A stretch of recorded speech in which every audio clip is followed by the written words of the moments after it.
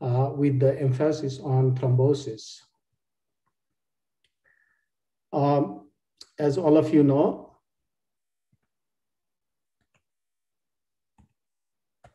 sorry, my uh, slide kind of frozen. Okay. Uh, can you see now? Okay. Can you see the next slide? Okay, so uh, as all of you know, the SARS-CoV-2 virus caused COVID-19 ARDS, uh, which has devastated the world, and it has infected more than 125 million and caused the deaths of almost 3 million people worldwide as of today, based on the Johns Hopkins COVID-19 map website. The majority of people experienced mild to moderate symptoms uh, and recovered without uh, needing hospitalization, but many with severe symptoms primarily suffered with acute respiratory distress syndrome or ARDS, the dominant clinical manifestation of COVID-19. Nearly one fourth of those hospitalized with COVID-19 were diagnosed with cardiovascular complications, which have been shown to contribute to roughly 40% of all COVID-19 related deaths. Pre-existing conditions such as hypertension, diabetes, or blocked heart arteries resulting from coronary artery disease, um, as well as uh, prothrombotic or hypercoagulable states weaken the body's ability to survive the stress of COVID-19.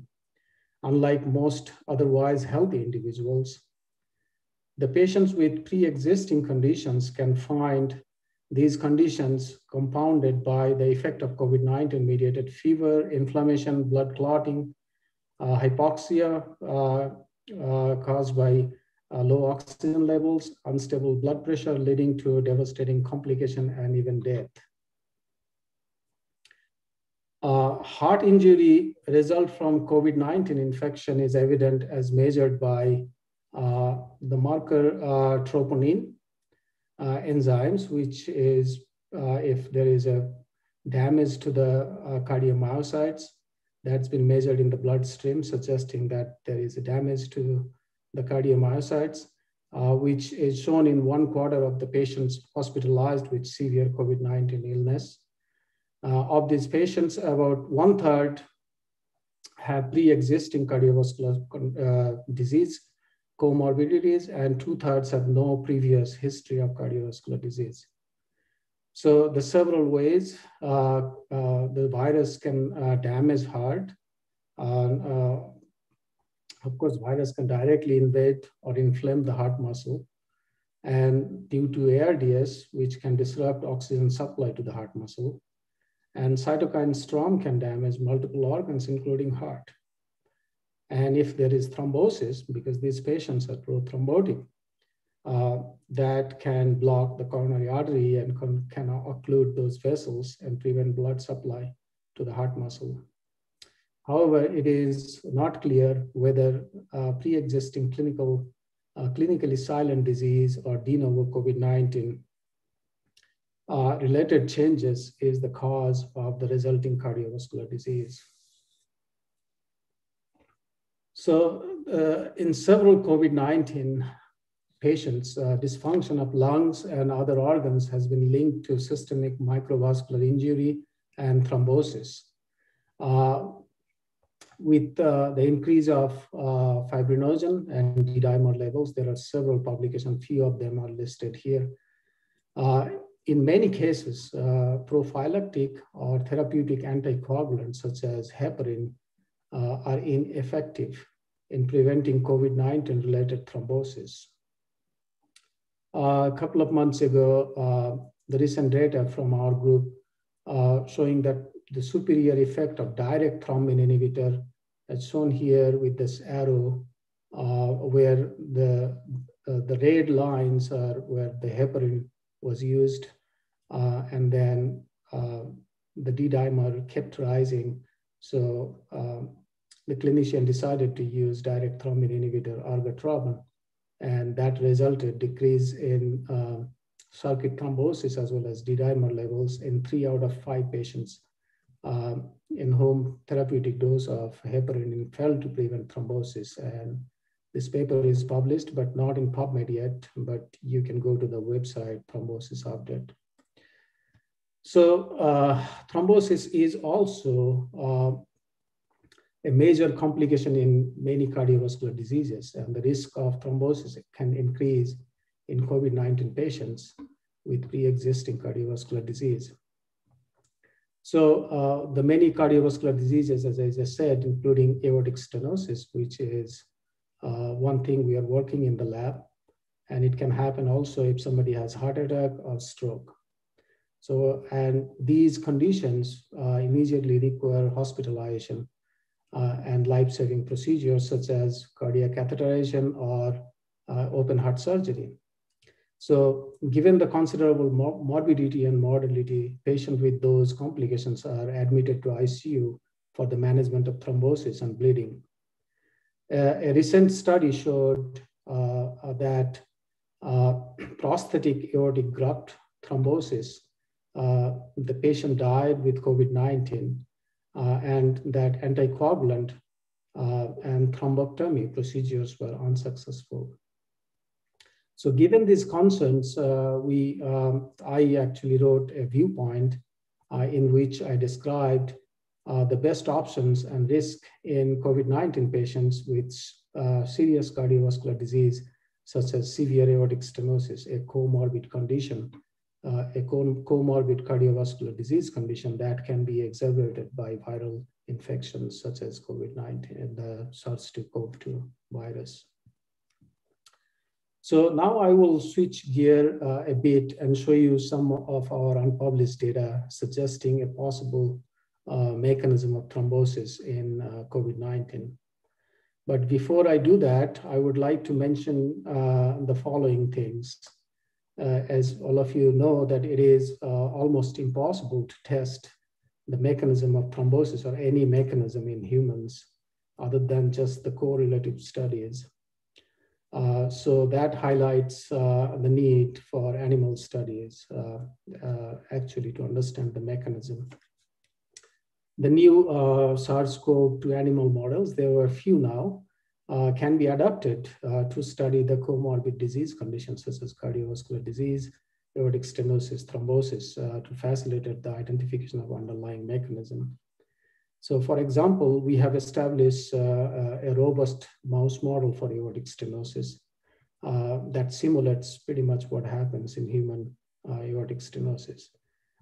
and we identified the platelet activation and its release product transforming growth factor uh, which is a major driver for aortic stenosis progression. And this model can be, in combination of the COVID-19 animal models, can be um, uh, used to address the comorbid cardiovascular disease effects on thrombosis.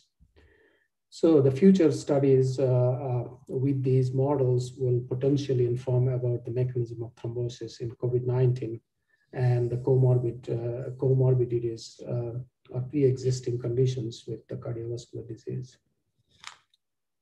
Okay, since the mechanism of thrombosis uh, uh, uh in COVID-19 patient is not clear, we focused on uh, what might potential uh, cause for thrombosis in COVID-19 patients. So we tested a hypothesis that SARS-CoV-2 virus uh, can induce upregulation of tissue factor, a prime initiator of extrinsic coagulation cascade which might be responsible for thrombo uh, thrombosis in COVID-19 patients. So the tissue factor is 43 uh, kilodalton glycoprotein, uh, uh, normally expressed in extravascular cells. It is not expressed in endothelial cells. It's not exposed to the blood circulation. Uh, but uh, it can be induced by inflammatory cytokines, trauma, or many pathogens, including virus.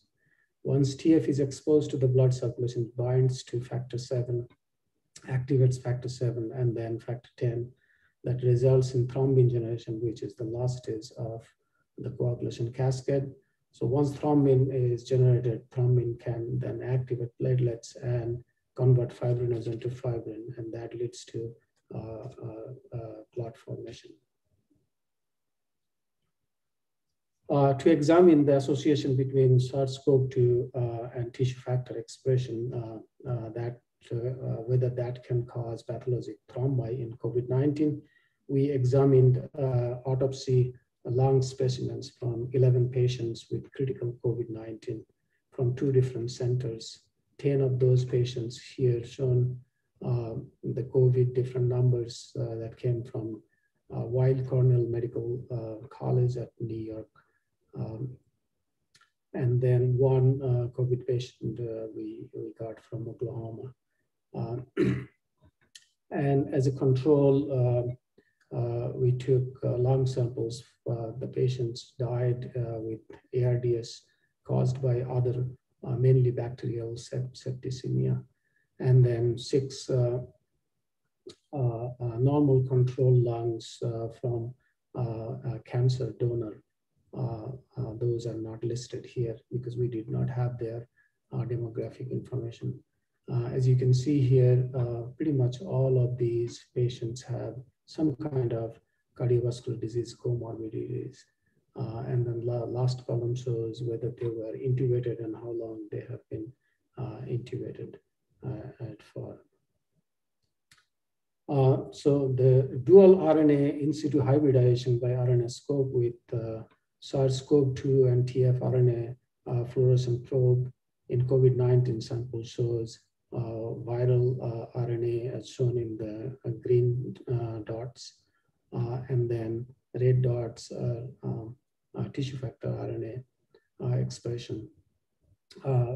as lower panel shows high magnification of viral and TF colocalization, as you can see here, the green, the viral RNA and then the neighboring or the same cells expressing TFRNA as well, uh, as measured by in situ hybridization using RNAscope imaging. The tissue factor uh, RNA expression is twofold higher in COVID-19 than non-COVID-19 ARDS lungs. Um, and then uh, the TF expression, TFRNA expression correlated with uh, uh, SARS-2 RNA COVID-19 lung as measured by in situ hybridization method. Uh, multicolor immunofluorescence uh, staining demonstrated uh, that TF protein expression, which is shown in white color, and plot the lung specimen in areas filled with large thrombi, as you can see here, large vessels thrombi, which are positive for uh, uh, red color is uh, uh, platelet factor 4, which is activated platelet uh, marker, and then the green is uh, fibrin. Um, so both fibrin and platelet factor were prominent in COVID-19 compared to non um, uh, uh, non-COVID ARDS and also normal controls.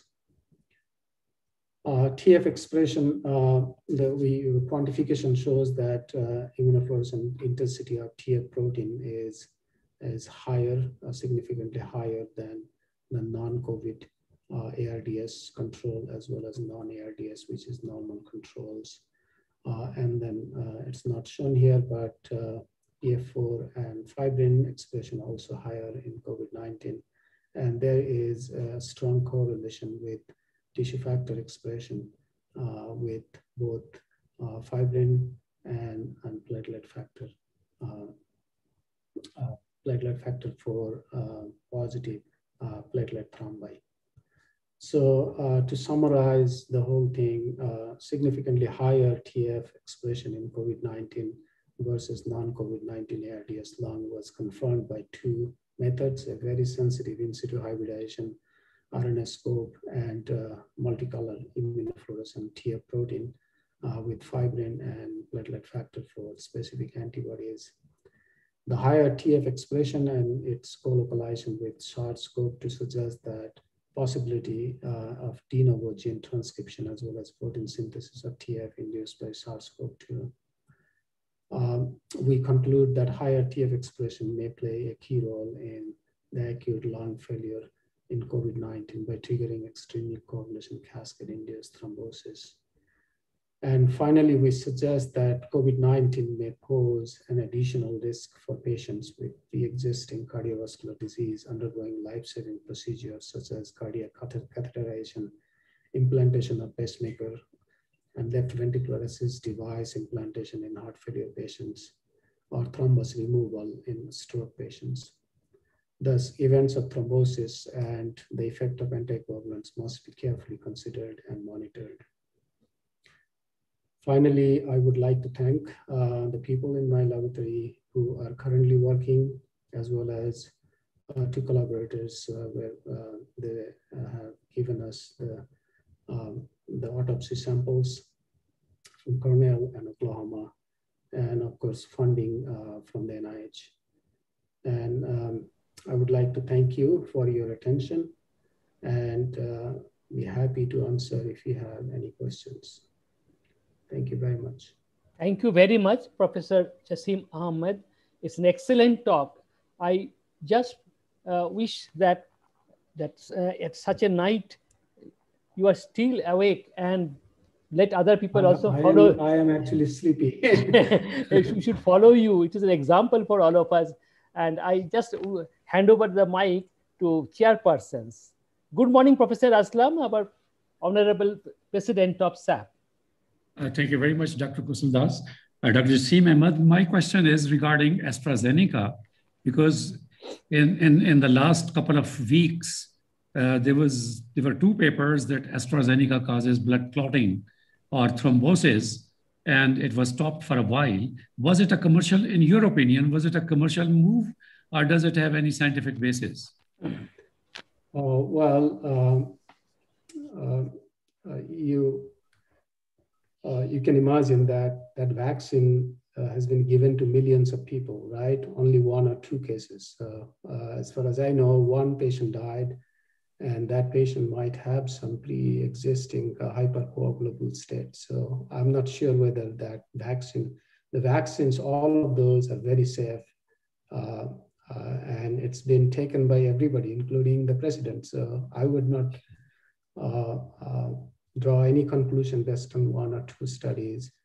Uh, vaccines are very safe, and uh, I would suggest everybody to take it. No, no, no. Thank you. Great, thank you.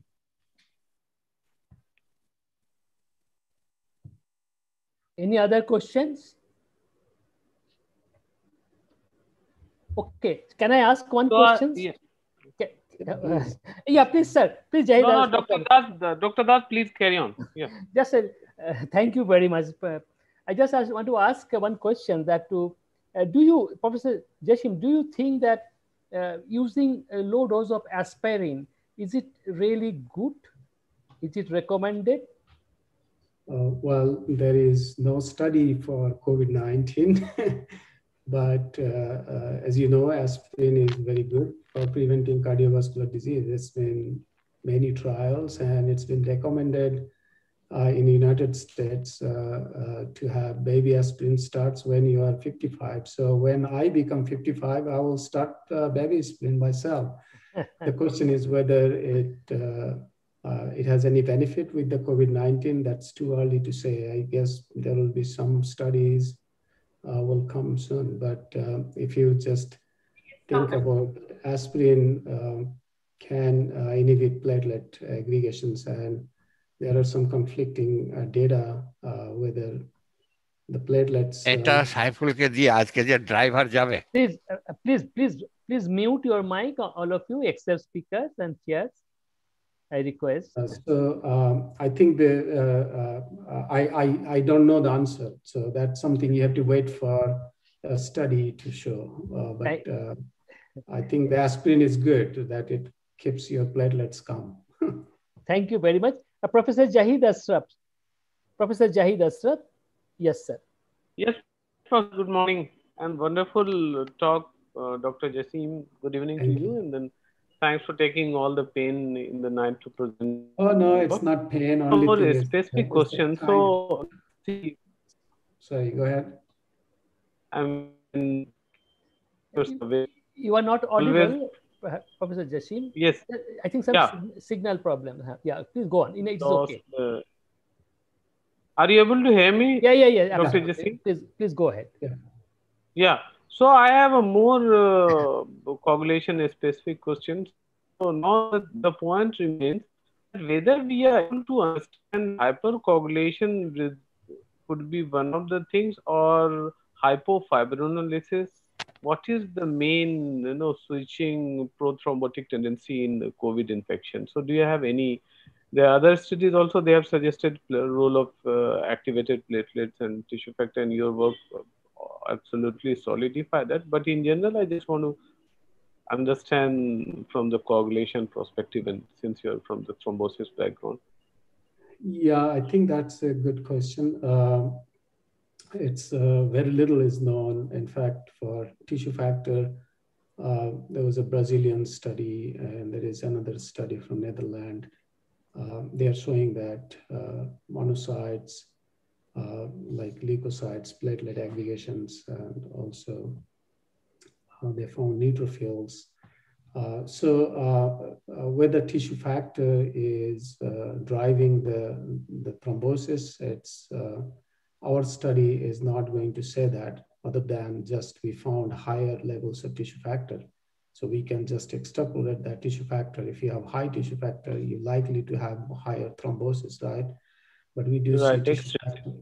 Yeah, Yeah. but uh, you you raised an interesting question of the uh, is the fibrinolytic cycle, right? Because of the D dimer is really Right. skyrocketing high uh, in these patients. So, so there is definitely uh, that thing is, is, is going on.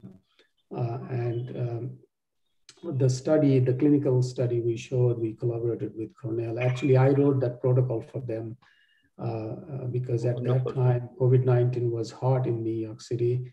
And my collaborator he uh, he is an hematologist uh, clinicians and he called me hey what's going on? These uh, none of the anti uh, the, the prophylactic uh, anticoagulant uh, high dose of heparin doesn't work. The patient starts to bleed but still the, they are having circuit thrombosis so i said well do you have the direct thrombin inhibitor? It, uh, use that. And that was kind of miracle for a few patients to save their life.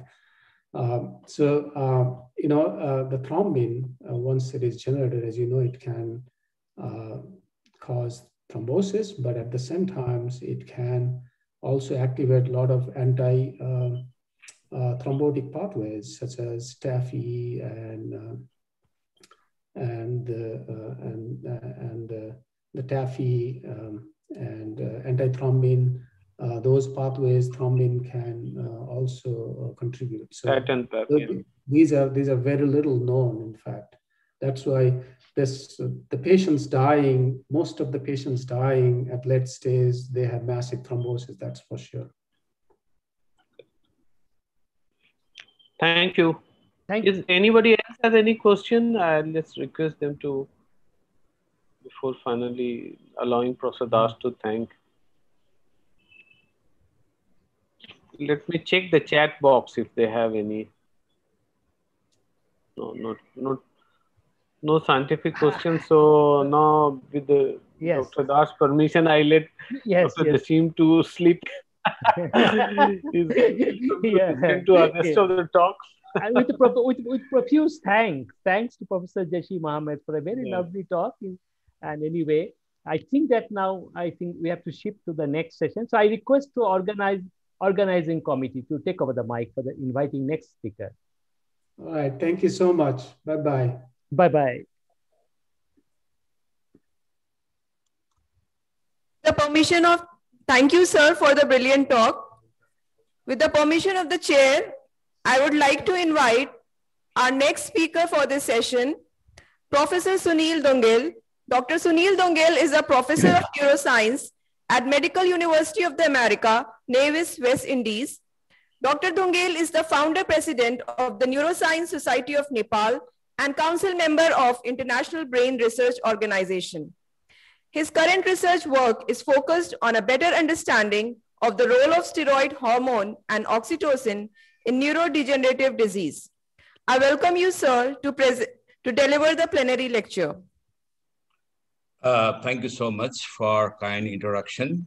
And uh, me also you know, here it's uh, midnight. It's uh, 11:30 p.m. uh, can you can you can you hear me? Yes, you are audible right. and visible both. Thank you. Right. Okay. So let me see uh, some uh, the right. Uh, right. So all right. So yeah, the uh, my talk is about the crosstalk between the COVID and chemosensation. Uh, you know, the uh, as the my previous the speakers, he talked so many things about the uh, the COVID and cardiovascular abnormality. But my job, I just you know, I want to focus a little bit more on the uh, other system. As now we all know that the COVID nineteen is not only restricted to the CVS respiratory but the other multi-systems organs are also included. So the central nervous system, peripheral nervous system, they're not the exception. So if you look carefully about the COVID patients, the we got some sort of the neurological manifestations in the hospitalized COVID patients, basically, of which, if we look, these are the few important, you know, the mechanisms that actually induce the neurological manifestation. It could be due to the viral induced hyperinflammatory state or hypercoagulable state, or it could be direct, and others, you know, the post-infectious immune mediated process. The further, if we look the what specifically we have the neurological manifestation features in the COVID patients, the in the available data what we found is the, the patients, they are having the encephalopathy, encephalitis, meningitis, and others, you know, the CNS related disorders. And at the same time, if you look about the PNS related one in the COVID patients, the number of significant number of patients, they are now showing, you know, the problems in the smell and taste.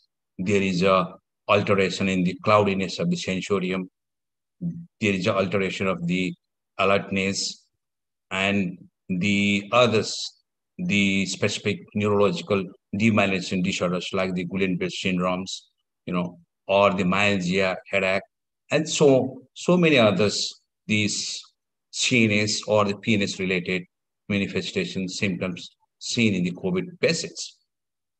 So of which, you know, if we look carefully, you know, the PNS related the more than 40 passes. Randomly, if you see the more than 40% COVID patients, now they showed some sort of loss of taste and smell.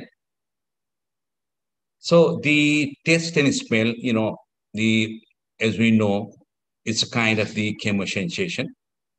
The, it is the detection and interpretation of the chemical stimuli that is the olfaction, gustation, or the related sensation through the, uh, the receptors.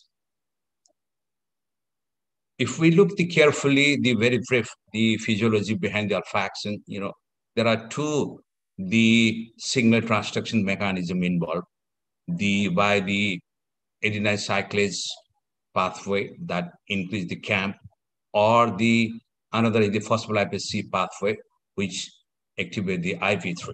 So these two pathway eventually lead to the signal transduction. That is the cilia get depolarized and then there is a signals. So in this picture here, you can see the, how they, you know, the odorants when they binds, you know, there is a receptors potential develop and then eventually there is a sensation and then we have the perception. In the further, if we look the, you know, the pathway of the olfaction, we know there is olfactory bulb, and that is composed by the different glomeruli, which are the specific for the spe specific olfaction. But the one important thing that we know that the olfactory pathway, it almost it bypass the thalamus, right? The through the olfact, the olfactory receptors, that the phosphorescent neurons, and then through the bulb, it goes to the piriform cortex, that for the perception amygdala for the emotions, or the others like in the, the hippocampus for the, the memory-related olfaction, and so on. But there's some sort of the, there's a crosstalk between the, uh, the piriform cortex and thalamus is also there. Whereas uh, the, yeah, and for the olfaction, you know, the, uh, the study, uh, as we know that the olfactory epithelium, that is the, you know, the sites where the first events takes place. And for the research purpose, we can use, you know, to study whether the olfactory epithelium, you know, it involved for the olfactory detection for that FITC level. So I've been agglutinin, uh, the stain that is used for visualization of the olfactory epithelium lesions, Rohren Morel. And it has been found that the olfactory epithelial cell, the that is the bipolar cell, as you can see here, that can be regenerate almost 30 to 60 days in human. In animals, it is about the week in rodents, most of the rodents. What is the another the chemosensation that we know the crustaceans? There are five types, of which three are the G pro protein receptor signal transduction. The two itself is a ions, thereby they directly opens and then there is a sensation and eventually perception of the crustaceans. There is a one more things, you know, the, I mean, in relation to the COVID, the as such, you know, the taste disorders or the the olfaction disorders, you know, the, it is not considered as a, you know, the primary disorders. And if we look the others, the taste disorders, the 80% of the taste disorders are truly the smell related one. For that, we know there is some crosstalk between the, uh, the regular smell pathway and then there is a retronasal smell pathway. Somewhere in the just base of the frontal orbital lobe, there is a centers that actually involved for giving the flavors of the things that the retronasal olfaction. So, so why there is a compromise of these two chemosensation in the COVID patient? That is the my interest now. So as we know that the virus, about the virus, uh, till date, we have the two known mechanism how it interact or invade the host cells. For that, there are two, you know, the I mean, they have the specific receptors, ACE2, and there is a TMPRSS2 genes that, I mean, the, the enzymes that is facilitates the invasion of that, the virus into the host cell. And this is showed you the structure different, you know, these, these components are there in this Western blot. So why there is a cost study or the test dysfunction in the COVID? Now, you know, we know that the transmission through the different, you know, the contacts actually that, you know, the through these two or mainly by the ACE2 receptors, you know, they are found in the basal cells, supporting cell in the test bar. And then thereby there is a dysgeusia, you know, that is caused. But the point is that, you know, the, we don't know the detail of the, you know, the exact mechanism. Is that the, this, uh, the COVID virus, is that actually affect the, the cranioid of 7, 9, 10 that actually involved for the transduction of the signals from the test. It's not very clear. Similarly, if we look in the olfaction, you know, in the olfaction also, there is a anosmia, most of the patients they develop.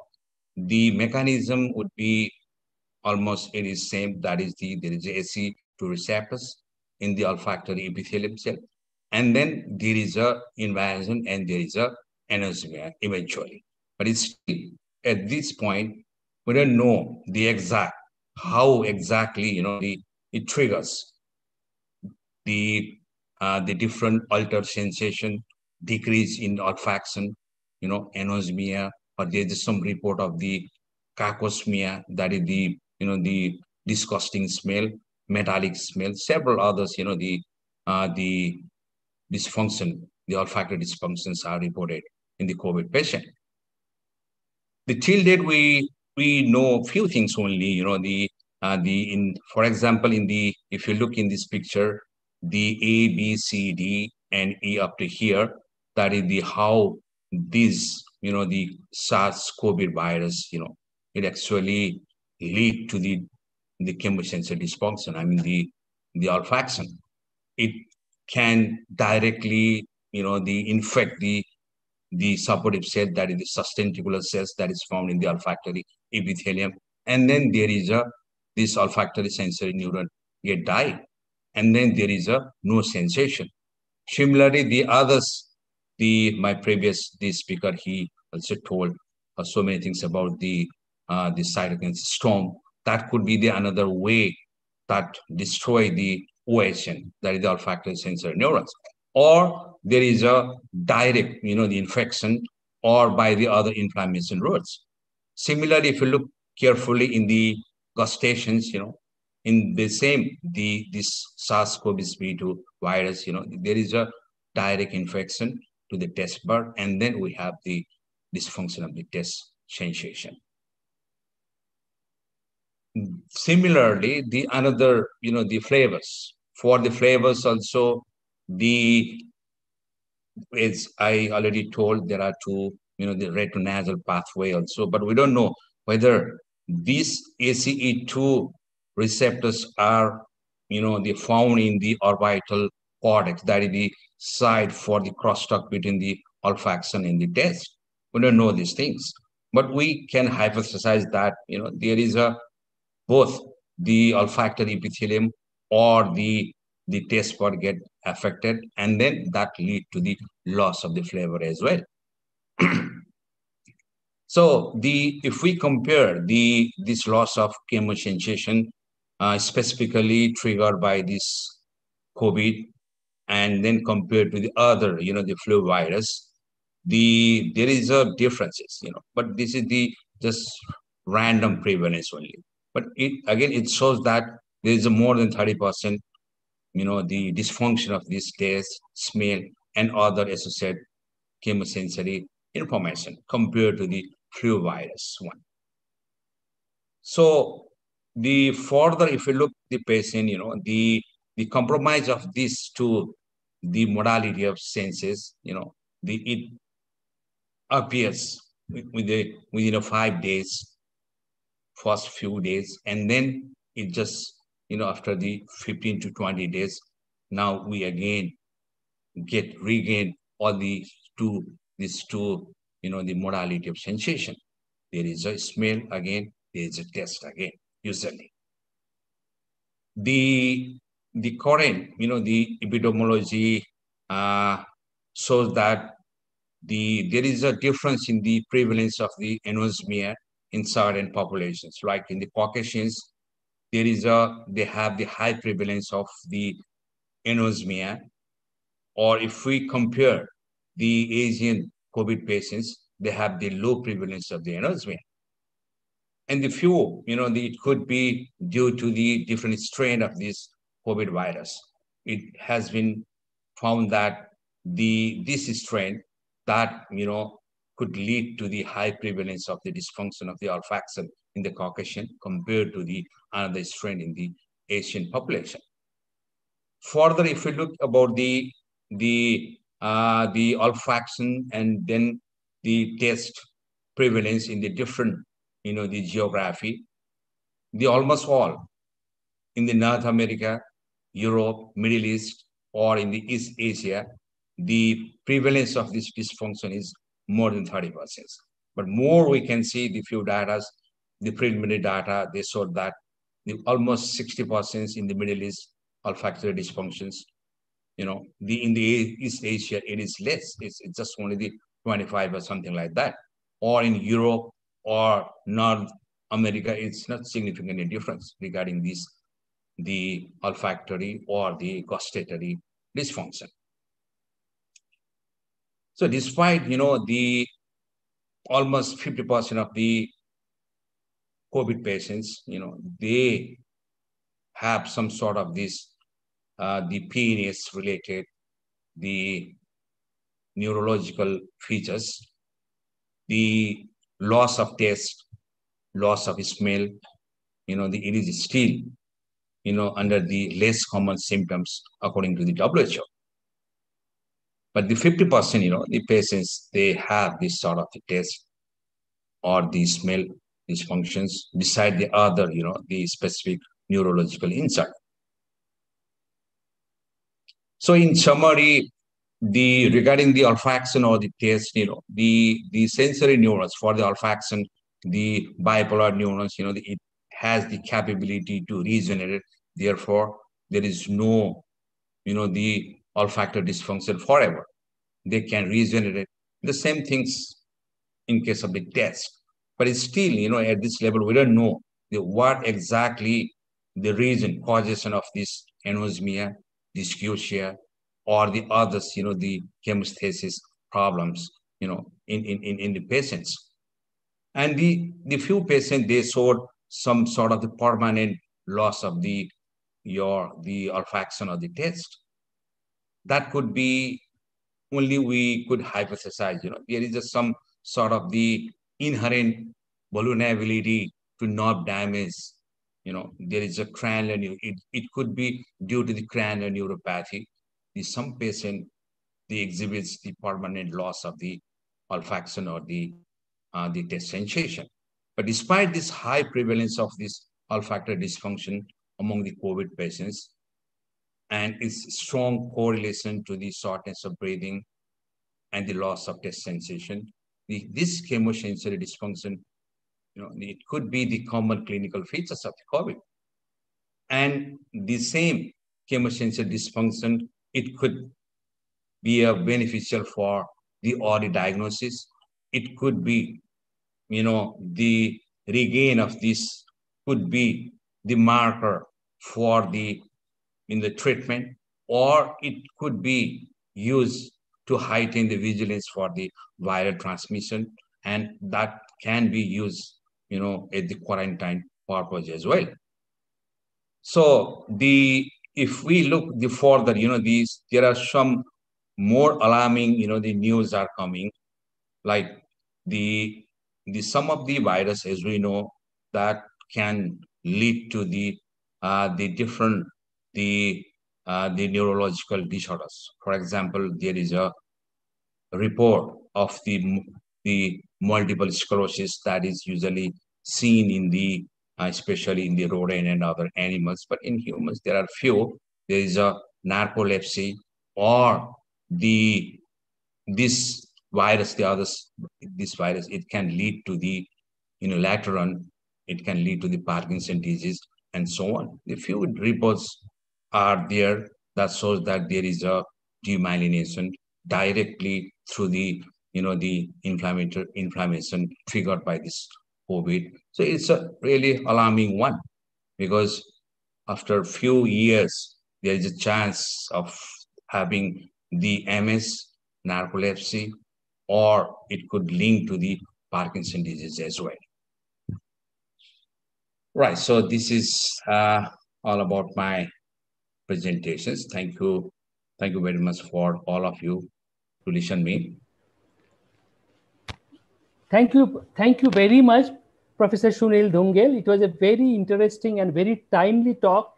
I think that this your lecture will definitely enlighten all of us about the pandemic by which we are going on.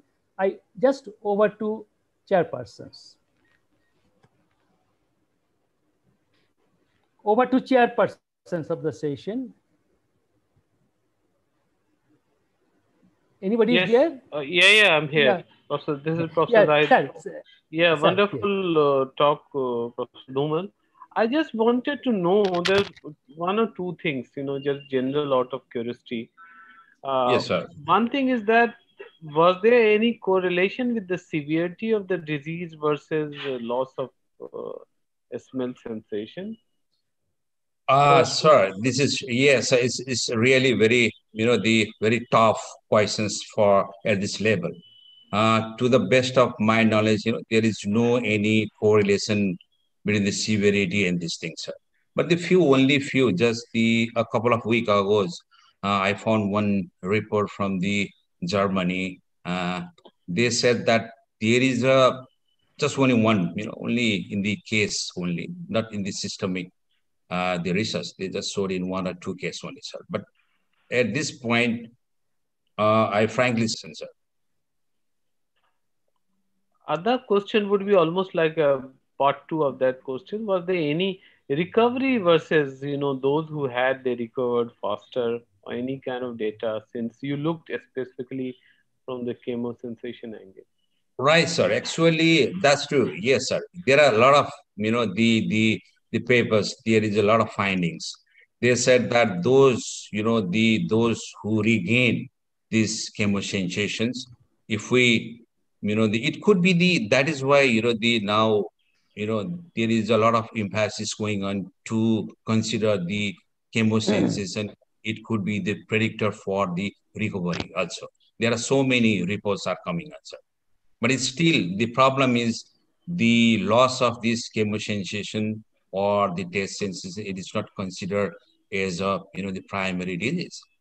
You know, the same things right. in, in physiology also, you know, most of the time when it is the taste and these things, we just combine this taste and olfaction in most of the curriculum, they just combine. And there is a less, you know, the, the focus giving on this, the part of the nervous system. So there are reports of Thank you, Dr. Dungal. I have just, I'm reading at one question from uh, the chat also. People are, do you yes, think sir, that, sir. I'm just reading a um, question from the chat box.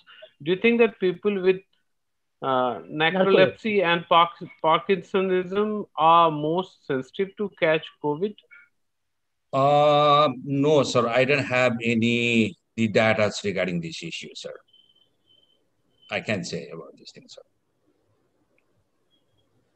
Can you ask okay. a question, please? Yeah, Professor yeah, yeah, sure, sure. Uh, this is yes, Aslam from Pakistan. Hi, now, sir. You, How are you, sir? I'm very, very fine. Dr. Sunil, wonderful talk. But can you Thank suggest you, can you suggest any animal model to provide evidence for mechanism of development of anosmia and dysgeusia? Yes. Because this sir. is all theoretical. Can you suggest any animal model to provide evidence? Right, to, sir. The, to understand the mechanism. Right, sir. Actually, for uh, myself also, I did some the work on this model. The there is some techniques like, for example, we can do these things in the rat model and others rodent also. Especially in the rat, you know, there are like the if we could inject the certain zinc sulfate, it's a very simple. The techniques procedures are there. So if we just put some zinc uh, sulfate, and then that can destroy specifically to the olfactory epithelium. So that could be the, you know, the model to understand the further about the mechanism of the olfaction. Mm-hmm. Or the, you know, the another thing is that the, especially in the rodent, in addition to the olfactory epithelium, they have the vomeronasal organ, you know, mm-hmm. that we don't have. We have, but that is in the intrauterine lab only. So mm-hmm. there's just some limitations, you know, the, not exactly, we cannot mimic the things, but at least in some extent, the making the lesions to the olfactory epithelium or the olfactory tract, especially the anterior olfactory nuclei or the area just below the, uh, the frontal cortex, that can be done in the animal model, in the rat model, sir. Right. Thank you very much. Thank you, Dr. Smith. Right, sir. My pleasure, sir. I think Thank you. Yeah. Hello. Yeah, please. Anybody asking question? If there is no question, I will request uh, organizer to go for the next question. Thank sir, you very much, Professor. sir, I wanted to ask one question. Yeah, please. Yes, please.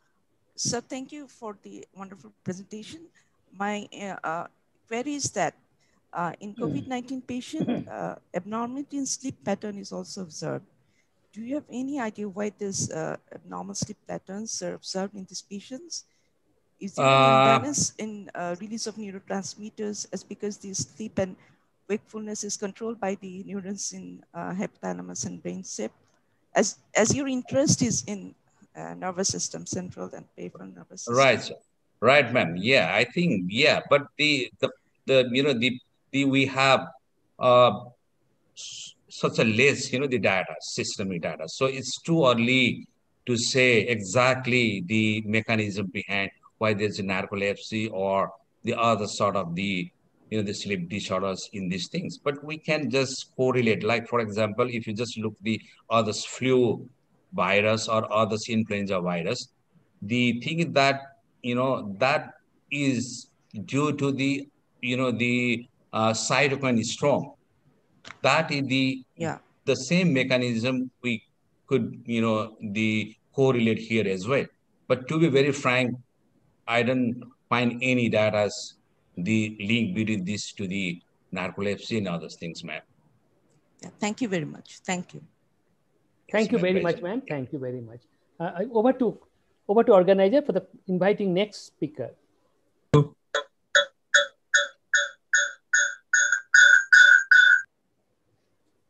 Over to organizing committee. I am audible. Yeah, you are audible, Professor Chandra. You are audible. acha, acha. I, I have I have one question to the- Professor Dangle Dungal, huh? Yeah, right. that whether the variation of taste and smell depends on age and sex or it depends on uh, the age group. Whether it is, it is uniform to all or it varies from individual to individual, sex, age, etc. This is my question. Professor Dungal. Professor Dungal, you are you are you are are you there? Your mic is mute. Can you unmute? Are you available? I think it is a very late night there. I think he could maybe. Yeah, yes, yes. Late night. i'm sorry sir sorry Yeah, yes yeah. sir it's up you know it's up Yeah, yeah, yes, come back. a tool. Yeah, sorry yeah, yes, come yeah back. i'm come here. Yeah, yeah, thank you. Professor Dungal, one question. Can Professor Amar yes sir please Professor Amar Chandra, you can ask one question. Please Please, sir. repeat the question. Professor Amar K. Chandra, sir, please you repeat the question. Oh, now he is he is not available. i'm here sir You are here, but uh, Professor Amar K. Chandra Ah, is not there who asked the question. yeah, he's unmuting. Looks like he has. You, uh, mute- please mute. Please, mu- please, please unmute. Please unmute, sir. Professor Chandra, please unmute. Yes, he has unmuted. No, it is again problem. No, not yet. Okay, I think that uh, I think that uh, we can go to. I think we can go to the next uh, next speaker. Dr. Samina Malik is also raising the hand, ma'am. Please go ahead if you have any question. I was jo- just showing Professor Amar Chandra to unmute. Okay. Okay. yeah But Dr. Shamina, he- sir he- he uh. I'm I'm very happy to answer the Dr. Amar Chandra question. If you just send me in the chat box, Yes, I'm yes. available and I'll answer. No I problem. think I think I think so. Thank you very much. Yeah, that's the way to go. Right, sir. That is it. Yeah. Thank you. Yeah, organizing committee, organizing committee members, please go ahead with the next next speaker. Thank you, sir, for the wonderful talk. With the permission of the chair, I would like to introduce our next speaker for this session, Professor R.V. Kulkarni. He is professor and vice principal at BLD EAS College of Pharmacy, Vijapur. His area of research comprises of novel drug delivery systems, including hydrogel-based oral and transdermal drug delivery systems. He has received several honors and awards. In 2019, he has received National Award at 107th Indian Science Congress. He is an editorial board member of various journals, including Bentham Science Journal, Drug Delivery Letters, and BLD University Journal of Health Sciences. I welcome you, sir, to present the plenary lecture. Yes, Over Professor, Professor R.V. Kulkarni. Yeah. Professor Thank, Kulkarni. thank you, madam. Thank you for the introduction. And at the outset, I thank Professor Kushal Das and uh, Professor Iqbal Alam for giving me an opportunity to talk at this wonderful conference. Uh, my area is uh, drug delivery systems. Uh, I hope I'm not uh, uh, ka haddi in this uh, physiology conference because this is the core physiology conference, what I'm observing last two days. Uh, anyhow, uh, I, for 20 minutes, uh, 20 to 30 minutes, I'll just present my area that is drug delivery systems, how the concept of drug delivery systems have been evolved from traditional to novel drug delivery systems. Sir, is my screen is visible? Yes, yes, it is visible. You have to please go in slideshow mode. Yes. Yes, full sir. screen, full screen. But that's all. Yes, wonderful. So thank you. Uh, uh, I'll be talking about uh, chemotherapeutic responsive drug delivery systems. So briefly, my content of the talk Please, there is Will an be- echo. There is an echo there. Dr. Kulkarni, there is an echo. once. Once. There is an echo. Yeah, it has not gone. It has gone now. Huh. It's okay, sir, now? But echo is still there, lower, but echo is there. Okay, you carry on. devices. So kindly see if you see both devices are uh, connected at the same time. My talk will be covering the delivery concept, conventional delivery. I think that do you have the two two device you are using? One second, just a minute.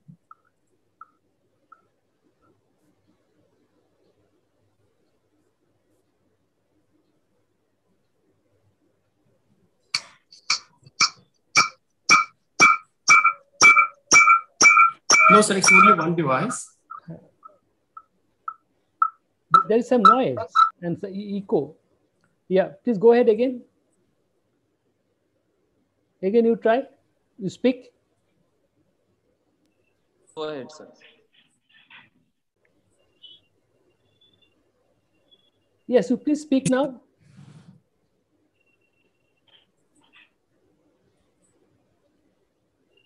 Is it okay, sir, now? Yes, fine. Yeah, it is fine. No. Yeah. So my talk covers drug delivery concept, conventional drug delivery systems, controlled drug delivery systems, responsive drug delivery systems, polymer-based hydrogels, responsive hydrogels. In that, pH responsive hydrogel and electro responsive hydrogels, then functional modification of polymers, stimuli responsive polymers, the challenges ahead, and the conclusion. So we know the drugs are very much important for the treatment of diseases. As we know how the cars are useless without roads, drugs are also useless without a proper effective deli- drug delivery system. Drug is only a weapon against the disease, but the delivery system is like a warrior. We should have a proper warrior for the battle. Similarly, we should have a proper drug delivery system for treating the diseases using the drugs.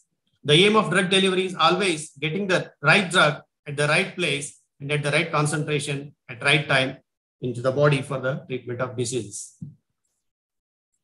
So always, all the drug molecules are not great medicines. A drug molecule is a chemical entity. So great molecule should be a great medicine when there is a proper drug delivery approach.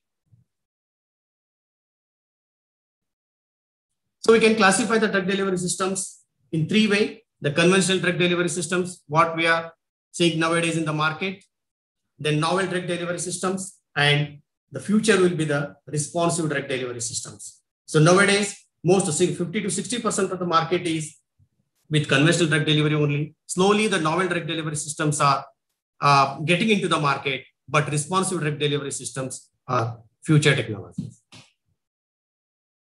So to brief, uh, this is the route of drug administration. So we have various routes of drug administration based on which we are designing the drug delivery systems. So maybe ocular drug delivery systems, nasal drug delivery systems, oral drug delivery is the most common route of drug administration today, through which we are administering capsules, uh, liquid orals, tablets, etc. The another approach is transdermal drug delivery, through which we are administering the drugs from the patches applying onto the skin, through which the drug releases into the systemic circulation through the skin. And then subcutaneous implants is the another approach, vaginal drug delivery systems, rectum route for drug administration, then colonic drug delivery, drug targeting to the small intestine, drug targeting to the stomachs. These are the various approaches for the drug delivery systems. So these are conventional drug delivery systems and novel drug delivery systems, which are into the market today. So conventional drug delivery systems comprises parenterals, like injections, tablets, capsules, liquid orals, emulsions, suspension, creams, paste, and ointments. Whereas novel drug delivery systems comprises controlled release tablets, transdermal delivery systems, buccal drug delivery systems, colon targeted systems, implants, and particulate drug delivery systems like microspheres, nanoparticles, liposomes, and neosomes. So this is the concept of drug delivery. So conventional versus controlled or novel drug delivery systems. So today, most of, as I said, most 50 to 60% of the market is with conventional drug delivery systems, what we are using. There are several limitations with the conventional drug delivery systems, like frequency of drug administration is more, like we are consuming a drug three times a day, four times a day. So this is this increases the frequency of drug administration. With this, there will be patient non-compliance and non-comfortness. Then there will be much fluctuations in the plasma concentration with this frequency of drug administration. Then there are chances of dose missing and dose dumping also. The drug toxicity increases with this frequency of administration. Whereas the novel drug delivery systems, there will be decrease in frequency of the drug administration because once the novel drug delivery or controlled drug delivery uh, system is administered into the body with a single dose, the drug will be releasing for a longer period of time. Then this improves the patient compliance and comfort. The plasma drug fluctuation is reduced with the novel drug delivery systems. The total load is reduced and dose dumping decreases. The uh, toxicity effects will also be decreased. So this is how the conventional drug delivery systems works. With the one single dose, the drug concentration in the plasma increases and after some time, the drug concentration decreases. We divide the therapeutic uh, effect of the drugs in three. One is therapeutic range, toxic range, and subtherapeutic range. So always the drug we administer should be in the therapeutic range for elicitation of pharmacological actions. If the drug reaches the toxic range, above this therapeutic range, then there will be toxic effects on the body. And if the drug is below this minimum therapeutic concentration, then it won't show any pharmacological action. Simply, it can show adverse effects or it can eliminate out. So this is the second dose, and this is the th third dose with the conventional drug delivery system. So how we are taking the uh, tablet morning, afternoon, and evening. So with this, we can see there is a fluctuation of plasma drug concentration. So this will give a adverse side effects. Whereas with a controlled drug delivery system, with administered one tablet, the drug will be releasing for a longer period of time, made up to 12 hours or 20, 24 hours. So with this, we can avoid the plasma drug fluctuations. The limitations of conventional drug delivery systems can be conquered by either drug development or by controlled systems. New drug development is in a costly effect. So the total cost for the development of a new drug and bringing into the market, it may cost about approximately nearly 2.6 billions. And the time consumption is very high.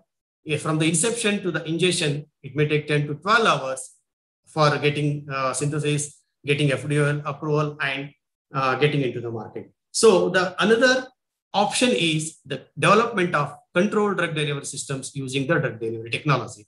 Hence, this the first one is not feasible, but with the second one, for the existing drug, we can go for the development of novel drug delivery systems to conquer the limitations of conventional drug delivery systems. But the present uh, scenario is that the chronotherapy. Chronotherapy, always we can see that constant drug delivery, uh, drug delivery will be an alternate option for the tra traditional drug delivery systems. But many clinical studies have shown that the always constant drug delivery is also not effective from the pharmacological point of view. And there are many drugs like CVS drugs, anti-cancer drugs, antihistaminic uh, drugs, and psychotropic drugs, which show the daily variations in their effect. So for such drugs, there should be a coordination between the biological rhythms and the drug release, which is need of the hour today. So this new therapy, chronotherapy, it doesn't involve any new drugs. Only the old drugs can be used in a different approach that is using the novel approach for development of the drug delivery systems. So since many disorders will follow the circadian pattern symptom appearance.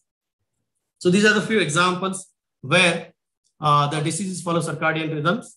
So allergenic rhinitis, where the symptoms are more in the early morning. We can see bronchial asthma symptoms are worst during the sleep period. And rheumatoid arthritis symptoms are worst upon awakening. Then osteoarthritis symptoms are more in the mid of the day. Then angina pectoris, myocardial infarction and all, we can see the symptoms are more in the early morning. Similarly for peptic ulcers and stroke. So for such diseases, if the drug delivery is synchronized with the symptom appearance, then it would be a wonderful technology. So the stimuli responsive release is the another uh, uh, second option uh, for the controlled release. So ideal drug delivery system which can respond to changes in physiological conditions and accordingly modify the drug release pattern is required, which is need of the hour. So for such uh, drug delivery systems, stimuli responsive drug delivery systems can be prepared. Such drug delivery systems can be prepared using the hydrogels, which can show the dramatic changes in their swelling behavior and mechanical strength in response to different internal and external stimuli. So such drug delivery systems are called as responsive drug delivery systems. So this is how. So we we have seen the conventional drug delivery systems. We have seen the controlled release with single dose. The drug release will be there for a longer period of time in order to uh, get the uh, uh, plasma concentration, uniform plasma concentration. But again, it has proved in the clinical studies that all the uh, drugs will not uh, show the proper effect. So we, for this reason, the another option is stimuli response units. Whenever there is a symptoms, at that time only drug will be released and rest of the time, the drug release will be either at the basal level or no drug release. Such drug delivery systems are required and those are the future drug delivery systems. And next, uh, polymer uh, responsive drug delivery systems can be prepared using the polymeric hydrogels. So these hydrogels are the hydrophilic polymers. They are three-dimensional hydrophilic polymers generally cross-linked. So either these hydrogels are chemically cross-linked and physically cross-linked.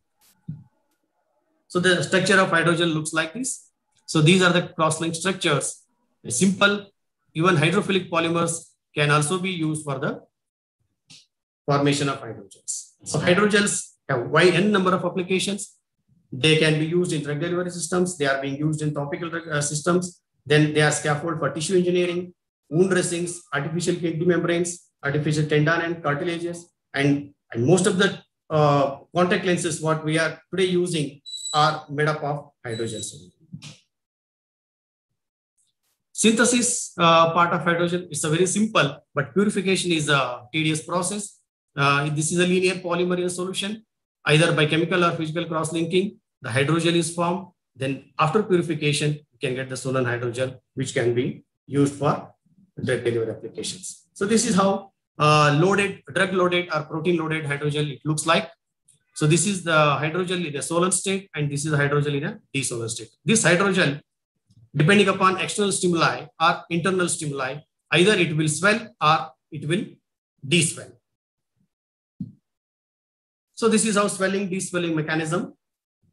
Once there is an external stimuli, since these hydrogels are responsive hydrogels, once there is an external stimuli, on application of stimuli, either hydrogel will collapse or it will swell. Based on this, the drug will be released from the entrapped hydrogels. So these are the uh, types of hydrogel uh, responsive hydrogels. Among them, graft polymer and IPN hydrogels are most widely used. So these are different types of uh, responsive hydrogels. So my area is uh, pH responsive hydrogel and electrically responsive hydrogel. So this is how pH responsive hydrogel works. Say for example, uh, our uh, GIT, entire GIT is, uh, there is a pH variation among the entire GIT. So the stomach, which is having a very low pH, when we, we move down to the gut, there will be increased pH. So this can be exploited. This nature can be exploited for the development of drug delivery systems. So where at lower pH, there is no ionization of hydrogel. So it is in intact state, no drug release. Once it reaches the intestine, uh, large intestine and small intestine, there will be ionization of hydrogel so that the entrapped drug will be liberated based on the pH. So this is how it works. So high, uh, swelling of hydrogel or shrinking. In both the cases, the liberated drug will be released. The second one is electrically responsive hydrogel. These are also uh, responsive hydrogels, which are mainly polyelectrolytes in nature. They also undergo ionization depending upon the electric stimulus. So such hydrogels can be used uh, for the transdermal drug delivery systems or they can also be implanted under the skin and uh, with a minor surgery. Then depending upon the requirement, the external stimulus can be applied on the skin. At that time only drug will be released and remaining time, the hydrogel remains intact. There won't be any drug release. So this is the mechanism. And in future, such drug delivery systems containing electrically responsive hydrogels could be in the form of small portable units like a wristwatch. Whenever the drug release is required, we can turn it off and on, or patient could turn it on when the drug release is required. Uh, we can program it. Functional modification. We are working on functional modification of polymers. So these are the natural gums we are using. So spray dried microspheres uh, we have prepared using the gel and gum and we have characterized it by uh, proton NMR, neutralization equivalent, FTIR spectroscopy, element analysis, etc. And then we have developed the microspheres loaded with the capecitabine anti-cancer drug and evaluated for all these parameters, which shows this is the syn synthesis of uh, sensitive polymer and FTIR, NMR spectroscopy, TZA, all these have confirmed the grafting reactions so these are the evaluative parameters. The microspheres were spherical in uh, shape with the rough space and uh, intactness of the drug has been uh, confirmed with the chemical stability using the FTIR. DSA and XRD studies have confirmed the amorphous nature of the drug and the pH sensitivity has been studied. You can see here when the pH has been raised, the swelling was more, drug release was more. When the pH was decreased, there was a decreased swelling as well as drug release. So this is the drug release pattern. And we have studied in vivo röntgenography also in the rabbits. These were the particles which were intact and images taken at 4, 6 and 8 hours indicate there is a movement of particles among the gut transverse. And then at the end of 10th or 12th hour, these particles have been uh, disintegrated and liberated the entire loaded drug into the colonic region. The second uh, uh, one is uh, electrically responsive hydrogel drug delivery systems we have synthesized and we have used Pullulan as a natural polymer and we have developed the transdermal drug delivery systems which are responsive to electricity.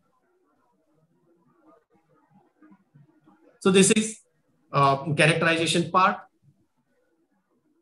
and SEM. And you can see here the electrical sensitivity of the hydrogel, when there is a applied electric stimulus, the drug release was faster. And in the absence of electric stimulus, drug release was at the basal level are almost nil. This is the histopathology of normal skin and skin treated with electric stimulus. We have uh, studied. Uh, there was a reversible change in the skin after application of electric stimulus, which was uh, slowly recovered after 24 hours. There are challenges uh, for the uh, for in the development of such formulations. Those are slow response of the hydrogels, biocompatibility, low mechanical strength, more number of smart hydrogels still to be searched, and improve treatment diseases with a cost-effective treatment because uh, the cost uh, these such uh, drug delivery systems are not cost effective. However, uh, Uh, still work has to be done on this. Just uh, I'll just uh, two minutes video. I'll show you how this uh, drug delivery, smart drug delivery will work.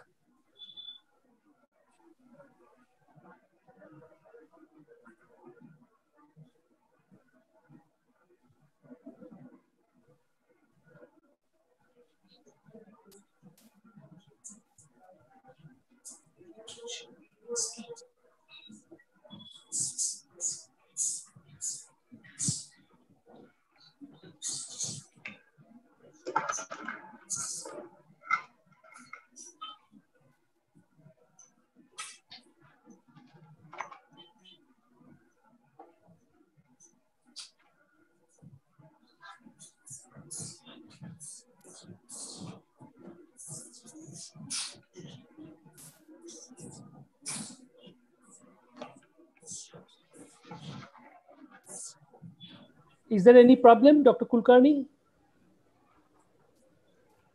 Is there any problem on video? So it's not playing?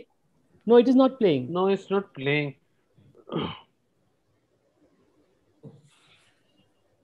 Now, sir? No. No. So you, sir, you have to go and share the video. It will not play inside PowerPoint. If you want One really. minute. One minute.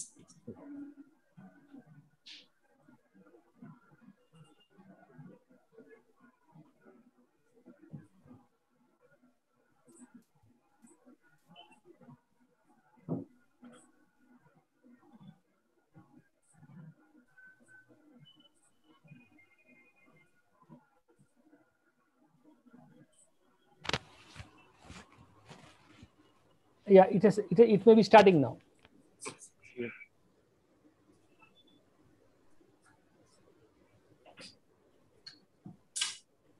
Is it visible, sir, now? Yes. Yeah.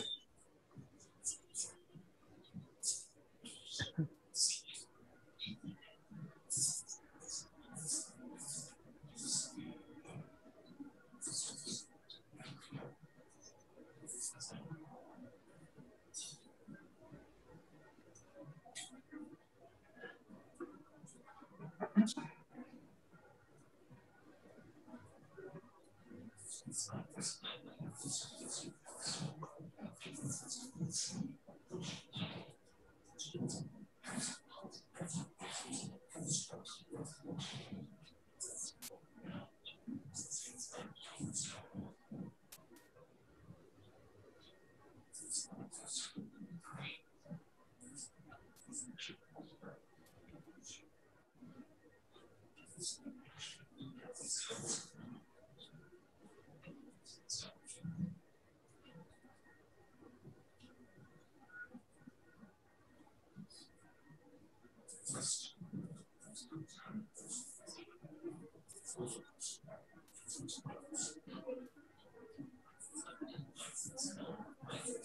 songs.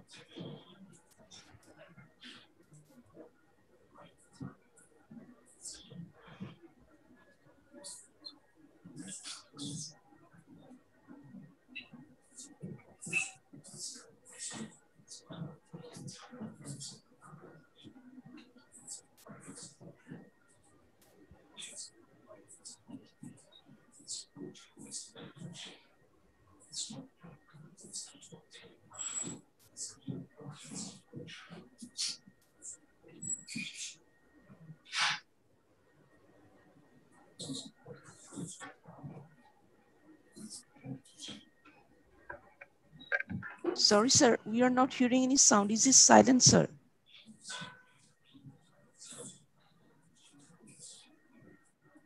There is no background. Okay, but we say, we have seen. The, Yes, sir.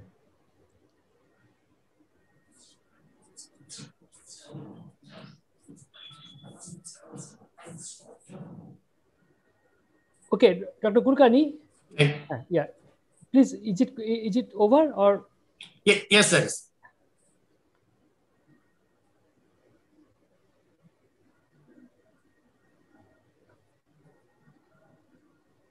Yes, sir. To conclude, uh, there should be combined. Is it visible, sir? Now? Yes, yes. Uh, to conclude, uh, the combined efforts by the pharmaceutical scientists, medical doctors, and polymer scientists through an interdisciplinary approach is need of the hour uh, to develop such drug delivery systems for the effective treatment of various diseases. And I, I thank, uh, I acknowledge my all the collaborators and Physiological Society of India, South Asian Association of Physiologists for giving me an opportunity. And at the same time, I thank my collaborators and all my research scholars. Thank you very much. Thank you very much, Professor Kulkarni. Uh, it's an excellent talk. And Professor Kulkarni, though he is a pharma, pharmaceutical scientist, but he is a life member of the Physiological Society of India. So this is for information. And he has awarded the Physiological Society of India as one of the most prestigious award. And uh, he is my collaborator also in the Government Research Fund together. And now I just uh, I welcome Dr. Iqbal. I think Dr. Iqbal, you have to take care till I arrive. And in spite of your tight schedule, And thank you very much to chairpersons. Please you continue and just I have an important work, so I'll be going for some time. Again, I'll be joining. I'll be missing you all. Thank you. Thank you, Dr. Kulkarni and uh, chairperson. Over to chairperson. Okay, Bye. thank you. Thank you, Kusulda. Thank you. Bye.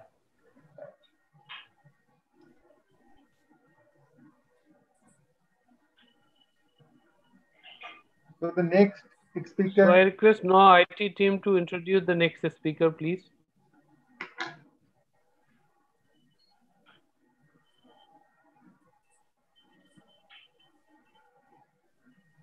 I'm audible. Yes. Yes, Dr. Iqbal, you're audible. I'm saying the oh. IT support should introduce the next speaker. Wonderful to see you. Good Doctor- morning. Good morning. Dr. Amna, please Yes, sir. introduce the ne- next speaker. Yes, sir. Thank you, sir, for the interesting talk. With the permission of the chair, I would like to introduce our next speaker, Professor Deepthi De Silva. She is professor in the Department of Physiology, Faculty of Medicine, University of Kelaniya, Sri Lanka. Her clinical and research interests include genetics of craniofacial malformations, congenital heart diseases, and deafness. She has been a president of the Physiological Society of Sri Lanka from 2013 to 2014 and a vice president of SAP from 2014 to 2016. I welcome you, ma'am, to present your plenary lecture.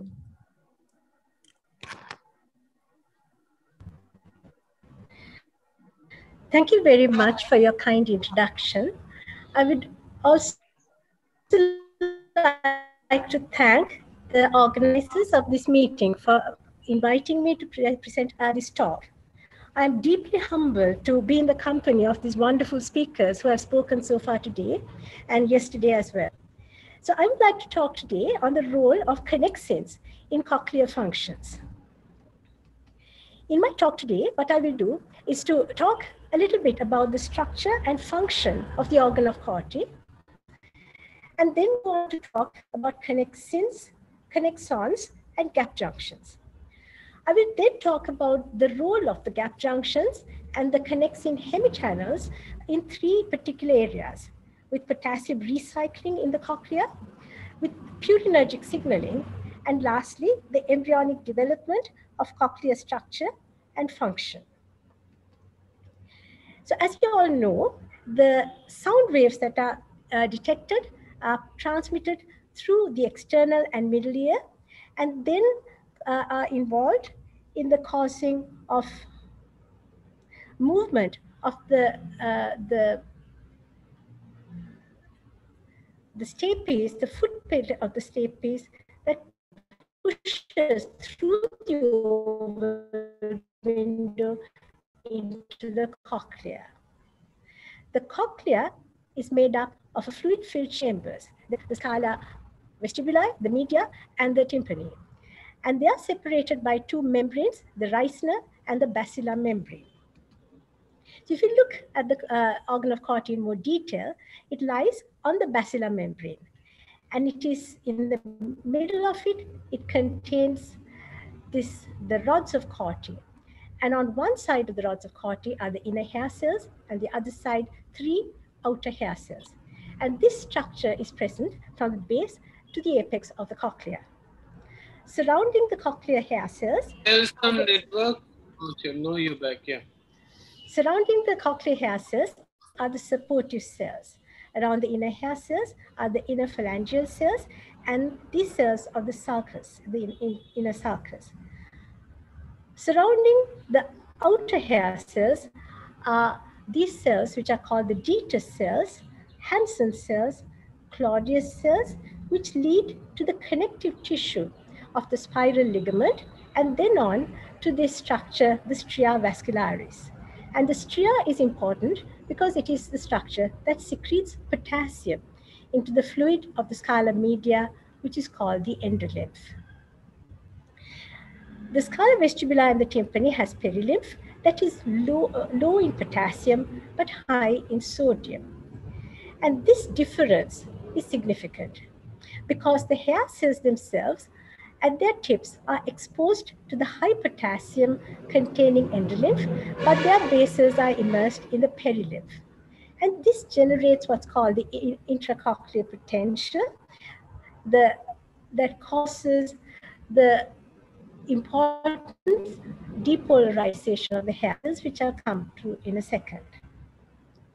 So sound waves, as they're transmitted into the scala vestibuli, cause a, a pressure wave that is transmitted through the Reissner membrane and causes movement of the basilar membrane. Basilar membrane movement causes shearing of the hair cell tips. And this in turn causes the opening of potassium channels, entry of potassium, and depolarization of the hair cell, which results in the influx of calcium and the release of glutamate that in turn causes action potentials in the afferent nerve.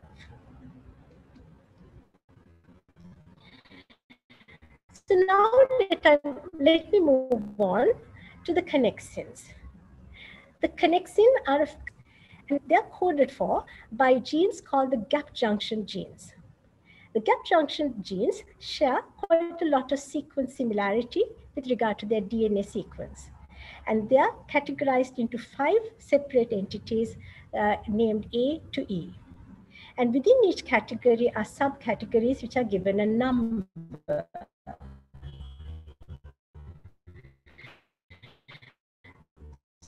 So gap junction B2, for example, is in a similar family, connexin 26 and connexin 30 respectively. And I'll come back to these in a little while.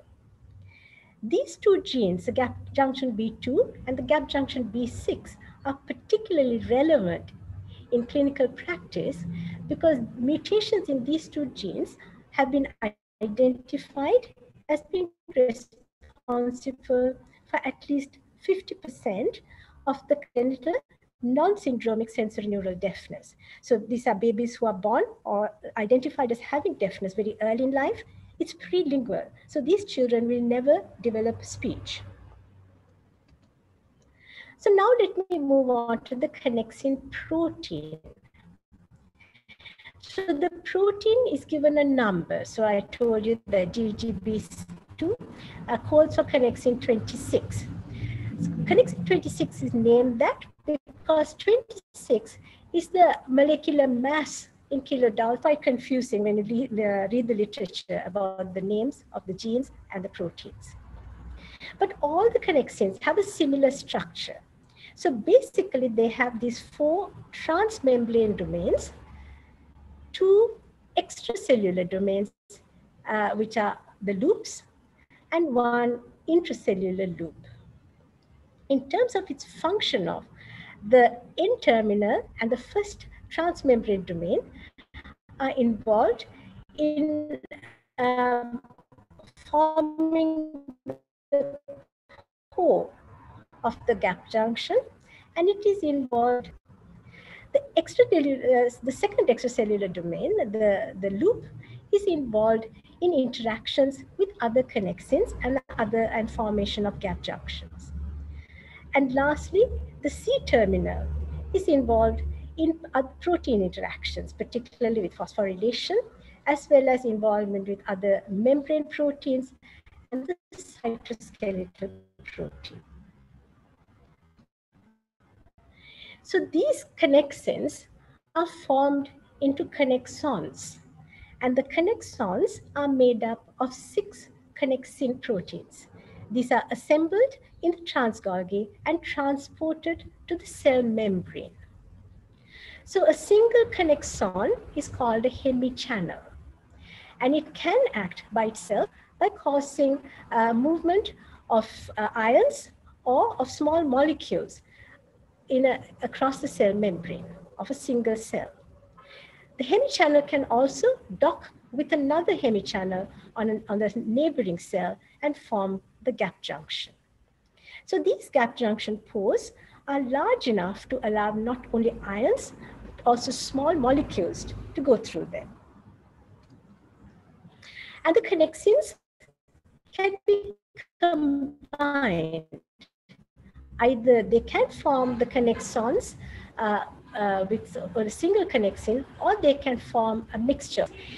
And, and how they are formed into connexons and gap junctions depends on the local needs of the environment that they are located in. So the next question that I'm going to answer is where these connections are expressed in the cochlea. So in the cochlea, just orientate you through this slide, this microscopic slide of here are the rod cells, uh, the rods of the cochlea, and on the outside, the outer hair cells and the inner hair cells. So when they are fluorescently labeled with the immunohistochemistry for connexin 26 and 30, you can see that the outer and the inner hair cells do not have any expression of connexin protein. It is the supportive cells of the organ of Corti. So these are the, the inner hair cell, the in, inner phalangeal cells, and the sulcal cells that are expressing connexins. If I move now to the stria vascularis, the structure that is involved in secretion of potassium into the scala media and the lymph, stria also expresses connexins, but at its basal layer. So where the spiral ligament lies, there's connexin expression. And also the border and the intermediate cell, but not these medial cells that are involved that are in the secretion of potassium itself. So it's the basal layers of the stria that are involved in secretion, uh, uh, in expressing connexins. So now that we know that connexin 26 is a very important player, it's an important cause of congenital deafness, the question that has been asked is why? Why does it, or what's the mechanism of causing deafness with these mutations? So the conventional uh, assumption is that the mutation confers an abnormal permeability to potassium in the cochlea. And the potassium recycling is affected, leading to the accumulation, the abnormal accumulation of potassium in the hair cells, which lead to their de degeneration and then the loss of hair cells.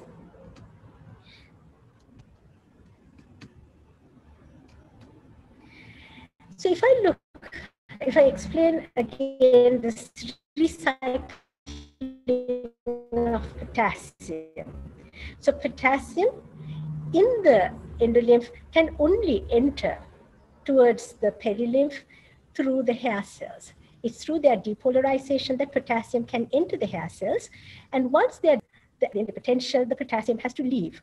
And it leaves into this uh, extracellular space of the cochlea. And from there, the potassium has to be recycled. There are two pathways for it. It can enter the perilymph, and through that, through the spiral ligament, go back towards the stria or it can go through the supportive cells of the Deiter cells, the Hensen cells, and the Claudius cells, and then go through to the stria. Same with the inner hair cells, they can also do that through their supportive cells and directly secrete into the endolymph as well. And this uh, is a very important uh, function of the gap junctions because it is very important to recycle the uh, potassium to maintain normal function. But in many patients and the animal models with connexin 26 knockout animals or the 30 knockout animals, what is clear is that the permeability to potassium is not always affected. So that has led to the question of what else might be involved in the causation of deafness with connexin 26 and connexin 30 mutations. So let me just talk you through this slide before I explain ATP and purinergic signaling. So this and the extracellular space around it, and these are the supportive cells of the hair cell. So potassium enters the hair cell when it's depolarized, the potassium has to leave the hair cell. The question, the question is how this potassium can now enter the supportive cells of the hair cell. So this is where the connexins come in. Connexins, as I said, are not expressed in the hair cells, but they are expressed in the connector, in the supportive cells. So here in the supportive cells, facing the scala media and the endolymph are hemichannels of connexins, or the connexon hemichannels. And these are exposed to the endolymph. And the endolymph, apart from having a high potassium, of course has a low sodium, but also a low calcium level. And this low calcium stimulates the opening of the hemichannels. And when these hemichannels are open, they allow the movement of ATP, cell, to the extracellular compartment.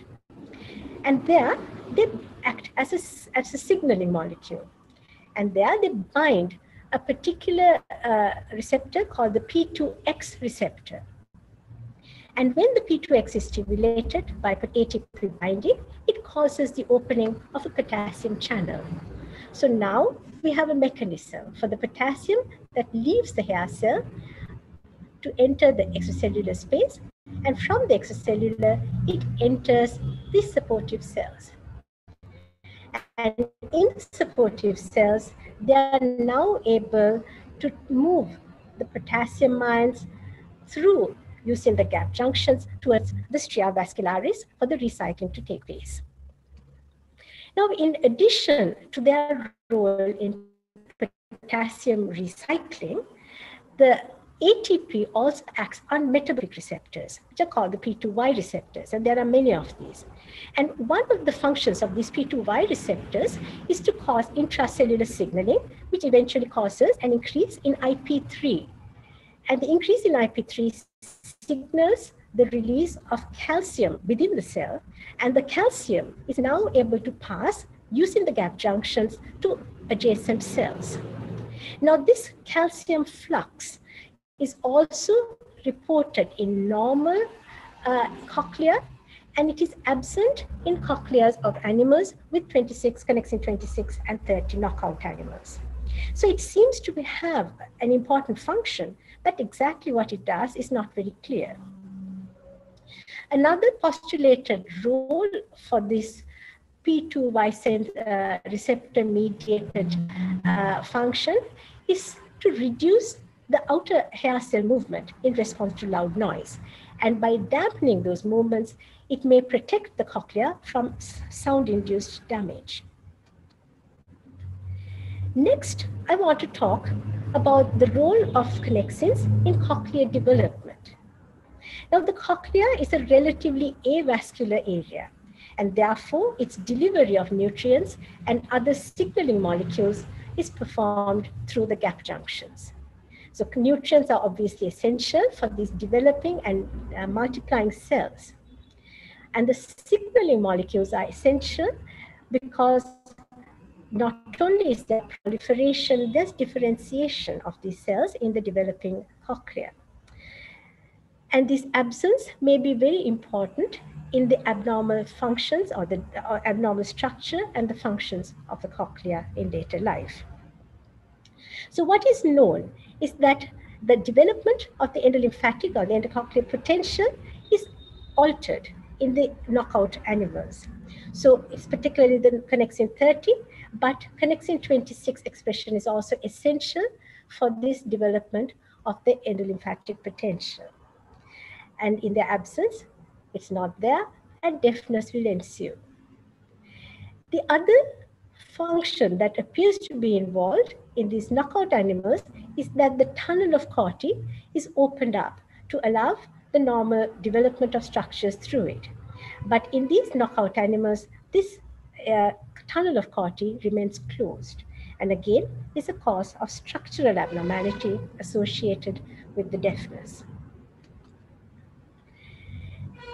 After the, the basic structures of the cochlea are developed, and before hearing is developed, there appears to be some signaling in the neurons. at the spiral ganglion can be identified as showing some action potentials in it. And this appears to be related to the release of glutamate from the hair cells.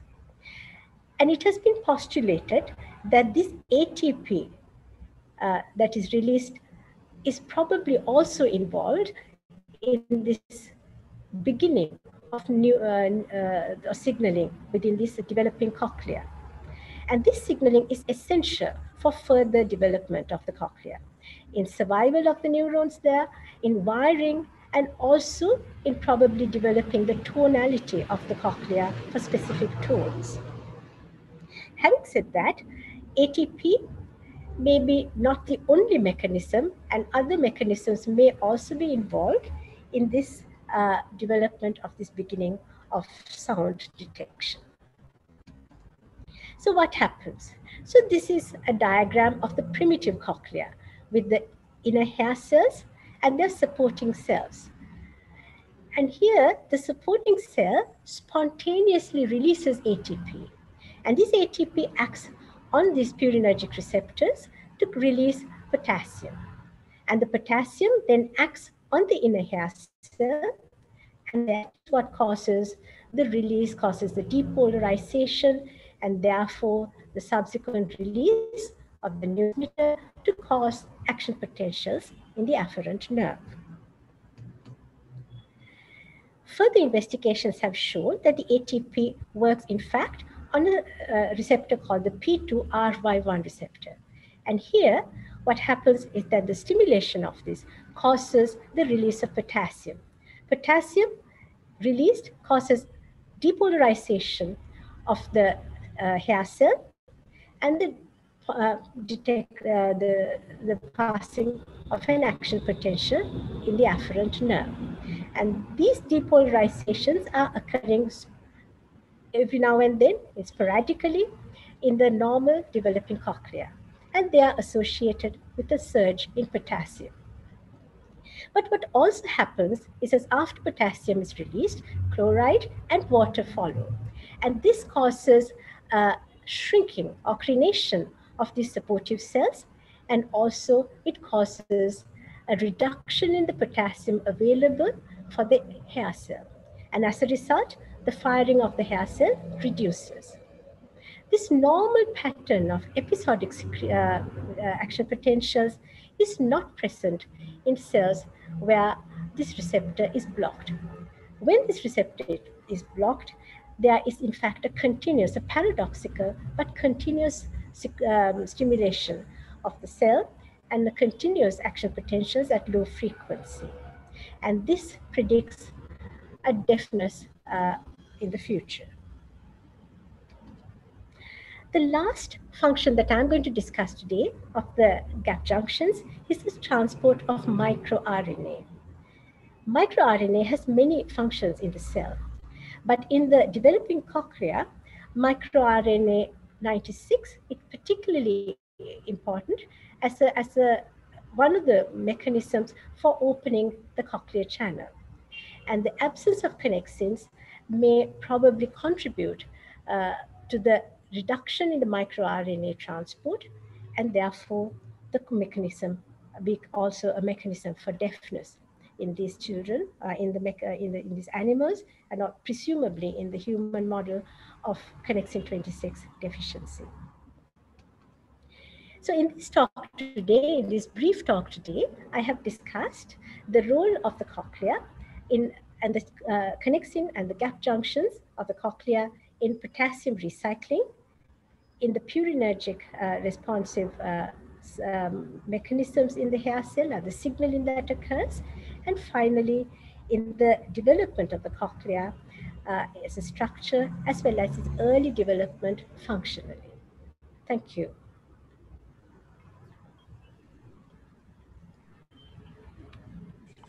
Thank you, ma'am, for such a wonderful. Yeah, thank you, ma'am, again for such a wonderful presentation, and I think we all are enlightened by your, uh, you know, in-depth um, uh, analysis and in-depth presentation of data in various forms and connexin. And we just were initially thinking it's a gap junction protein, but now after listening to your talk, I think everybody will appreciate that you have covered such a wide array of its function, especially at the end to the transport of microRNA. So I will first uh, request if anybody, any audience has a question, then followed by I may ask. Sir, please, if anyone has a question, please unmute yourself and ask the question. You can put in chat box, type in chat box also. Deepthi, very nice talk, and it was very enlightening to see the role of connexins in uh, hearing dysfunction. Do we, is there any way to quantify this connexin deficiencies or defects in a genetic Uh, way in- or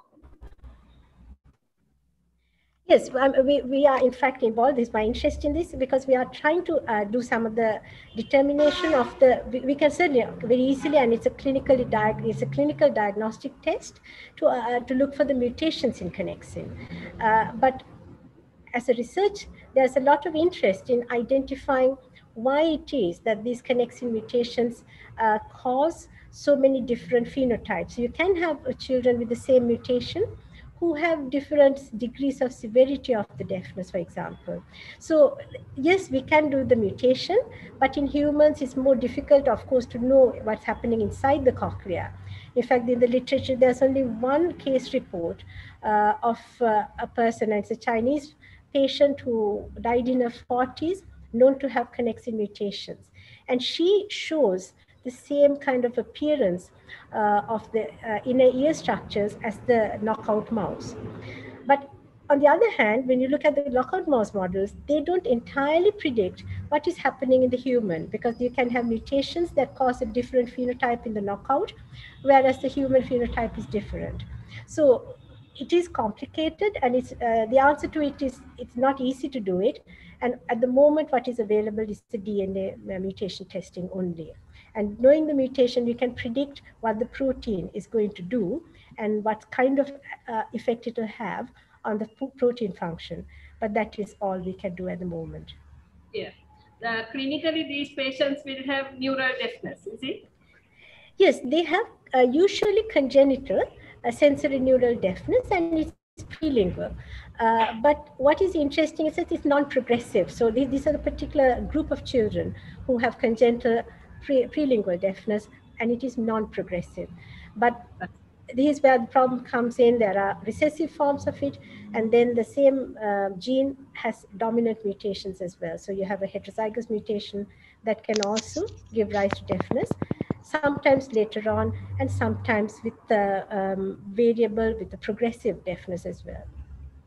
Thank you, Deepthi. Very nice.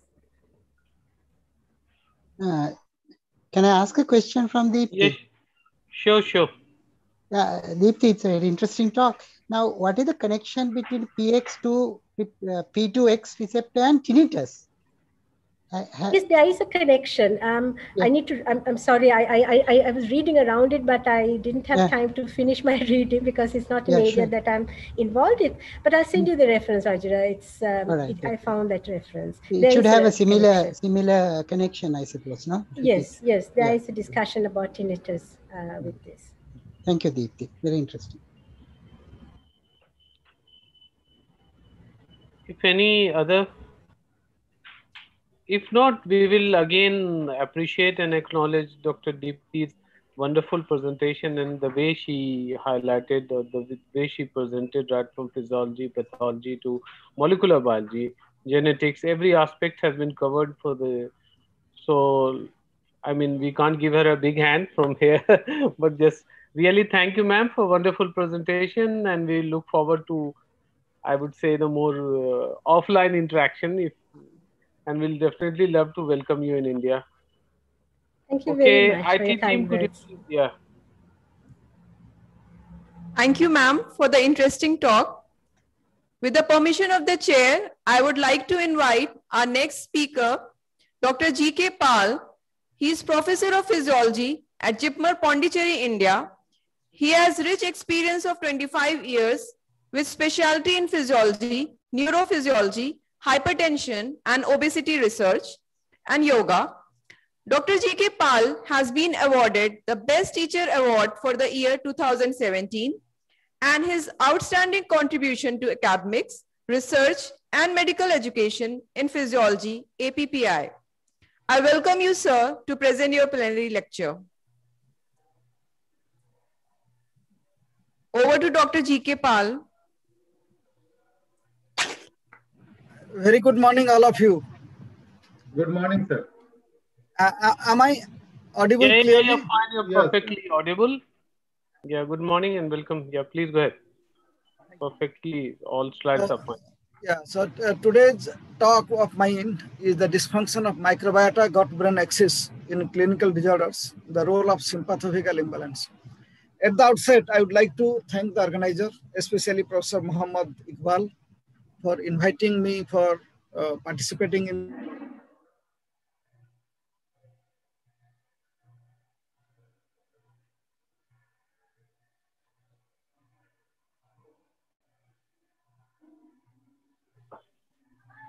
Sir, you are not audible. Somehow stuck.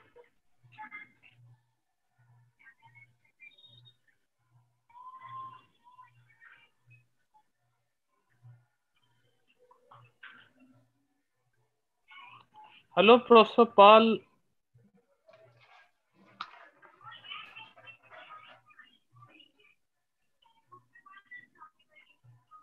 I guess your internet connection got frozen. Sir, we are uh, not hearing anything. There is some problem. Yeah, there's some issue with, with his internet. Let him reconnect us.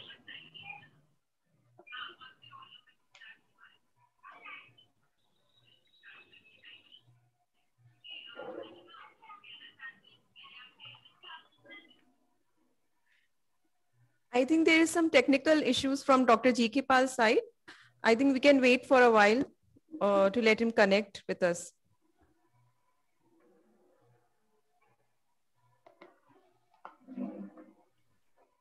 If there is a problem, shall we do the next lecture? This will then technically end this session or what? No, One or wait two- we can wait for one or two minutes.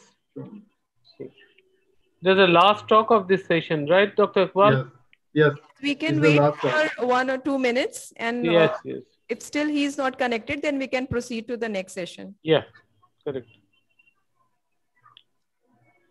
Maybe uh, Dr. Iqbal, uh, you can uh, communicate over phone to Dr. Pal. You can confirm. Yes.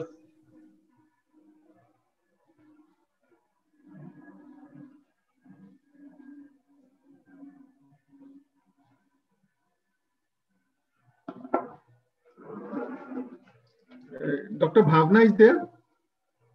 Dr. Bhavna? Dr. Bhavna? Yes, yes. Can you call him? Sure, sir.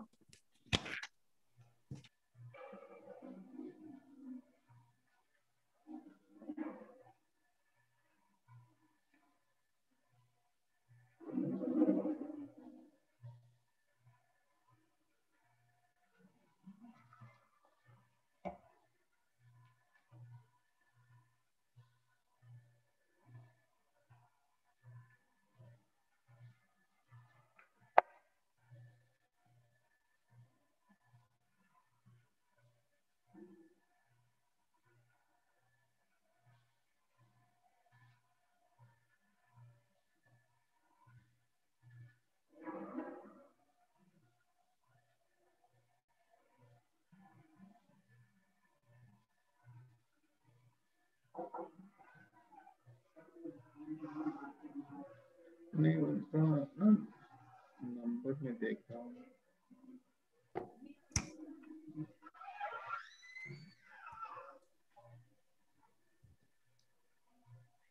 As we are unable to connect with Dr. G.K. Pal, I think we should, uh, we should commence with our next session.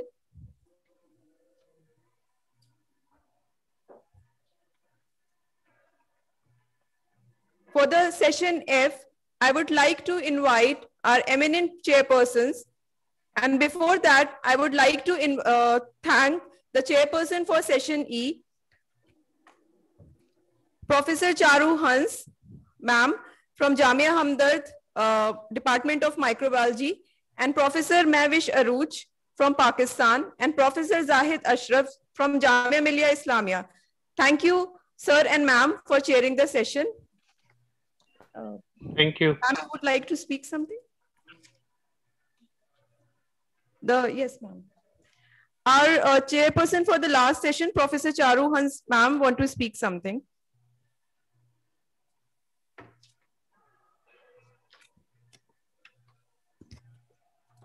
Thank you all the speakers for wonderful and informative talks. We really enjoyed and which has enhanced our knowledge. Especially I'm personally connected to the cochlear implant. So the, this lecture was really very knowledgeable and uh, it increased our knowledge. Thank you so much. Thank you, ma'am. And thank you, um, sir, Zahid Ashraf, sir, for chairing this session. Now we would like to proceed to our, to our next session.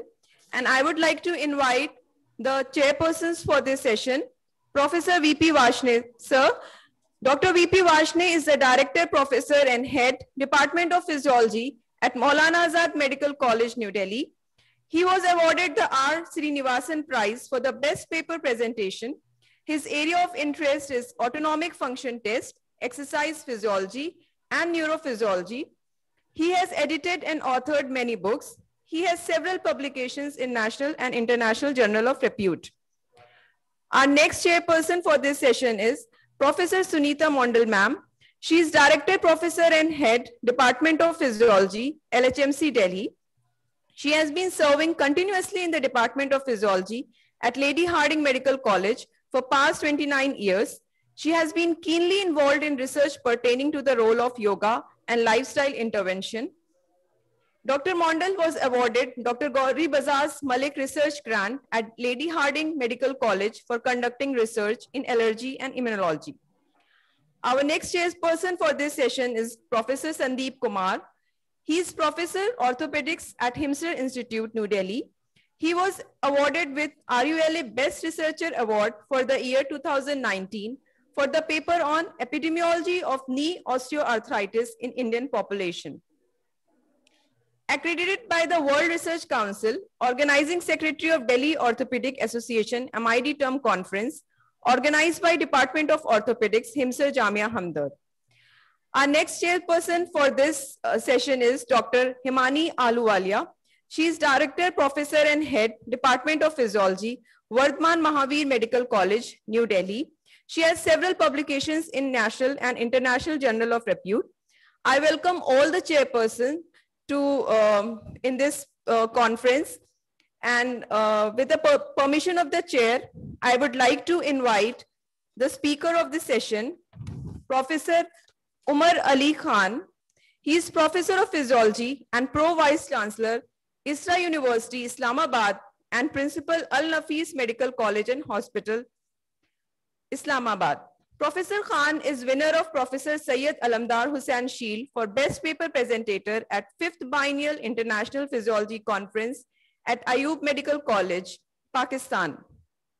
He was also faculty supervisor of Dr. Atiq Memorial Best Undergraduate Paper Presenter Award at 8th Biennial International Physiology Conference at Nishtar Medical College, Multan, Pakistan. I welcome you, sir, to deliver your plenary lecture. Over to Professor Omar Ali Khan.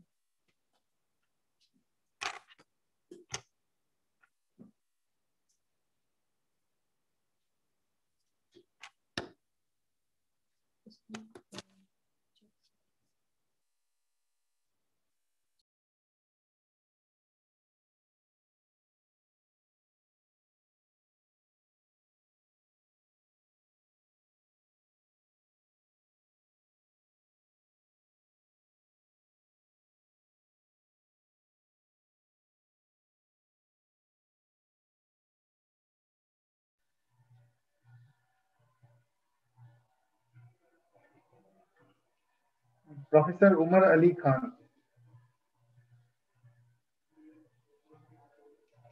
Dr. Samina. Dr. Samina. Aslam sir. Assalamu alaikum. Professor Umar Ali Khan is not present in the participants. I have checked that.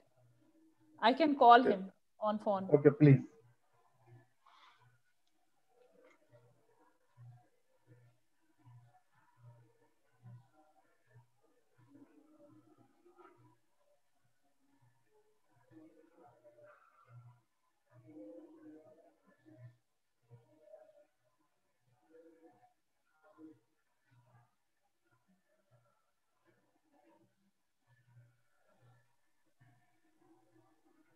Sorry, his number is powered off right now. Uh, Professor G.K. Pal is there? Dr. Pal?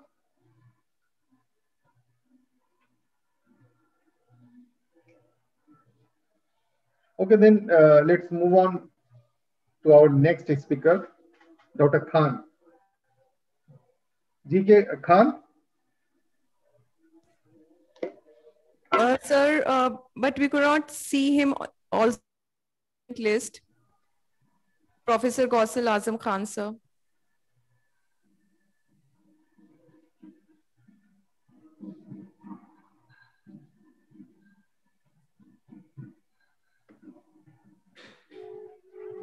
So maybe you can have me now and wait for them. Yes, yes ma'am. If you permit, uh, yeah, we can sure, start sure. with your lecture. And, and, please allow me to be Dr. the please join. to be the host or co-host. Sure, ma'am. Ajay, uh, wait, uh, Dr. Samina, he is joining. Dr. Khan is joining now. Okay, right we, will okay. We'll wait. हाँ होएगा इस time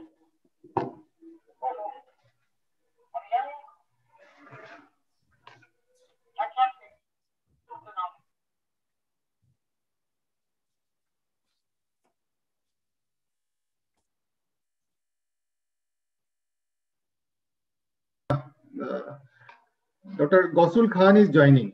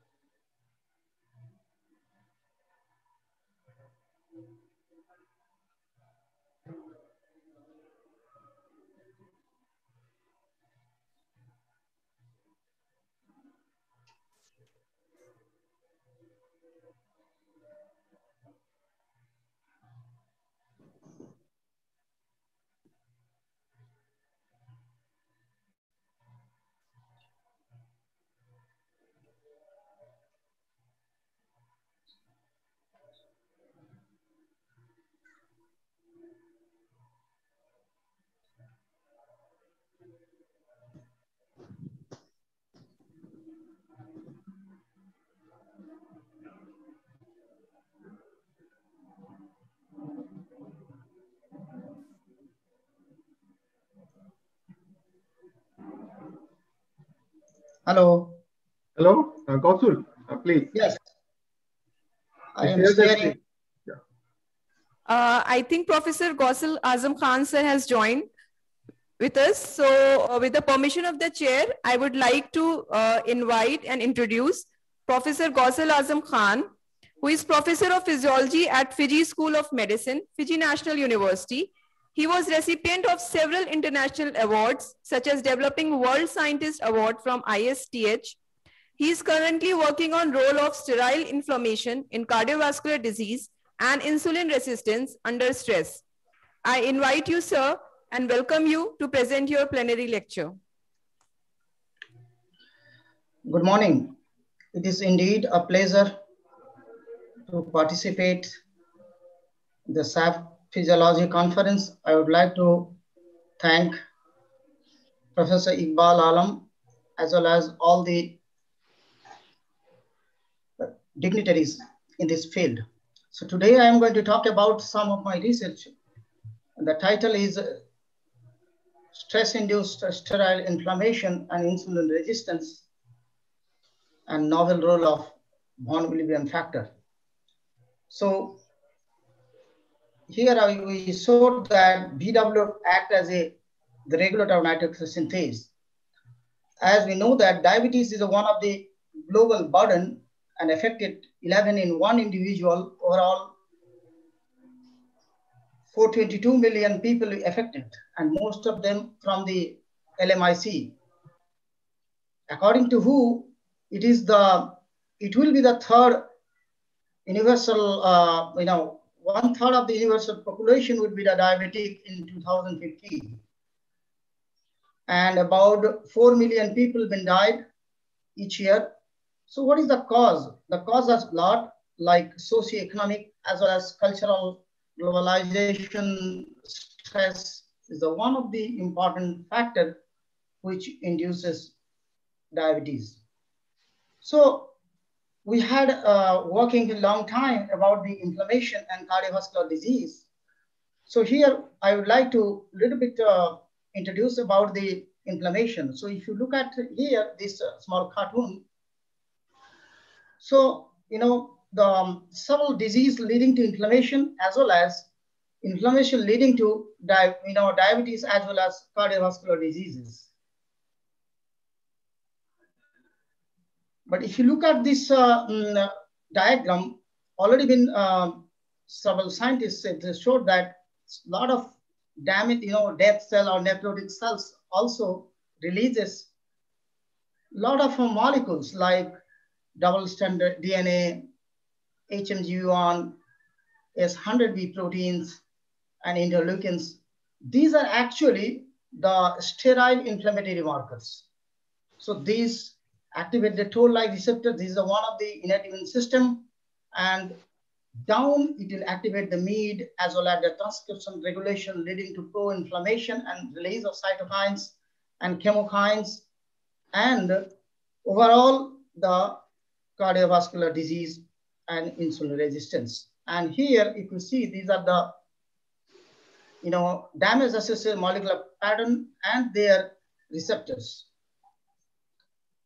So the question is, is there any relationship between the stress or hypoxic stress in the insulin resistance? Yes, there is a, some paper already been published and they showed there is a relation of the hypoxic stress and the insulin resistance.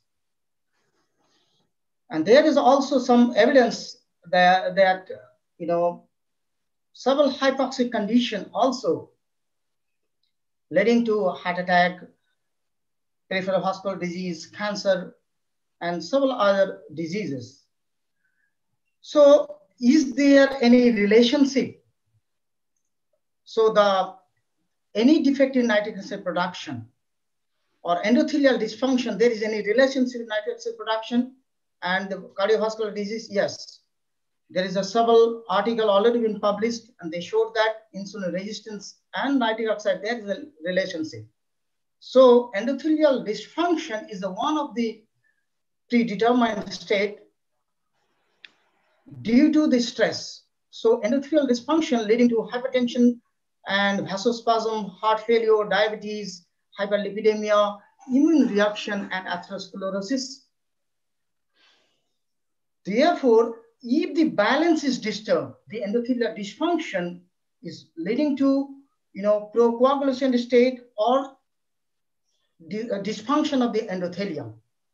So endothelium releases so many molecules, which is help in the, which is prevent the thrombosis as well as the, you know, hypertension. So there is a few articles, they relate all these things. So next, with uh, there's one article published in 2018 by the Frankel. It is a big um, study, it's a Framingham-Ospin study. This study give us a clue and the first time showed there is a relationship between the diabetes mellitus and cardiovascular disease with the vulnerability factor. So when there is endothelial dysfunction, so vulnerability factor is released from the endothelium. So actually the endothelium, um, their dysfunction, so VWF is the hallmark for the endothelial dysfunction.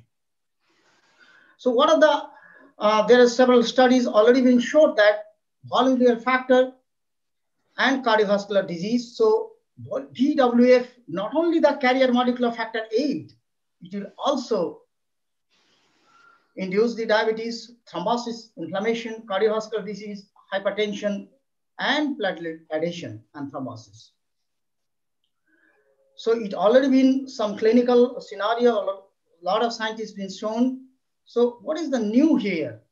So there is a you know, lot of questions which is not unanswered. So what is the relationship between the endothelial dysfunction, VWF, and the nitric oxide and the insulin resistance. So we hypothesize that might be VW inhibit insulin action by binding to nitric oxide synthase and impair the nitric oxide production, leading to insulin resistance.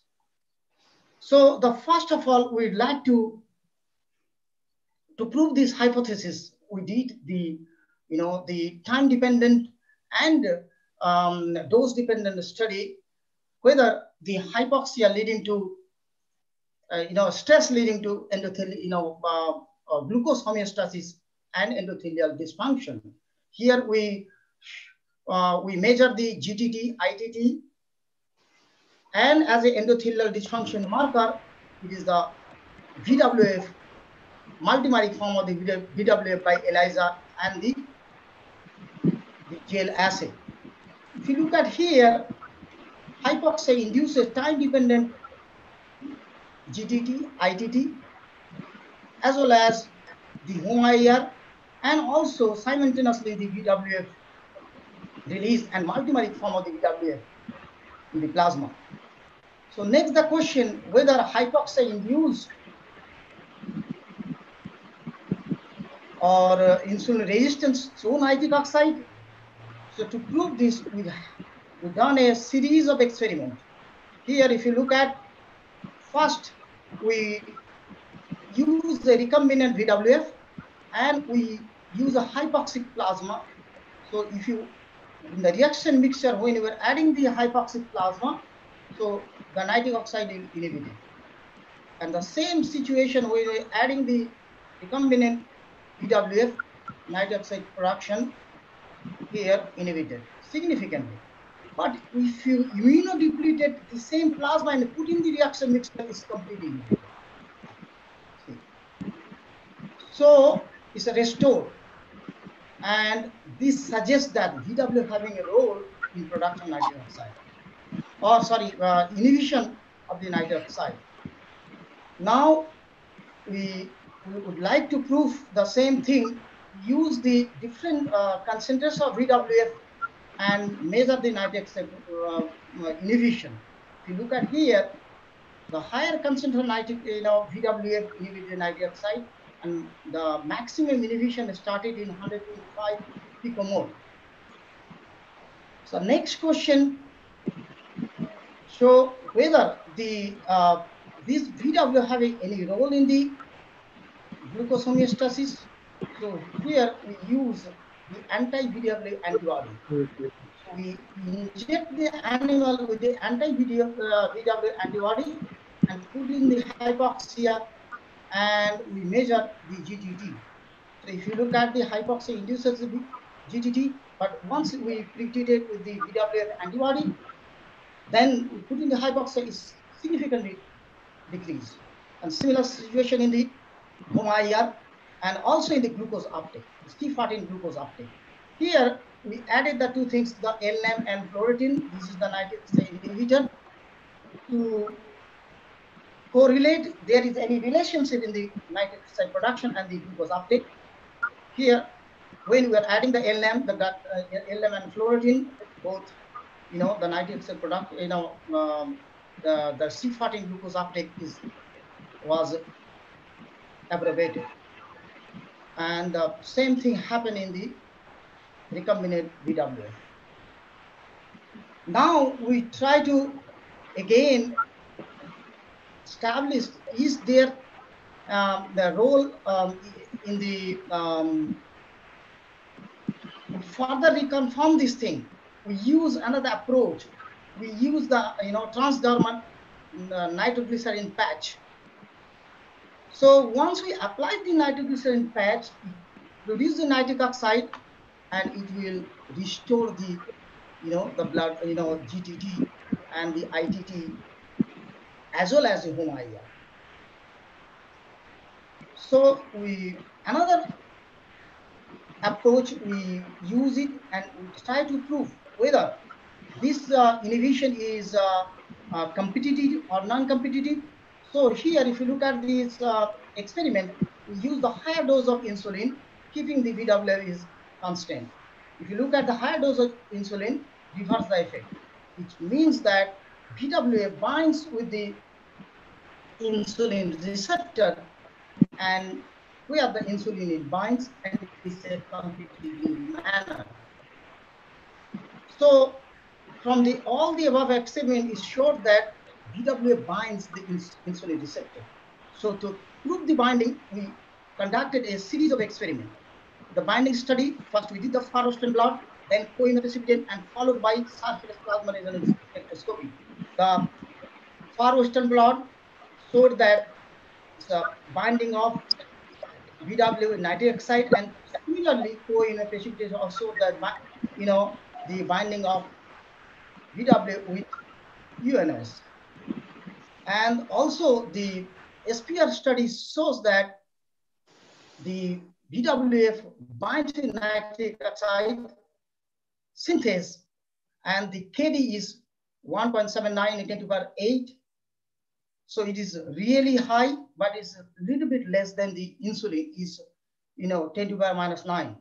So the overall is the insulin binds to the um, insulin binds to its receptor, but the higher concentration of VWF was competitively bind with the nitric synthase. So we did the kinetic analysis. This is the Michaelis maintenance um, kinetics. It showed it is the inhibition, it's a competitive inhibition. The linear bar plot also showed because the Km is changing. So it is also the competitive inhibition. We also determine the IC50 and also the Ki. Ki is here, if you look at the Ki is 250 picomole, exactly the dose we use for the initial studies. And these two data completely agree with our uh, previous data and this data. This suggests that BWA binds to the insulin receptor and inhibit the insulin in competitively. So this is the proposed model. So normal situation. So that is the uh, monomeric form. is never binds to insulin, uh, you know, nitric synthase. So there is a nitric acid production, glucose uptake, but in case of stress, there is a you know multimeric form of VW binds to insulin um, in nitric acid synthase and inhibit the nitric acid production and leading to glucose uptake. So the next question, what is the molecular regulation? How this VW transcription regulate? To we hypothesize that might be there is a small molecule or sterile inflammatory marker like HMGB1 or eDNA, eRNA or S100B which could be transcriptionally regulated the VWA through the TLR2 MYD88 SP1 pathway.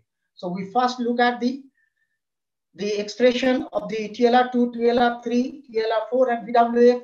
This is the RT-PCR and this is the Western blot studies. So it's uh, uh, in the both uh, cases is the um, you know time dependent increase of the uh, expression of the TLR2, TLR3, and TLR4 is not uh, there, but we did also. And so now the next question. So whether VWF regulate the um, um, that is TLR2 regulate the VWF uh, through the uh, VW, VW regulation is through the TLR2. So in this case, we use two different approach. One is the pharmacological, another is the genetic approach. In pharmacological approach, we use the LTA, is the TLR2 uh, activator, and the poly-IC is the TLR3. So if you look at this data, so here TLR2 activated induced the VWF expression, but TLR3 uh, poly-ICs fail to do it. And we use our uh, you know, monoclonal antibody, TLR2. So we pre-inject the animal and expose in hypoxia. So here also, so this suggests that, so involvement of TLR2, not the TLR3. So same thing, we knock out the TLR2 with uh, siRNA and we the data showed the here, see the TLR2 knockout mice not expressing any BWF in the hypoxia. So now the question is, BWF mainly expressed in platelet, endothelium, as well as bone marrow.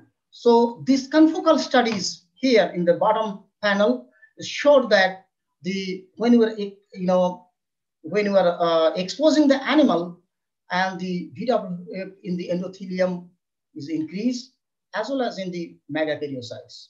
This is the margin. And when you use an LTA, the same thing, but and other way around, if you are using, when we are um, knocking out the TLR2, silence the TLR2, and we expose the animal, if you look here, is completely abrogated. Or, and the hypoxia induced BW expression as well as BW, you know, uh, here in the bone marrow and the lung uh, endothelium, lung endothelium both been decreased. So this suggests that TLR2 having involvement in the VWF release in the endothelium and megakaryocytes. So we further delineated the pathway. So what is, there is the involvement of MEAT88. This is a downstream to the TLR2 and the transcription factor. This is called the SP1. There is a several transcription factor three. So mainly bind the uh, promoter side of the VWF. So we try the first one, the SP1. So if you look at the uh, time dependent induction of the mid-81, SP1, and SP1 phosphorylation. And if you are, when we pre-inject the animal, you know, the TLR2 molecular antibody is completely decreased. So this suggests that this BWF, you know, ex, uh, expression is mediated to meet TLR, uh, TLR2 meet SP1 pathway.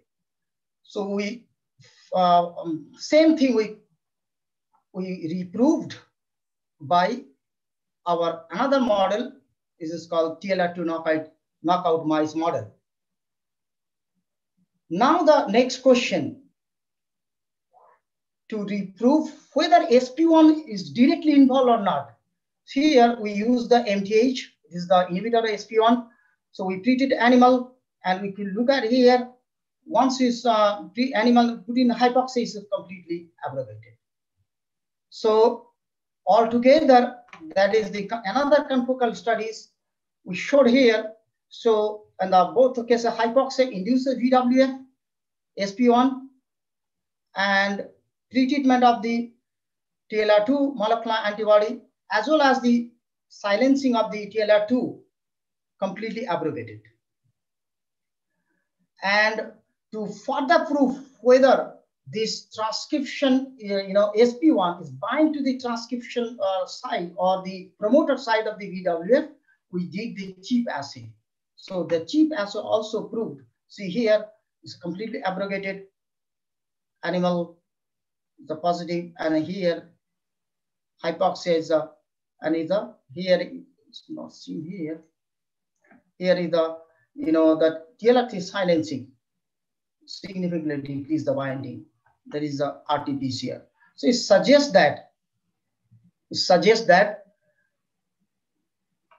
this BWF upregulation is mediated to TLR2 MEAT88 SP1 pathway. Now, the next question, how the TLR2 will become activated? So I mentioned earlier, sterile inflammation is a inflammation which is not induced by, you know, uh, bacteria or virus. It is non-viral, non-bacterial inflammation. So though there is a several molecules of sterile inflammatory marker, and one of them is the HMG1. And luckily, HMG1 is the TLR2 ligand. It's already been known. So we take this opportunity, we try to look at the time-dependent effect of the hypoxia in the HMG1. If you look at here, HMG1 also time-dependent increase, and also here, the VWF also in time-dependent um, increase I already shown, but when we, here we use the two different uh, things. One is the you know recombinant HMGB1 and also the glutaric acid. It is the inhibitor of the HMGB1. So we, we are using the uh, GA in the hypoxia experiment. the BW expression significantly abbreviated.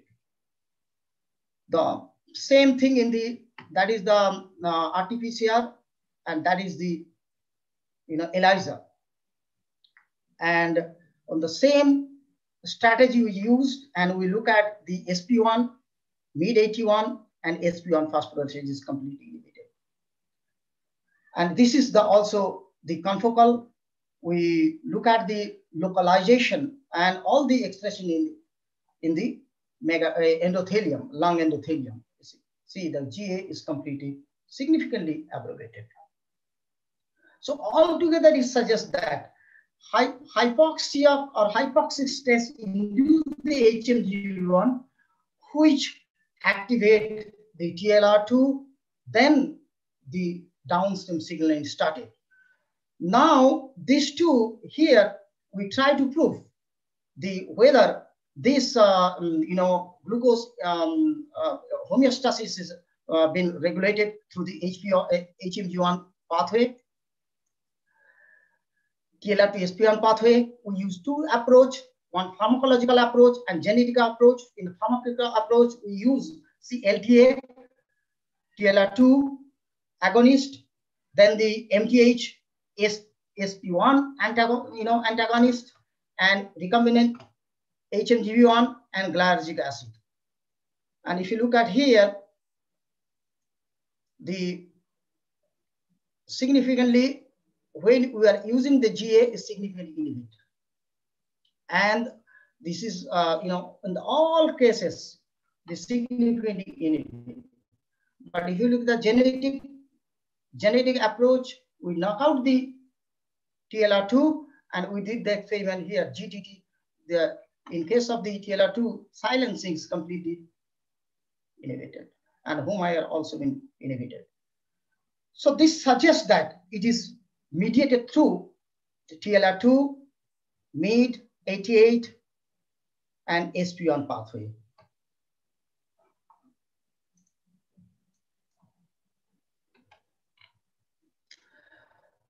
So to finally, we want to conclude in a clinical relevance.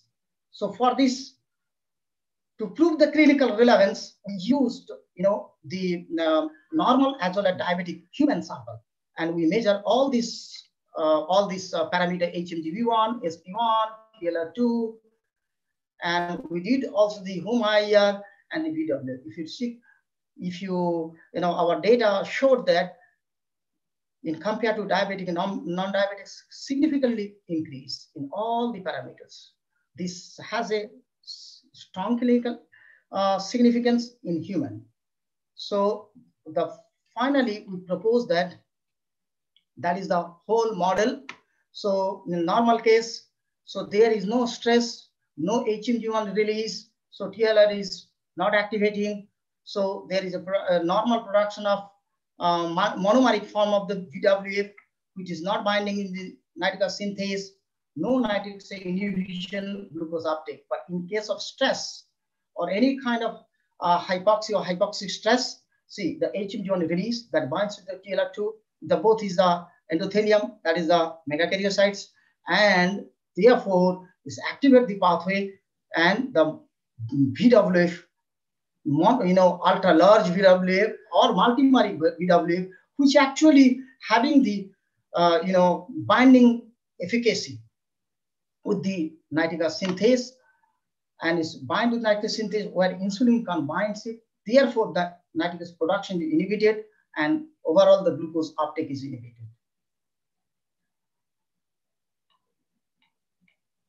So the take home message is this study delineated the mechanism of inhibition of nitric oxide production in insulin resistance by the VWF during hypoxia. And it's explained the molecular mechanism of VWF upregulation in different stress conditions. So VWF could be potential target for developing therapeutics in the management of stress-induced insulin resistance. And we are working on it. And uh, hopefully we will develop a vaccine in near future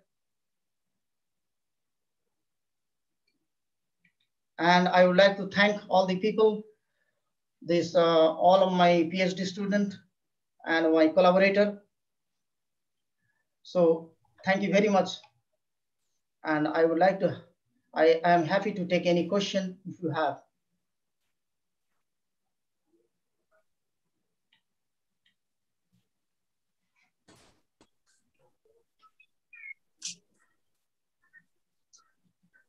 Uh, can I make a comment? Uh, can I make, can I make, can I say something here? Hello, good morning, everybody. Am I audible? Yes, yes, ma'am. Okay. Yes. Uh, good morning uh, to all the uh, esteemed uh, faculty members who are uh, and subject experts who are uh, present in this uh, very interesting session, which has been uh, a very interesting talk and very insightful and detailed, uh, insightful lecture, which has been uh, given by Dr. Gossel. His presentation was, I mean, it is so amazing to see such uh, beautiful research work being done and being presented in such a simple and nice manner. So I congratulate Dr. Gossel for your presentation. Uh, I have a simple question uh, to ask. Uh, sir, uh, we here in your study, what uh, uh, I could gather was that we are uh, relating the uh, or we are associating insulin along with hypoxia, insulin, and von Willebrand factor. And hypoxia induces overproduction of von Willebrand factor. Am I right, sir? Yes. Uh-huh. So, and but we also know that von Willebrand factor is a physiological uh, chemical or a, a molecule present in the body.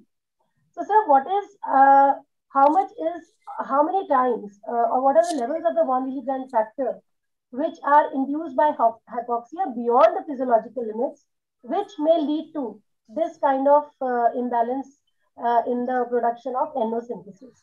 Or at around what levels, approximately, uh, of the physiological levels, how many times the physiological levels, uh, the NO synthesis gets affected by VW factor? Okay, well, that's a, um, the first of all, see, VWF remain in the normal situation in a monomeric form. And only if the overproduction is there, then it will be a multimeric form. And multimeric form, only the active form. Only the? So then, mul, mul uh, you know, one molecule of VWF, they form a stuff, these kind of points like structure. So then they will be active form. Then it will bind to nitric oxide synthase. Otherwise, never binds it. And second question is, the VW remains uh, in the human, it is a, a, carrier molecule of factor 8. And we first time showed it is also the uh, inhibitor of insulin.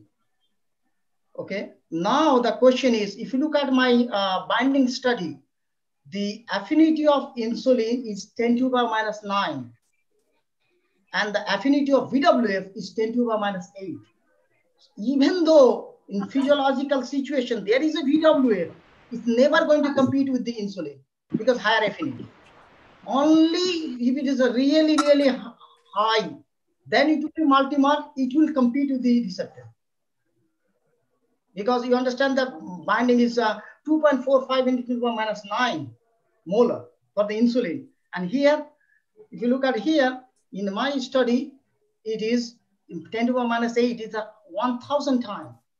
So, so even though the VWF is present in the normal situation, it's never going to bind due to the higher affinity of insulin. Only if it is a really higher concentration, then it will going to bind and in multimeric form only. Okay. Thank you. Because Thank you, this Dr. binding we already proved by the Uh, Dr. Him, uh, Hello. Himani, uh, can we move on for the next uh, speaker because we uh, Uh, we are running out of time. Yeah, I just want to commend him for such a wonderful job, Dr. Khan. Yes. And then we look much. forward for more exciting. This is Professor Zaid from Jamia. Mm-hmm. That's really uh, wonderful to see you and your work. And I wish much more good research would come out of your lab. Thank you very much. Thank you. I had, I have some questions, but due to time constraint, we'll talk sometime later. Okay, once again, congratulations. Great to see you. Thank you. Thank you. Thank you so much. So we'll also avoid the Wonderful questions in the next sessions. Okay. Hello. Thank you, sir. Dr. Samina. Hello. Yes, sir, you are audible. Hello. Professor Khan. Yes. Huh. Can you hear me? Yes, Uh, you are audible. Dr. Vashina from Lonazet Medical College. First of all, I must Okay. congratulate you on such a wonderful talk. I'm total new concept regarding this uh, von brand uh, factor. So I have really enjoyed uh, your stimulating speech. Just a thought came to my mind regarding this association between this factor and the cardiovascular disease. I just want to know whether there's a direct uh, relationship between cardiovascular disease uh, and this von Willebrand's factor, or this is through the induction of diabetes mellitus and uh, insulin resistance. No, th- that is the there is a lot of uh, paper already. Lot of uh, scientists already showed the VWF having the role in the um, cardiovascular disease because if you look at you know VWF also uh, help the platelet uh, um, uh, platelet you know rolling. You know when the platelet roll in the endothelium, VWF uh, is upregulated. It will activate the platelet and leading to thrombosis there's a lot of study been already been published. But the new thing is here only what we uh, showed only the uh, you know VW has another role that is called the as work as an insulin antagonist. Thank you. Thank you very much for enlightening us with the so many aspects of uh, this factor. Thank you. Thank you, sir, for the brilliant lecture. With the permission of chair, I would like to invite our next speaker for this session, Professor Samina Malik. I would like to introduce her. She is professor and head Department of Physiology, University College of Medicine, University of Lahore, Pakistan. She has 25 publications in various national and international publications. Professor Samina Malik is Pakistani representative of Education Committee, Federation of Asian and Oceanian Physiological Sciences, comprising of 40 countries from Asia Pacific region. I welcome you, ma'am, to deliver your plenary lecture. Thank you. Assalamu alaikum and blessings from Pakistan to the global friends of physiology. This particular paper that I'm going to present today has been accepted by American Physiological Society for the Experimental Biology 2021 meeting, but it's my privilege to present it to my SAP friends here. So you know that breast cancer is one of the leading causes of cancer-related deaths, especially in Pakistani women. And the incidence has risen to one is to nine. That is every nine women, if they are sitting anywhere, one of them is likely to develop breast cancer. So it is grave. Uh, basically, this paper is a part of a huge study. That was uh, my PhD project. Uh, and it was based on some 27 known genes uh, for breast and ovarian cancer. And there were several 20, 25 oxidative stress markers involved. But the focus of this study is only on one of those results, and that was amazing result. That is uh, uh, 20, uh, 20 out of 29 patients, uh, they had a particular mutation common in them that was a PTEN mutation. And not only that it was common in them, but it was also novel to the Pakistani population, rather novel to the world. So uh, this study presents it as a predictive novel variant for the diagnostic importance of it in the females with breast cancer and also rules out what are the epidemiological presentations and clinical presentations in presence of this particular variable. So I will cut short the methods because there are uh, senior microbiologists sitting here and they all know that how it could have been come forward uh, through ethical information, approval, informed consent, DNA extraction, next generation sequencing, and finally, confirmation on the gold standard that is Sanger. So uh, this was the result that is uh, homo homozygous frame shift substitution came forward in 69% of the patients at uh, position amino acid position 65 cysteine was replaced by serine. And this we are talking about PTEN, so chromosome 10 on exon 2 at this position. So there was this frame shift uh, substitution and this Sanger confirmation shows it over here. That is G is replaced by C. So it is basically a whole frame has been shifted. So it's a frame shift. And uh, what about the uh, uh, history or epidemiological parameters and other clinical parameters? So the, these patients with PTEN variant, uh, most of them were premenopausal.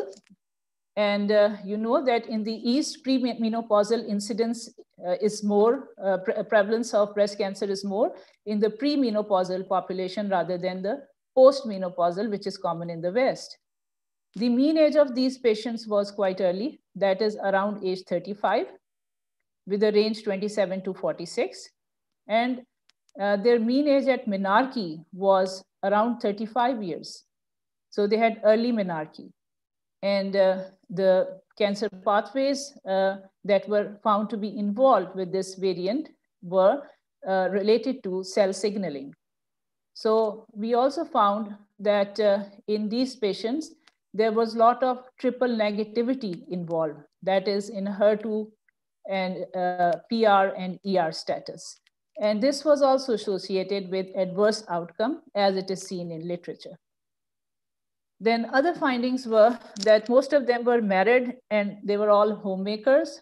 They, there, there, there was an inclination towards uh, overweight status and uh, most of them were un, uh, under grade 10, that is less educated. And uh, mostly they used tap water or filtered water. And uh, the family history was not very common, but the important finding was that most of them, they were the outcome of consanguineous marriages, that is intrafamilial marriages. And you know that this uh, uh, subcontinent has practiced consanguinity for last 300 years. Now, uh, breastfeeding, which is normally considered as a risk factor, that is lack of breastfeeding, it was not the case in this study. Rather, uh, and uh, even there was no difficulty in breastfeeding in most of the patients. Uh, smoking and alcoholism was not found to be a risk factor.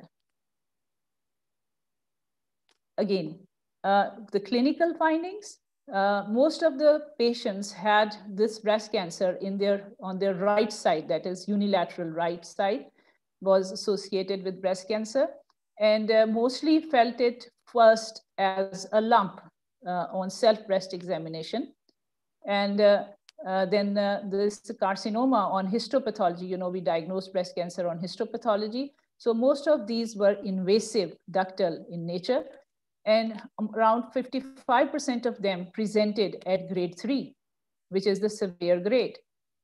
So um, almost uh, all the patients, they underwent chemotherapy and uh, the mastectomy was performed in only 30% and radiotherapy in only 10%, which can be connected to the fact that most of them present late at an adverse grade.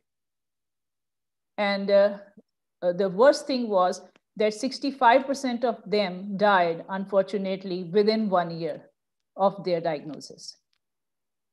So it's a bad mutation. So what were the positive findings?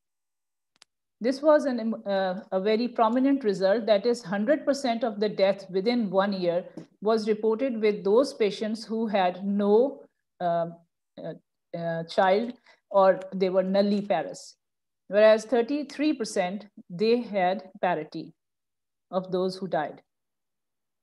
Uh, second important finding was that uh, uh, most of the students, 90%, of, most of the patients, 90% of the patients, they were undereducated, that is below grade 10.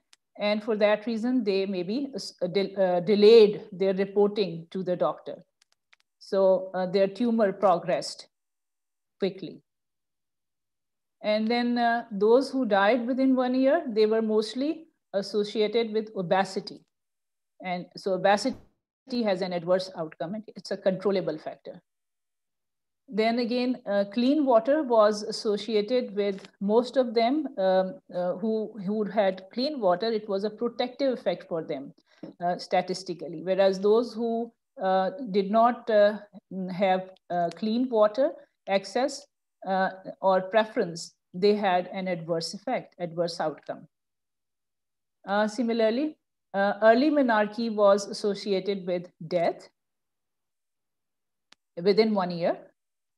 And likewise, uh, those uh, subjects, uh, patients rather, in whom the parents were related, that is, they were the outcome of uh, consanguineous marriages, they had death, they faced death within first year of their diagnosis. And uh, in most of the patients, uh, triple negativity of breast cancer, that is all the three um, hormone receptors were negative, and it was associated with adverse grade or grade three.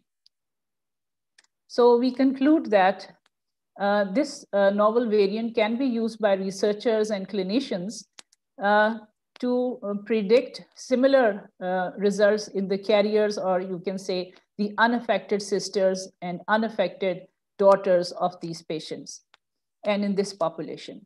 And it can be used as a screening tool, even uh, as early as age 13, because these patients have early menarche. And at this stage, even the breast is not completely developed, so mammography will not be of much use. But at this time, a pre-diagnosis may be established. And uh, then um, uh, similar clinical ma manifestations can be expected uh, as they were expected in these patients in the carriers of uh, the same mutation and they can be confirmed um, uh, on Sanger, which is a more cheap technique as compared to uh, the next generation sequencing. And uh, further, early diagnosis will be able to improve the outcome uh, but it is important to educate these patients to approach the doctor early. Weight reduction can be advised in counseling. Likewise, early menarche may be prevented by preventing steroid intake directly or indirectly, like it is commonly administered in the chicken. So we can avoid the broiler chicken and uh, the like, uh, even in the medicine, if it is preventable. Then health education, as I said earlier, may have protective effect. Clean water should be administered and counseled. Uh, consanguinity should be avoided. So marrying outside the family will be important, especially in the subcontinent. The, it's a wrong practice of marrying within the family. This should be stopped and educated. And uh, further, once a person is married, uh, then it's important to complete the family. Early marriage would be favorable. So I, I acknowledge uh, this team uh, of my supervisors and co-supervisors and research partners uh, who are now uh, creating a huge database at University of Lahore, um, uh, which is going to be a future database center for breast cancer with the help of Professor Steven Narod, who um, designed the study. And he is the breast cancer chair at Women Cancer Research Institute at University of Toronto. So I have certain negative results, but uh, if the time allows me, then I can go ahead. So do you suggest yes or no?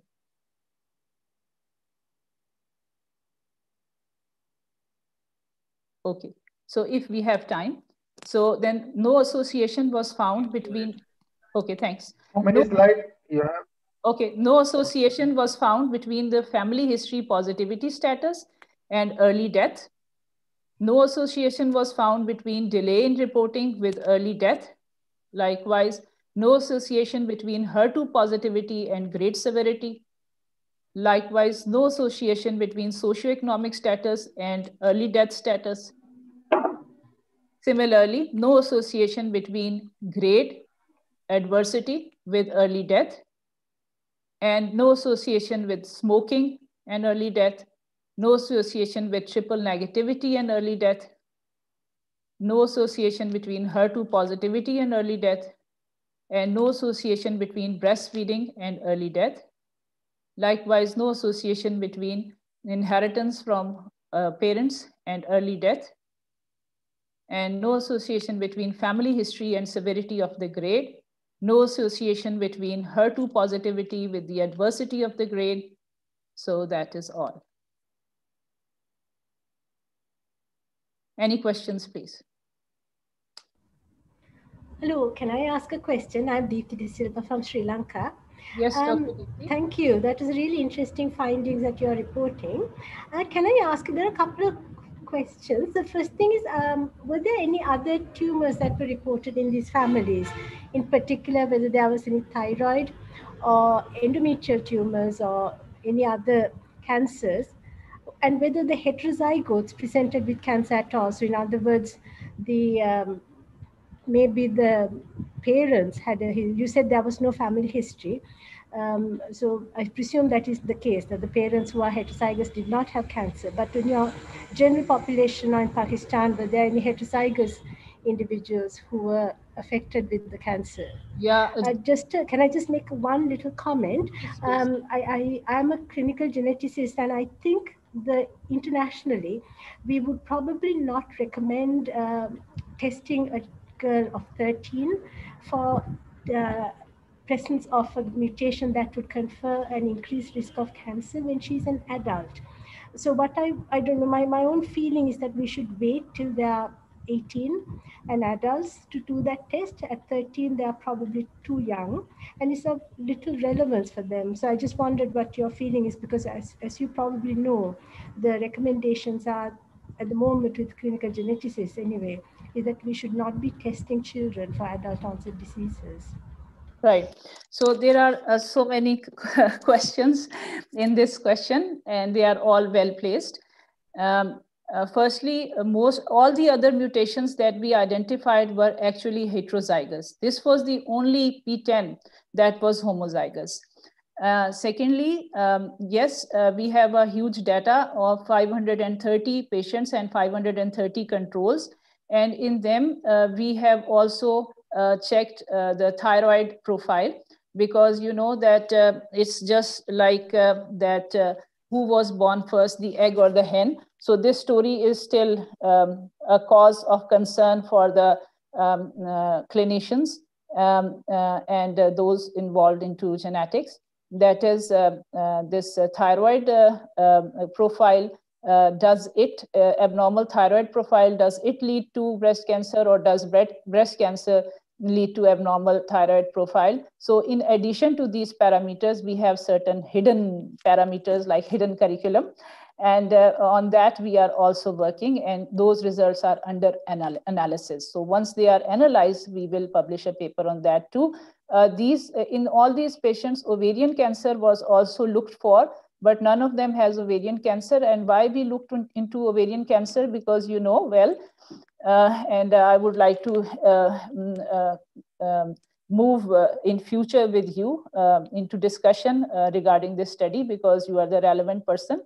And that is because, you know, these particular genes, those 27 genes that we worked on, they are all um, in, involved in breast cancer as well as ovarian cancer.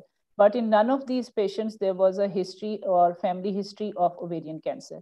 So only there was breast cancer. And uh, none of them had thyroid symptoms. But we are still uh, having their serum in store. And uh, uh the uh, results of uh, most of them are under analysis.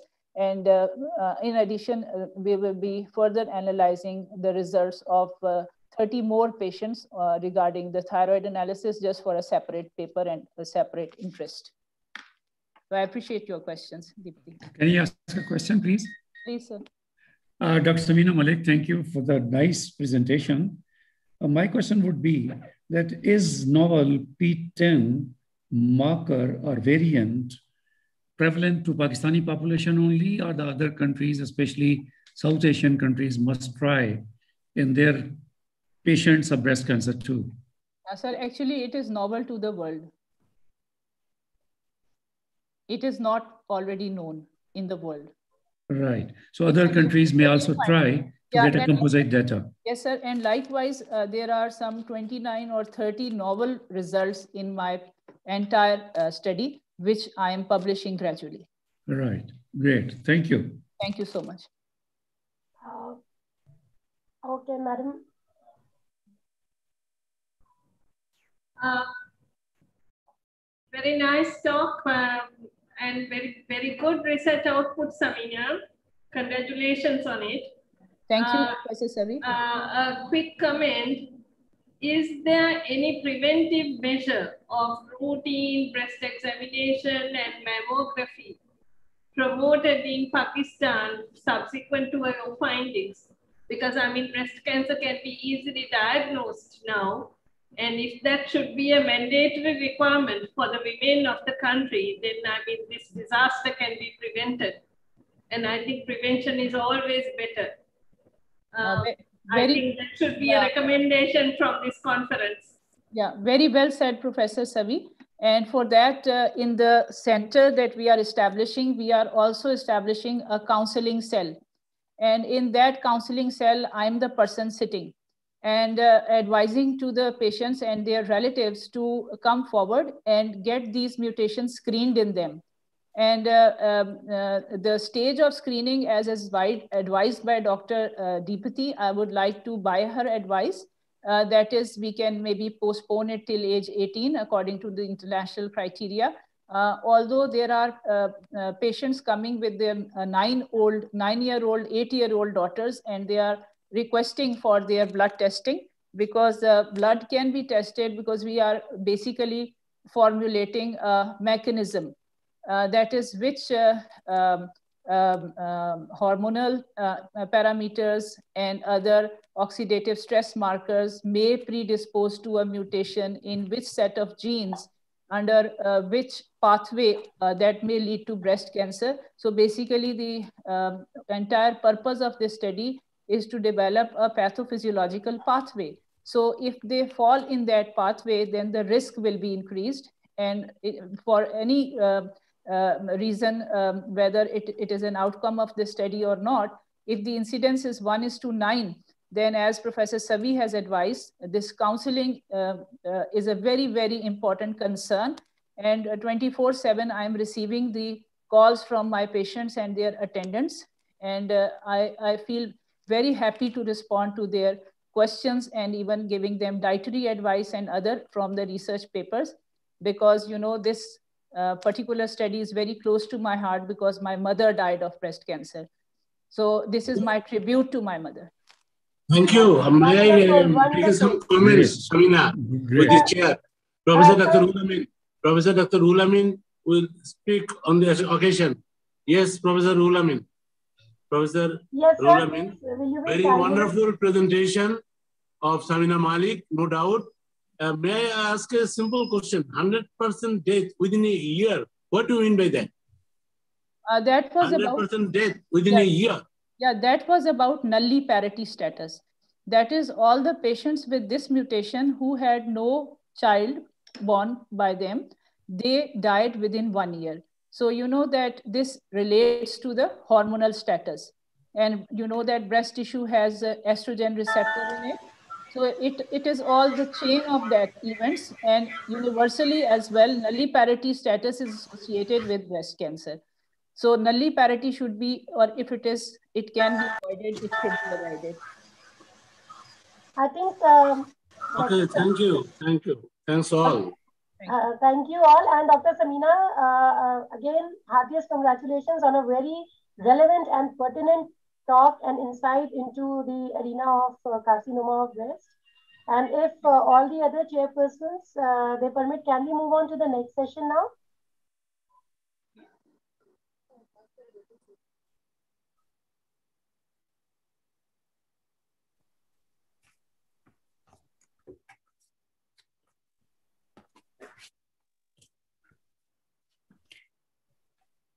Thank you, ma'am, for the wonderful and informative uh, talk. So this brings the end to this session, session F.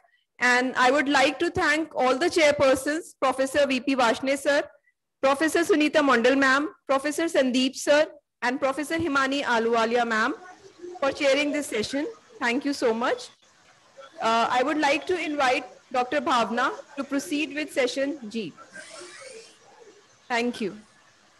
Before I sign out, uh, a heartfelt thanks to all the organizers uh, of this conference for giving us an opportunity to uh, come across so much of uh, resource material and we have really been, uh, up, our knowledge has been uh, updated.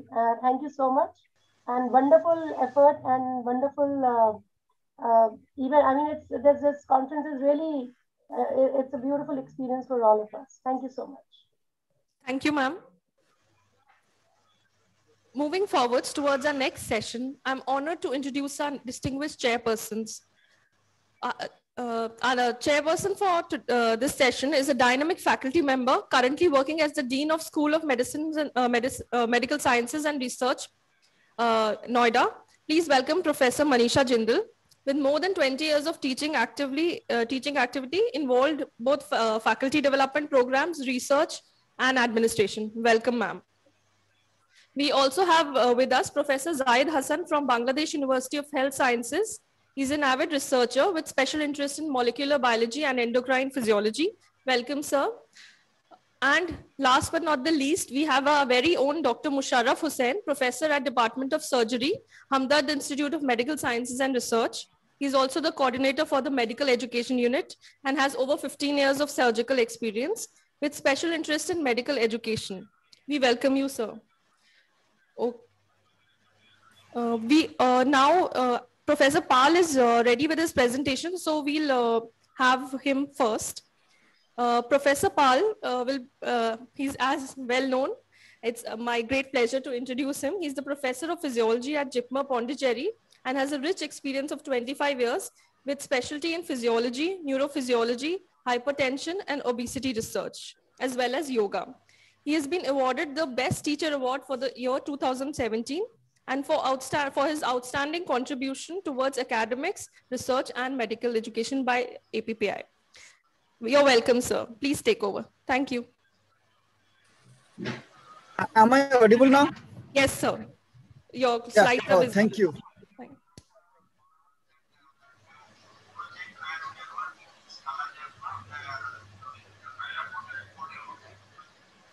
Okay, uh, the, the title of my presentation is, you know, this uh, dysfunction of microbiome in clinical disorders, the role of sympathovagal imbalance.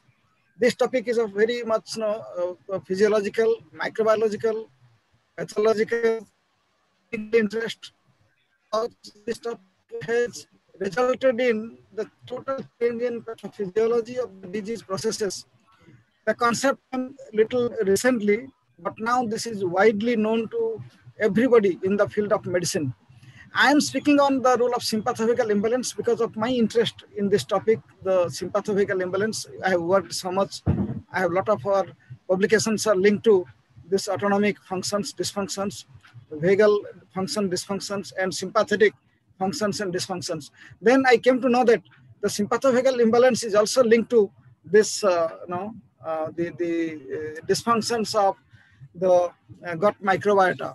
So in my presentation, I'll, I'll be speaking on the, the gut-brain axis and just give a very brief introduction.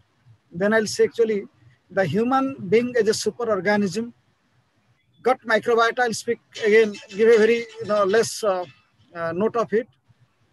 Then I'll go to the gut microbiota, the neural mechanism, switch on. And then the vagus nerve, how the vagus nerve is linked to this uh, gut-brain axis. And then how this vagal function and dysfunction can be, you know, the, be the target of this management of gut-brain axis disorder. Uh, you can see this uh, cartoon where actually you can see know, uh, there is one person on the left side who is saying hello. On the right side, he is saying, how are you? And the left side is the brain, right side is the intestine, and in between them are some you know, minute little uh, uh, men who are actually saying hi. So they, they, they actually, they are trying to connect between the two big persons. So this is the concept of gut-brain axis, where the gut-brain axis is the bidirectional communication between the central and the enteric nervous system the central nervous system on one side, the enteric nervous system on the other side. And gut microbiota is the link between them. And therefore, this link is more precisely called as gut-brain microbiota axis or microbiota gut-brain axis, which is more commonly known.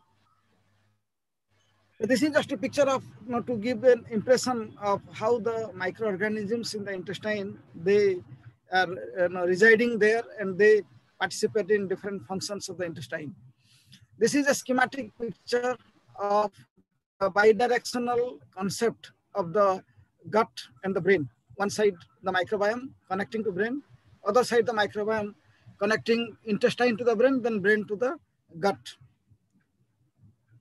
In clinical practice, this interaction actually comes from the association of the you know, dysbiosis of the CNS, the central nervous system.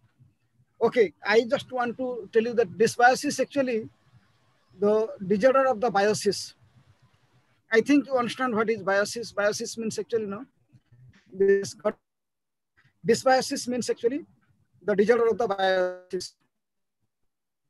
So this dysbiosis has been extensively studied in some of the disorders, and these are called now dysbiosis disorder. And uh, especially, it has been seen the dysbiosis is uh, extensively associated with autism, anxiety, and depressive behavioral disorder. So there is a functional disorder that is called irritable bowel syndrome, which is also very much closely associated with dysbiosis and the neural dysfunctions. And from the dysbiosis of the irritable bowel syndrome, all these information have been collected about the pathophysiology of dysbiosis linking to the clinical disorders.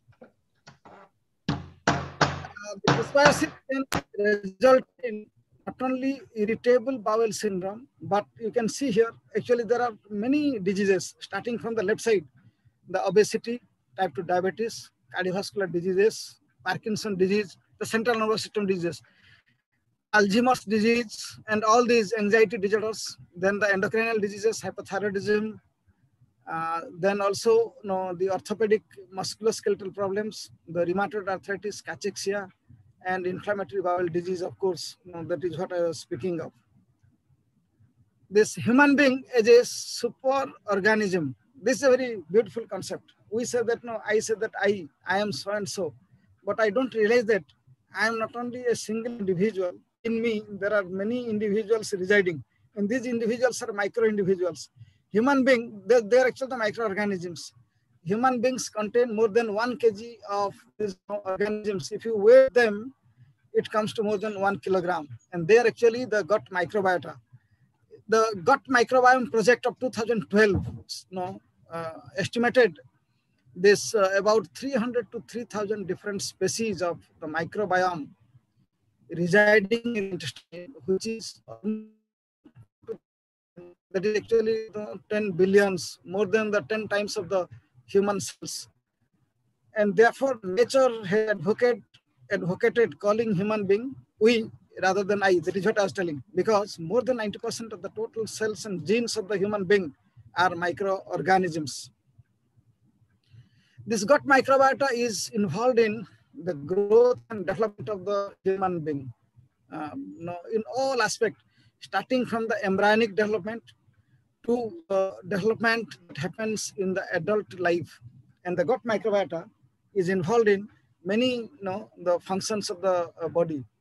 Uh, to be listed, metabolism and digestive absorption of the nutrients, digestion of resistant carbohydrates, decomposition of endogenous, exogenous proteins, degradation of bile, acid, vitamin synthesis, then colonization of these all you know, uh, microbiota, they are indispensable for the maturation of the immunity system, maturation of the neuroendocrine system, and maturation and functions of the brain and the gut. The, when there is a disturbance, perturbance in this system, what happens and how that happens? All these have happened because of our problem, the problem of the human civilization very interesting that now the, the first problem actually happens because of we have changed our diet system.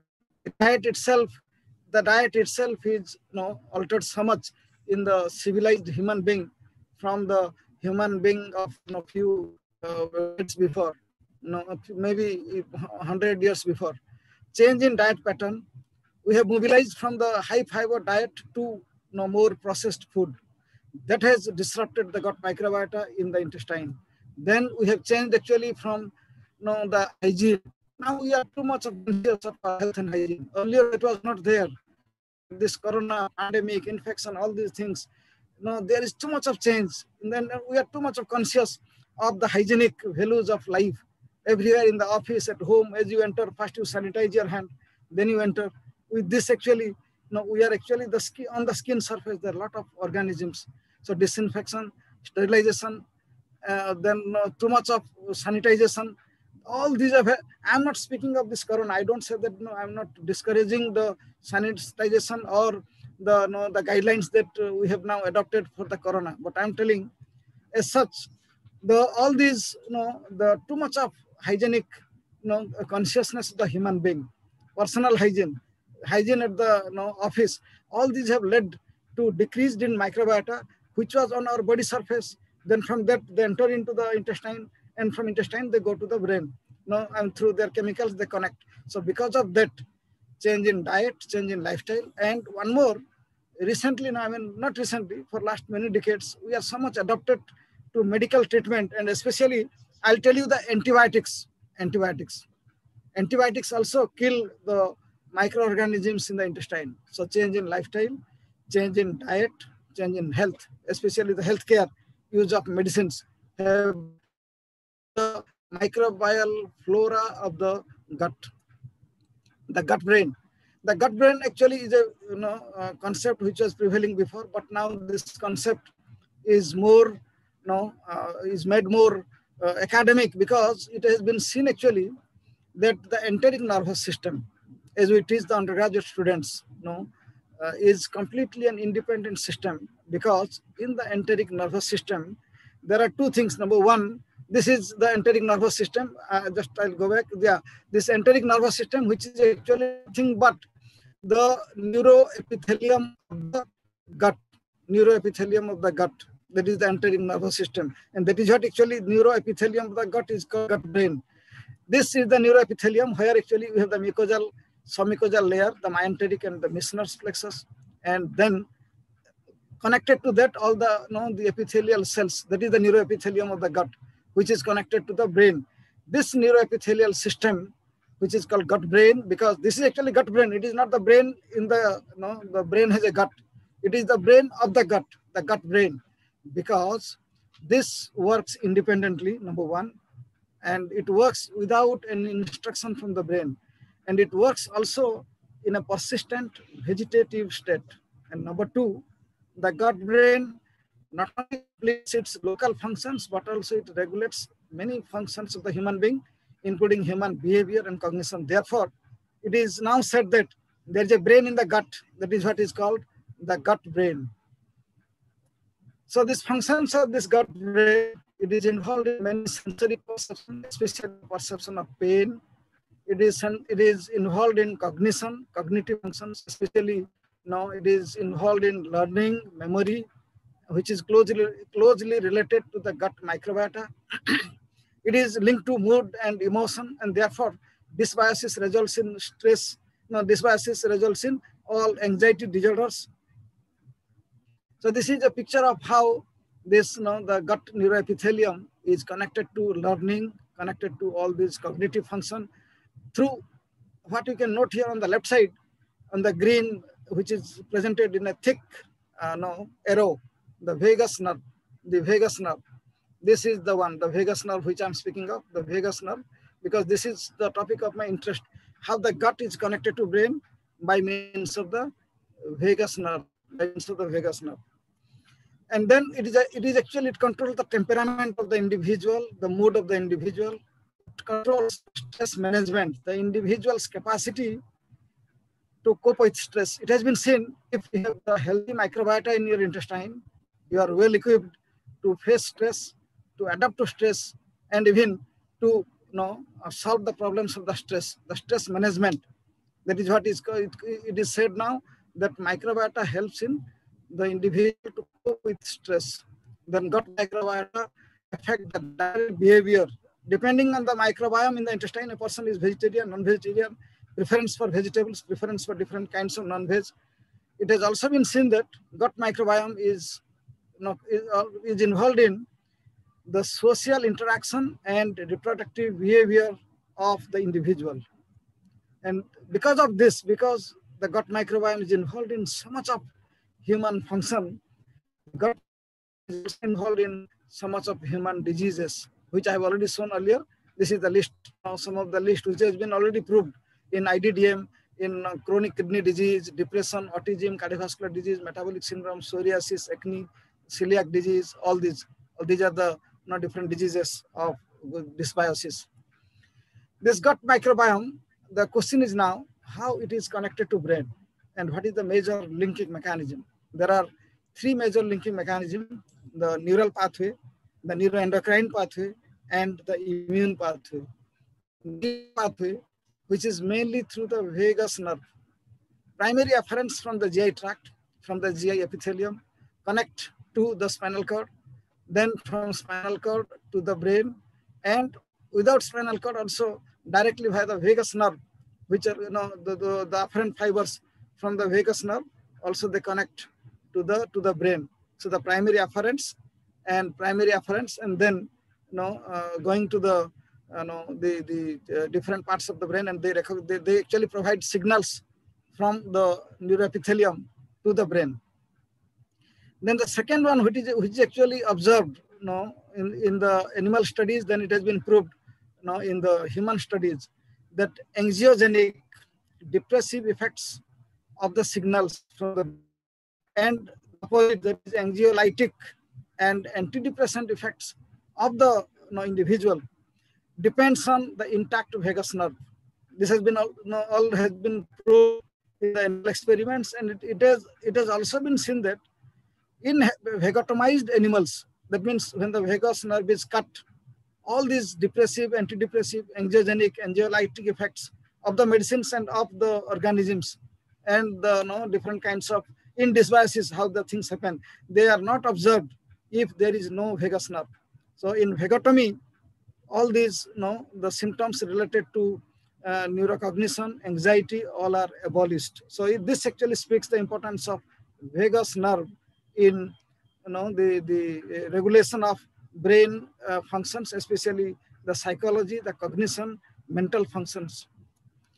So this is a schematic diagram to say actually how the vagus nerve and gut microbiome they're involved. Here actually on the right side of this, on the right side, you can see here this the box which speaks of probiotic administration in animal studies showed that anti-anxiety effects of you know, whatever the anti-anxiety effects are you know, available of the probiotics are mainly mediated by the vagus nerve.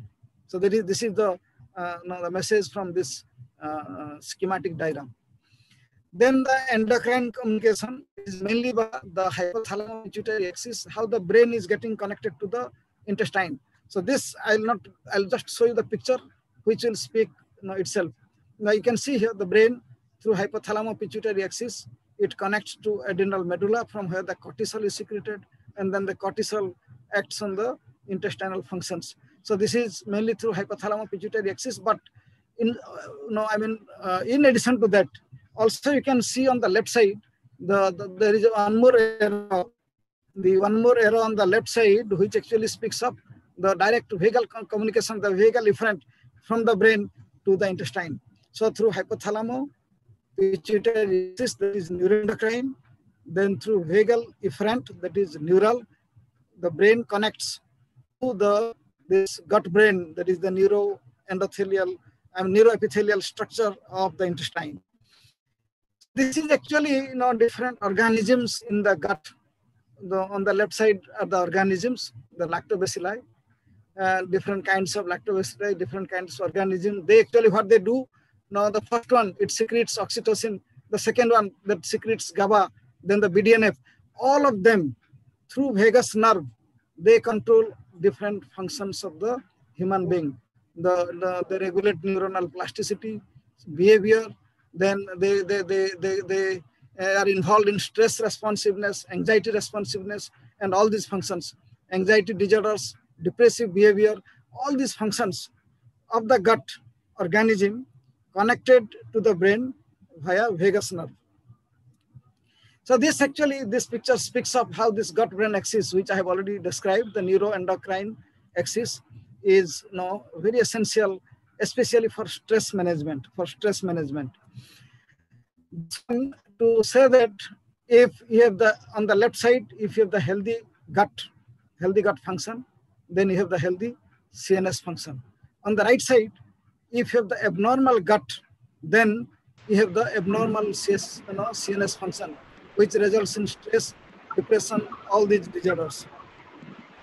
So the, the past theory was that if there is chronic stress, uh, the, the, there, is, there may be susceptibility to gene, and then the treatment is by psychotherapy and medication. The present concept is that when you have chronic stress, you are taking so much of antibiotic, you have poor diet, you have unhealthy lifestyle. This is resulting in all your problems of the gut microbiota, gut-brain axis dysfunction. The modality of treatment, therefore, should be the healthy diet, psychobiotics, prebiotics, and FMT. FMT is actually fecal microbial transplantation. So I'm just uh, coming to my last part of the presentation. There are uh, another two slides. The, this is the picture which speaks of how this, know, the antibiotics, the food diet, they are totally causing the dysfunction of the gut-brain uh, axis, resulting in the dysfunction of the brain, decreasing the neuroplasticity, causing neuroinflammation, decreasing neurogenesis. And in this, you can see at the center is the vagus nerve. At the center is the vagus nerve, which is mediating now both the gut to the brain and brain to the gut. And vagus nerve is the at the center of the problem, at the center of function, and also therefore the center of dysfunction. That means vagus nerve is also involved in you know, manifesting the dysfunctions you know, uh, of the uh, this dysbiosis. Yeah, the vagus nerve to, to, to conclude this actually, the vagus nerve, which is at the center of the immune system, the endocrine system, and the nervous system, which is connecting the gut-brain axis, gut to the brain and brain to the gut. And vagus nerve is at the core of it. Therefore, the bidirectional communication of the gut with brain, the vagus nerve constitutes both the afferent and the efferent. And vagus nerve links the gut to the brain and brain to the gut. Sympathovagal homeostasis, which will be the key to the improvement of the functions of the gut-brain axis. In future, will be the real target of the treatment of gut dysbiosis, and therefore, the treatment of all these clinical disorders you know, which happen. You know, the, the I listed you know, the uh, the diseases, the clinical disorders that happen in dysbiosis. Therefore, we hypothesize that improvement of the functions in this microbiota brain, brain gut axis by strengthening vagal tone will be the key to the success in the gut brain physiology research. And we also you know, strongly advocate the role of yoga that promotes vagal tone will be the promising in this field of research because especially pranayama, the breathing exercises, they are vagotonic to function they'll have a better link of the gut to brain and brain to gut, and they will prevent dysbiosis and they will prevent you know, the diseases, and they will uh, uh, of great use in the clinical medicine. All this, you know, what I presented, I just, you know, uh, I have published a, a recent article, the integration of microbiota gut-brain axis, the significance of autonomic neural influence. Thank you. I'll be happy to answer a few questions. Can he, Dr. Pal, can he ask a question through? ah, yes, sir, please. Yes, uh, Professor Aslam. Yeah, yeah, thank you. Thank yes. you very much. Uh, it's, it was a, it's a wonderful talk on the gut-brain axis. Uh, and this has led to uh, the, the introduction of a new specialty that is neurogastroenterology.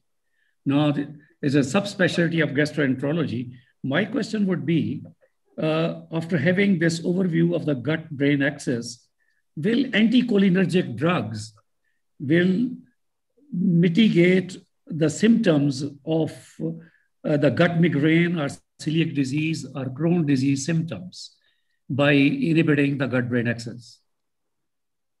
Because bilateral vagotomy abolishes uh, uh, the symptoms, but whether anticholinergic drugs will also have influence in mitigating the symptoms of gut migraine and Crohn's disease or celiac disease? Uh, uh, yes, Professor Aslam. Actually, the, this also has been recently, you know, uh, published. I have seen one article. Mm. They have worked on this atropine. They speak atropine being the anticholinergic. Will mm. also this will be like you know a functional vagotomy. That mm. means you have disconnected. Yes, and they said that atropine will have a severe you know, impact. And if a person is receiving atropine or atropine is being prescribed for some treatment, then it is like a you know a case of functional vagotomy and the gut brain uh, uh, connectivity will be you know impaired and likely to develop the uh, you know, problems. Uh, I, I really appreciate your you know, clinical implication uh, you know, of this concept. Uh, thank you professor aslam. Oh, thank you very much. Thank you. So i have a question. Can yeah, i ah, yes sure sure yes sure Dr. Pal, it is always a pleasure to listen to you. It is a wonderful presentation that you have just given us and on a very interesting topic also. Uh, I just wanted to ask you, sir, uh, that uh, uh has the role of probiotics been studied in uh, depressive patients in psychiatry? And if yes, what kind of depression can be cured? Because it is a very valuable suggestion if it, if, if it can be implemented. Depression is an ever increasing things in uh, increasing problem in today's world. So has it been studied the role of probiotics in depressive patients? Yes, yes, yes, yes. Actually, I can you can just send me your email ID no, email ID to me. I'll send I'll send one recently published article of use of probiotic in uh, not only depression, anxiety disorders also, and they speak of this gut-brain axis, microbiota axis. Uh, it has been published, and people are working extensively on this field. They they see actually the probiotic is the you know, um, uh, target for anxiety disorders. It has been extensively, I mean, I mean, people are studying extensively and uh, people have also published, few papers have been published. I have one article with me. Uh, I can send to you uh, now if you give me your email ID. You know my email ID, drjkpal at gmail.com. Yes, sir, definitely. I'll send the PDF copy of that. Thank you, sir. Thank you. Thank you so much. Thank you, sir. Thank you for the interesting talk. With the permission of the chair, uh, may we proceed to the next speaker? Yes, yes, please. Hello, I am audible. Our, our next speaker is Professor Akhtarun Nisa, Professor and Vice Principal, Main Medical College, Bangladesh, with special interests in reproductive and endocrine physiology. Over to you. Thank you.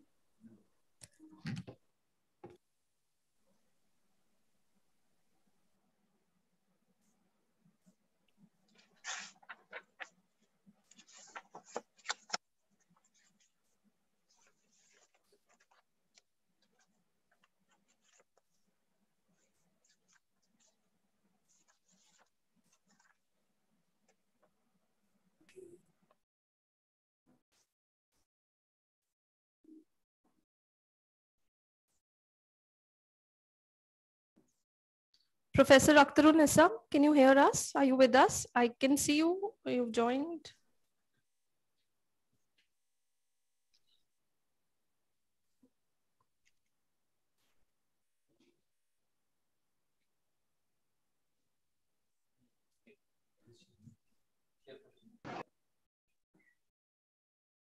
Okay, she's here.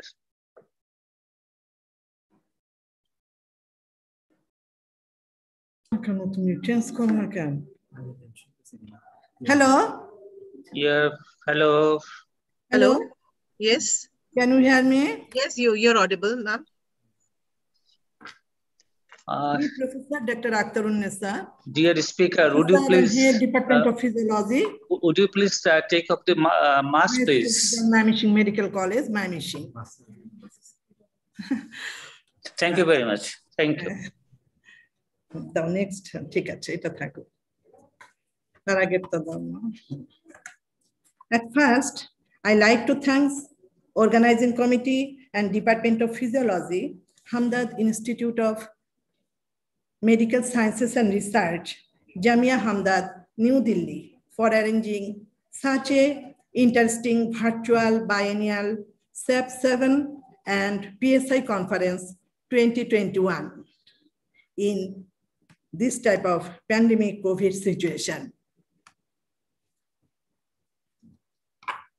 Title of my presentation is Evaluation of the Changes of BMI and Serum C-reactive protein in postmenopausal women.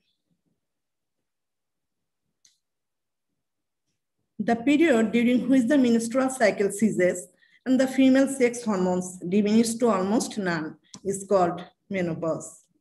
Menopause is considered when a woman has not had her period for an entire year the main age of menopause is reported to vary from 45 to 52.8 years.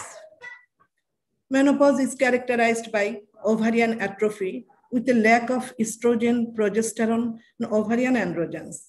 The loss of estrogen leads to vascular disorders, sleep disorders, mood disorders, depression, atrophy of urinary tract and vagina, and increased in the risk of osteoporosis, hypertension, cardiovascular diseases, and loss of cognitive function. Menopause is a physiological process. However, the consequences of ovarian failure can diminish a woman's quality of life.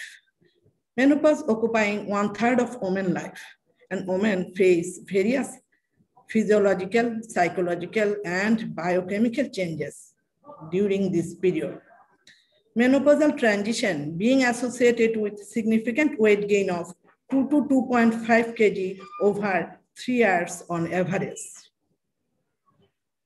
Menopause associated with estrogen depletion has deleterious influence on inflammatory markers and adipokines, leading to increased visceral adiposity. Estrogen influences the central control of appetite and deletion of hypothalamic estrogen receptor has shown to cause hyperphagia, visceral obesity. C-reactive protein is an acute phase protein used as a clinical marker of inflammation. Stork S. et al. stated that there is significantly increases C-reactive protein level in postmenopausal women when compared to reproductive aged women estrogen inhibits the autoinduction of CRP, reduces CRP-induced pro-inflammatory cytokine response, and CRP-induced adhesion molecule upregulation.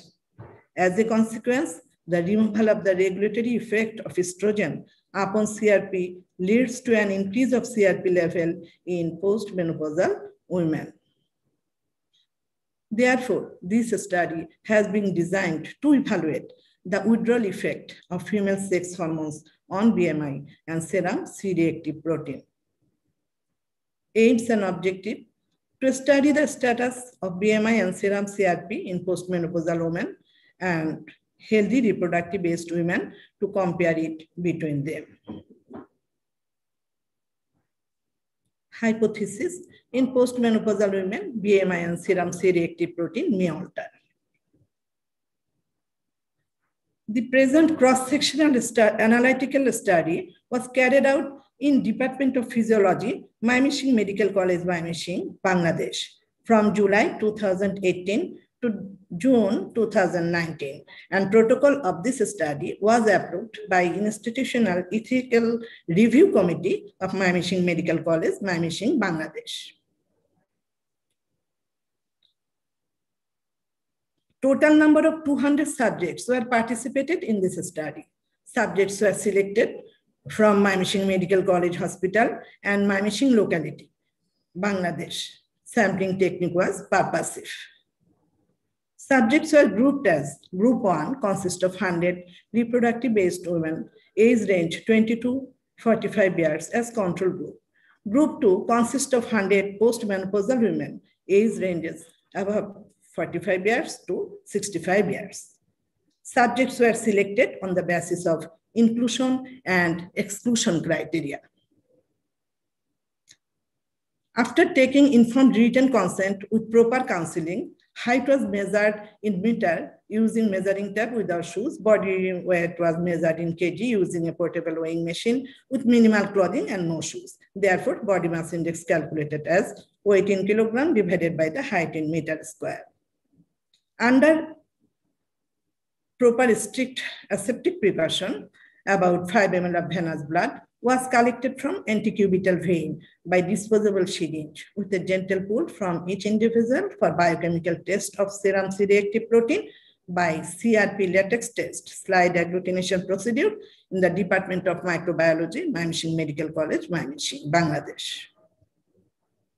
Data were expressed as mean plus minus standard deviation and statistical significance of difference among the group was calculated by unpaired students t-test.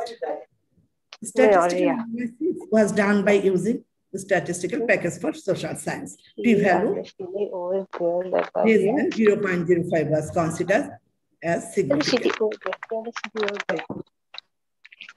Results of the body mass index. Table 1 and figure 1 show the result of BMI. The mean value of group 1 plus minus standard deviation of BMI is 22.98 plus minus 2.57. And in group 2, mean plus minus standard deviation in group 2 of BMI in group 2 is 28.74 plus minus 2.69. Mean difference minus 5.77, p-value 0.003, t-value minus 15.49. Result is statistically significant. Bar diagram showing the mean value of body mass index in both group 1 and 2. Results of serum C-reactive protein level. Table 2 and figure 2 show the result, statistical result of serum C-reactive protein. In this table, mean value of serum C-reactive protein plus minus standard deviation 4.96 plus minus 0.06 in group 1 and 9.84 plus minus 5.75 in case of group 2. Mean difference minus 4.882, p-value 0.001, t-value minus 8.468. Level of significance is highly significant. Bar diagram showing the mean value of serum C-reactive protein in both group 1 and group 2. At the end, we found that BMI and serum C-reactive protein are significantly increased in postmenopausal women, that is group 2, in comparison to reproductive age that is group 1. Discussion of this study. This present work was carried out to evaluate the changes of body mass index and serum C-reactive protein level and its effect on postmenopausal women. In this study, BMI is significantly increased in postmenopausal women compared with reproductive aged women. A study of 298 menopausal women done by Kolapani V. et al. 2014 showed that 68.4% of them were overweight with an average BMI of 28.3 kg per meter square. This is also consistent with the present study. This result is consistent with a cross-sectional study done by Gonkaps JTT et al. 2016. They found the frequency of overweight and obesity among the postmenopausal women were 66% with an average BMI of 28.1 kg per meter square. It may be due to diminished activity of estrogen receptor alpha is shown to be linked to obesity in women and lacking estrogen receptor alpha develops central obesity and insulin resistance. Estradiol appears to selectively promote anti-lipolytic activity in subcutaneous adipocytes and increases muscle fat oxidation. Estradiol increases lipoprotein lipase, which utilizes triglycerides in muscle and is crucial in lipid metabolism and transport. Lipoprotein lipase activity declines at menopause, contributing to visceral adiposity and alteration of plasma lipid concentration. Furthermore, low estrogen at menopause via increased cortisol promotes accumulation of abdominal fat. Turkish women were studied by Tan Emen et al. 2014. In their study, 305 women between age 45 to 60 were recruited. They found, though very contrary result by reporting BMI was not associated with menopausal status. This study is not consistent with the present study. In this study, serum C-reactive protein level is significantly higher in the postmenopausal women compared to reproductive aged women. The result of the present study is agreed with published result of Sogona S. Mary PJ 2013, which found a significant differences in the levels of studied CRP regarding postmenopausal women with approximately threefold increases of CRP in the serum of postmenopausal healthy women when compared to um, healthy women. Prospective studies have demonstrated that the rise in CRP after menopause is the product of several concurring events. First, aging by itself was a strong determinant of increases in CRP. Secondly, sex hormones such as estrogen was also strongly positively associated with CRP levels. During menopause, there is reduction of ovarian function and changes in the concentration of female sex hormones influence levels of inflammatory mediators such as CRP. Estrogen has vasoprotective effect and can modulate inflammatory responses. This effect lost after menopause when the concentration of 17 estradiol is reduced drastically and increase CRP level. Estrogen is a regulator of inflammation. A tenfold increase in estradiol was associated with a 24.3% decrease in CRP levels estrogen is released in the blood and exerts a number of known anti-inflammatory effects, such as generating nitric oxide, regulating leukocyte recruitment, scavenging free radicals, and promoting cell survival. The relationship between the CRP concentration and adiposity is based on numerous studies in adults that have shown obese and overweight individuals acquire a pro-inflammatory status. Thus, a state of chronic inflammation, high CRP concentration, along with low adiponectin concentration and the greater prevalence of metabolic risk factors would favor the development of atherosclerosis in overweight and obese menopausal women. Limitations of the study, parameters were measured only once and thus change over time could not be evaluated. The cross-sectional design of the study represents a limitation, implicating that cause and effect relationship cannot be discerned. Longitudinal studies are needed to better characterize this relationship. We measured only a single inflammatory marker, the association with other downstream cytokines, such as tumor necrosis factor alpha and interleukin C and hormonal assay such as estrogen, progesterone, follicle stimulating hormone, luteinizing hormone remains a subject for future studies. Conclusions. At the conclusion, in conclusion, results of a study provide information that cardiovascular risk factors like BMI and CRP are elevated in postmenopausal women compared to reproductive aged women. So these women are at an increased risk of developing cardiovascular diseases. Therefore, it is important to consider each and every postmenopausal woman to undergo screening for this parameter. With the increase in life expectancy, resulting in women living one half to one third of their lives after menopause. The high incidence of overweight and obesity in women have become important public health concerns. Specific health education strategies and arise awareness among postmenopausal women are needed in order to prevent the emerging cardiovascular, metabolic, and renal diseases. Thanks to all for patience hearing. Uh, thank you, Dr. Akhtarunnisa. It was a very neatly depicted presentation. Thank you so much. Mm, I would thanks. just like to ask you, ma'am, one thing. Uh, what was the exclusion criteria for the postmenopausal women? Yes, ma'am. Uh, what was the exclusion criteria for the postmenopausal group? Yeah.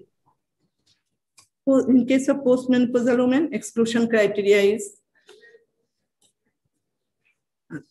postmenopausal area, mm, postmenopausal women.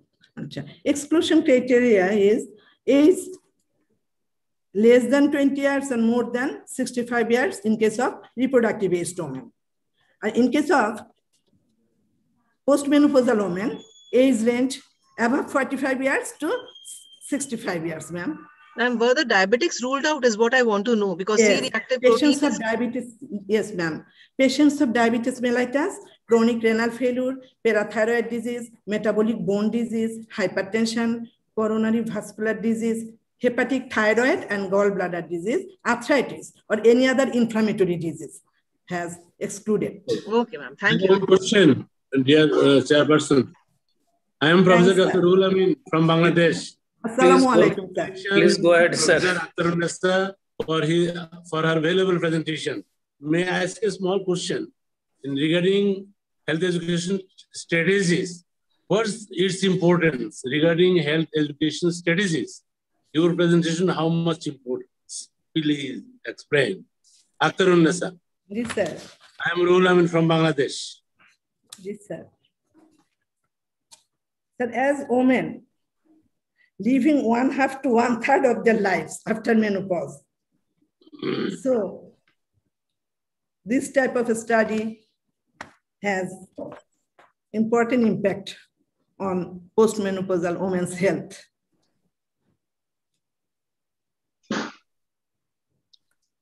Yeah.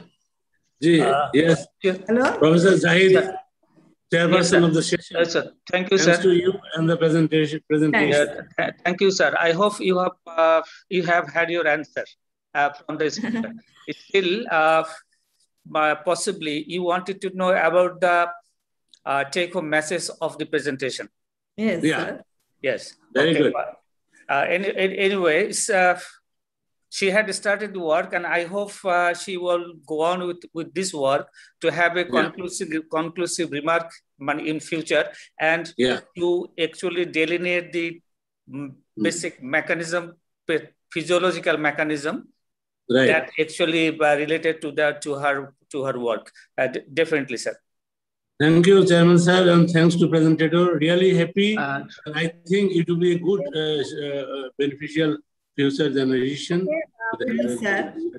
The permission of chairperson, I am Professor Rokia Begum from Bangladesh. Madam, yes, madam. Ask a question to Professor Akhtar. Madam, yes, madam. At first, uh, I tell you, uh, this is your excellent, uh, interesting, and the valuable, um, uh, brilliant presentations uh, in this Thanks, madam. research. uh, And uh, my questions was, uh, the, uh, you have already shown the mechanism of the increase the BMI and CRP. due to the- Yes, the main Madam, in discussion section. Hmm. Yes, sir. Have you already? Possible mechanism. I want to know that you are in the uh, department and uh, you're, uh, you have a postgraduate student, sir. and uh, you Yes, have, uh, notice uh, that you, uh, the hormonal status, that is the estrogen, progesterone, and the related uh, study, the CR, uh, Suggestion for- and uh, for the further study, have you uh, doing this uh, study for uh, for your student? Yes, madam. The relationship. I can advise them uh, for these uh, parameters, hormonal assays such as estrogen, progesterone, FSH, LH. Ah, they from this parameter in future studies. You have also uh, suggested that the uh, lipid profile for the Gene. Yes, madam. Lipid profile. sclerosis. Uh, Yes, madam. Thank you, madam, for your suggestion. Lipid profile is an important parameter. Uh, of uh, it was a wonderful, for- one wonderful talk by uh, Professor Akhtar Nisa. I think we will discuss later on. We will move on for the, to the next speaker who is waiting, Professor Suvro Chatterjee. Uh, so, Dr. Amna, please uh, ask him to uh, uh, come and join online. Dr. Suvro Chatterjee. Dr. Suvro. Yes, sir. I'll... So, thank you for an interesting talk. Our next speaker, Professor Suvro Chatterjee uh, from Department of Biotechnology, Anna University. He's been selected for Fulbright Nehru's Fellowship for Academic and Professional Excellence in Bioengineering for the year 2018. And he was the first recipient of the UGC FRP professorship, professorship in Life Sciences. With this, I would like request him to please take over and present his uh, talk. Thank you.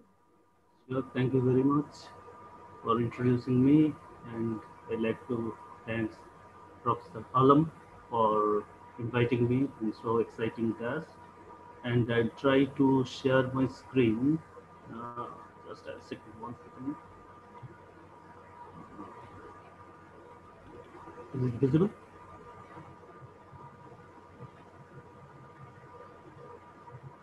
Am I audible and screen is visible? Yes, you're Uh, audible. Yes, you are audible. Thank you. And screen? Share.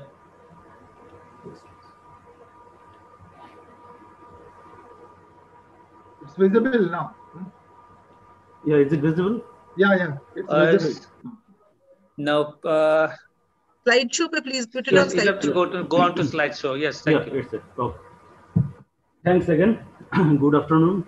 And uh, so I'll be discussing uh, a very fundamental issue of uh, light as well as, of course, physiology. So that's the flow. So flow is very fundamental part to our life and starting from very beginning of our life and at the very beginning means very beginning, that is the first heartbeat. The moment you get the first heartbeat, so you are going to get the flow. So flow before, that means before the heartbeat starts, the in embryo, and one the first heartbeat comes after after the heartbeat. When you see the two worlds, they are extremely completely different, and it's like a revolution. With the moment it is flow, because we studied specifically this this particular issue, what I'm talking now, the before the first heartbeat and after the heartbeat. So in a specific model, we screened more than 30,000 genes before heartbeat and after heartbeat. And you won't believe the moment the flow started, then 1500 genes upregulation within one hour, within minutes to hour. And it is going to be a rampart away because it is developmental phase, very uh, dynamic, dynamic phases of life. So it goes on, goes on, goes on. So based on the time, after few seconds of the flow, after minutes of the flow, after hours of the flow, after days of the flow, it is going to give you different pattern, checkered pattern of gene expression and gene uh, gene expression of down regulation and up regulation, and you are going to get the complete different world. So what I mean to say here, that flow is very very fundamental for our making us the way we look, the way we shape, the way we grow, and possibly the way our bio- biological clock set. So flow is very, very fundamental to it, and cardiovascular system is maintaining the flow. And when it flow is coming, so then there is it's of course it has it has it needs a pathway, and that pathway is the blood vessels, lymphatic vessels. So there should be a proper dynamic flow in higher system like human and higher animals. And the blood vessels is made also unique way, particularly in higher animals. Again, there are different layers of uh, different layers of uh, cells and tissues, which is making the fine blood vessels, and the inner part, most most inner part, which people used to believe it's very idiotic part, very inert part, endothelium, even exactly 50 years back. So it is just a some kind of uh, layers on the inner layer. It is going to protect the tissue and the cells from this friction. But it is not. Last 50 years, we know what important, how important is endothelium. And you know, very recent this endothelitis, which is the inflammation in endothelium, which is causing the havoc in particularly in the case of COVID-19. So endothelium is very important, not only the maintaining the blood vessels, there are hundreds of important signaling processes going on through endothelium. It's the crosstalk between the flow, blood, and the our system. So it's a extremely important layer. Of course, it physiologically, morphologically, and geographically, it's very thin and very. It appeared insignificant, but it's not insignificant. So understanding endothelium is very important. These days, people are working for the endothelium, endothelitis, endothelial inflammation, in, in, in uh, vasculopathy, everything starts with the endothelium and, and, particularly few talks are in the morning that VWF and markers and there are several talks which talked about endothelium and the circulation markers. So these are all linked to endothelium, nitric oxide. So in this process, flow is very ultimatum and ultimate ultimate uh, determinant of our life process. And when flow is going on the endothelium, so blood flow, there is a flow. It's laminar flow. In a very simplistic way, we think of very laminar flow. It's a layer of cells, endothelial cells, and on that flow is going on. And if there is any problem, then all these pathways, all these components of the endothelium, those are very important physiological and signaling components like ion channels, G protein coupled receptor, cytoskeleton, they are all going to be perturbed. The moment flow is not uh, laminar. So perturbation of flow is going to cause lots of signaling and those signals is going to finally define your health and physiology. So here is a, you can, for example, you can see that flow is particular way, then there is a particular way nitric oxide, nitric oxide very important signaling molecule and it is determinant of the cardiovascular system. And another side ROS, when flow is different, healthy endothelium, there is a delicate balance this is just for one aspect of life. I'm not telling this nitric oxide and always doing everything for the life. This is just for example, transmitters and this free they're important in, in case of inflammation, endothelitis, and other kind of cardiovascular conditions. So nitric oxide and ROS in food has to be in particular, uh, particular dynamics it should follow and ratio. So the movement flow is different. The movement flow is blocked, just for example, then there is an imbalance and that imbalance is going to give you different kind of pathological signaling process start initiated. And it, uh, you know that one example I put here, atherosclerosis, thrombosis, one of few few conditions from among many. I'm just represented uh, represented here that atherosclerosis and thrombosis. That means from physiology, it's coming some kind of disturbance. I won't say it is even pathophysiology, but some disturbance in physiology, and gradually it's seeping into the pathophysiology and final acute, finally acute situation like thrombosis and complete block. And you see that here is the process of this thing. So flow is uh, in a particular fashion, then flow is got disturbed, flow is slowed down. As flow is slowed down, then nutrition is less. Ischemic condition is getting develop, developing along with time. So it's a temporal process. It is not a one second process. It's a temporal. It can even taken in the years to have this cartoon to get into that yellow ball on the right side. So, and you know that there are different components and different stakeholders. It's like that lipid profile, your WBCs, those are important in immune system, immune molecules, uh, local inflammation, nitric, INOS, induced nitric oxide, synthesis, activation, and pathologic NO production. And finally, it is going for a higher structure like foam cells with all kind of oxidative, means oxidized lipids, cholesterols, they're coming, depositing, and the modified protein, and finally it's a block. And that block is going to. So that means you see that starting is with flow. And let us go a bit fast. Okay. So now you see the different kind of conditions you are getting into, and these are all basic. If you go to basic, then physical part of it.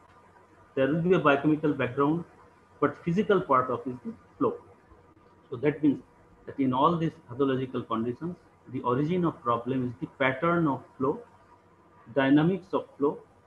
Somewhere flow is getting into different kind of dynamics. So those dynamics, we know that Reynolds number, there is a Reynolds number, specific Reynolds number for a particular fluid. There is a density based on that you are going to get the different kind of turbulence. But of course, turbulence is not right word in case of physiology because turbulence you need a huge kind of different kind of physical flow. But it's a, uh, we would say disturbed flow. But many people, many loosely people use even in physiology turbulence inside the blood vessel, but which is not strictly correct. So it is the disturbed turbulence we cannot reach. Turbulence we reach only one point uh, here. In this cartoon, if you see that naturally our cardiovascular system is basically one single system, heart and the vasculature It is single one intact system. There is no leakage, and it doesn't like leakage, it doesn't like stop.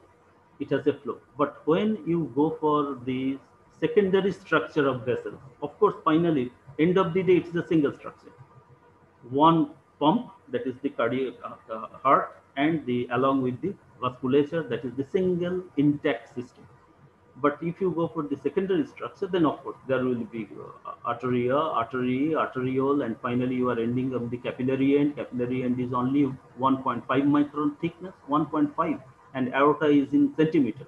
So you see, but still it is one system. So that, that means that when it is going from aorta to capillary, naturally there will be lots of branching. And these lots of branching means lots of pattern and lots of pattern is giving lots of Y junction. Y junction is the branching of blood vessels and it's naturally it has to happen because you have to increase the surface area for distribution of enough oxygen, enough food, enough gases and depending on the peculiarity of your organ, that branching also will be different. So in the, the unique cases, in case of pathology, when you study last 50 years data, you see that most vulnerable point are these. These red spots at the Y junction is the vulnerable point. So why they are vulnerable point? At this point, at this point, for a very few second and millisecond, yes, turbulence can be possible in case of aneurysm. That means the blast, complete blast of the blood vessel, sudden blast and the vulnerable and but the other atherosclerotic block, block and gradual conditions, vascular conditions, they are all coming from this particular area. They are prone to have this kind of block, these Y junctions. So these Y junctions have the tendency to have the block. Okay, what kind of block, what kind of what kind of biochemistry of it, that we are not going into that. But for this physical parameter, that's the junction, which is bit vulnerable structurally. But why? There is one condition is coming, that is the, again flow. The moment one river bed is going into two rivulets, then there will be, you notice that there is a disturb of the laminar flow of the river is coming into that corner. And that time that corner also very dangerous and most of the accidents drowning in the water it happens in those corners on the river. That's because of the distorted flow of the water, pattern is different and turbulence. So in the very similar way, in our system also, these are the, so it's very interesting to understand and you see, you see that here this thing, uh, vessels near branches and bifurcation is more prone to blast. Hemodynamic stress at these locations are more. Shear stress and predominant hemodynamic stress are more. But the thing is, you see this cartoon and uh, these, this these cartoons and these explanation from the last 50 years uh, database is very interesting. And uh, there are lots of clinical data, lots of clinical information from the from Doppler, from other other advanced studies and real-time flow dynamics we can test, test from the I mean, in a least invasive way we can do now.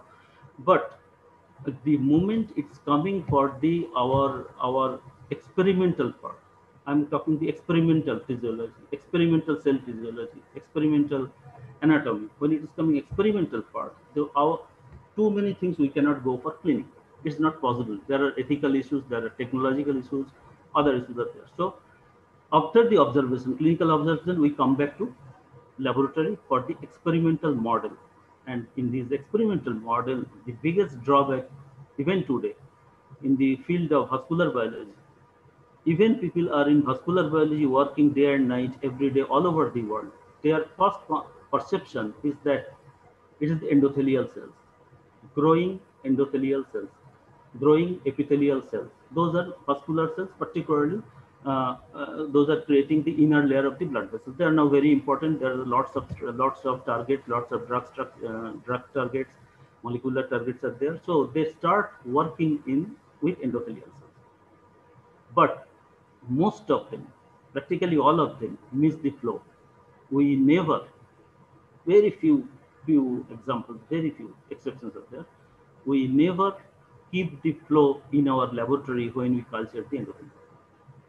So basically endothelium practically doesn't like what is static. Endothelium always under flow. So how we are going to keep the flow in the laboratory, how we are going to test the endothelial functions under flow, how we're going to take the, how we're going to target the drugs and drug development underflow, which is very important because endothelium born to have the flow non-stop, continuous way. There will be, there will be an ups and down in the flow for endothelium for depending on the different kind of physiological and pathological conditions. But it's not ceased flow flow is continuous unless otherwise there's acute stroke condition. ischemic condition, flow is almost zero in that specific area, even for few seconds. Beyond that, you cannot even survive. So flow is very fundamental to endothelium and the vascular system. So in laboratory, how we are going to address it? Usually we don't do it. So in this situation, you see that in this, we are showing one red ring inside the vessel and it's a very schematic diagram. So now if we like to inside the ring, inside the ring, and you see that there is a flow and this endothelium, you can see that around this vessel there is endothelium and there is a blood is let us keep it very simple that is laminar flow that is the straight line uh, am i audible? Can you hear me? Hello? Uh, you are audible. Yeah please go ahead. Okay. Okay sure. Thank you. So in this situation in this situation this exerting pressure on the wall has the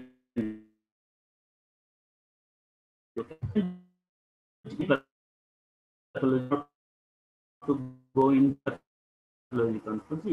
and this blockless and you know the example I was giving happening here. So this is very interesting in when it is cartoon and skim but the thing and okay so let us just ignore because it is related to blood formation and effect of flow okay let us go so now the thing is how we are going to address it in laboratory keeping the flow keeping the system all experiments under the flow. So we need a system and studying the flow and its effect on the endothelium or any other kind of cells, whatever you want. So there we need a system. So my explanation, next few slides, I will be explaining how we can do laboratory experimentation. This is, you see that this is all very old, 10 years before we did this work. So you see that is the layer of endothelial cells. You can see the nucleus. You can see the subcellular actin, polymerized actin. If there is a specific pro for actin, phalloidin, and this phalloidin is going to give. You can see that thin, thin, uh, very thin uh, structures within cells, subcellular. So these are polymerized actin. This is very important to have the shape, structure, migration, inflammation, and uh, leakiness of the cell membrane and leakiness of the blood vessels. These are very important. So this is laminar flow. And now when we are going for, basically this is, this, sorry, this is laminar flow, but this is before the flow condition. We didn't start the flow.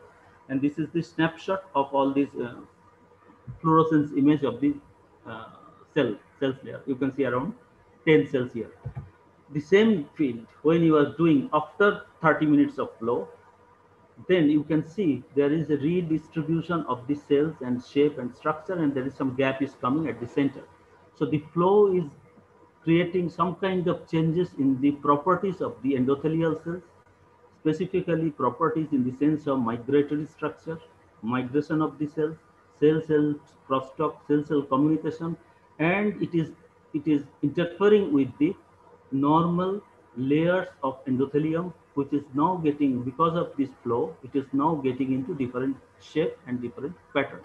Okay so now let us go for the real experiments. So okay so here you see now we like to get the how we are going to address this means how we are going to get this flow to be ready inside laboratory. So there are a couple of approaches people do. You can see that uh, some real blood vessels in some specific model like uh, uh, intravital system, intravital microscope you set. Under microscope, you can go for a specific, uh, specific blood vessels. And that blood vessels you can ligate in a specific way. And because of that ligation, you can have that other end of the ligation, you have different kind of uh, flow, you can follow it.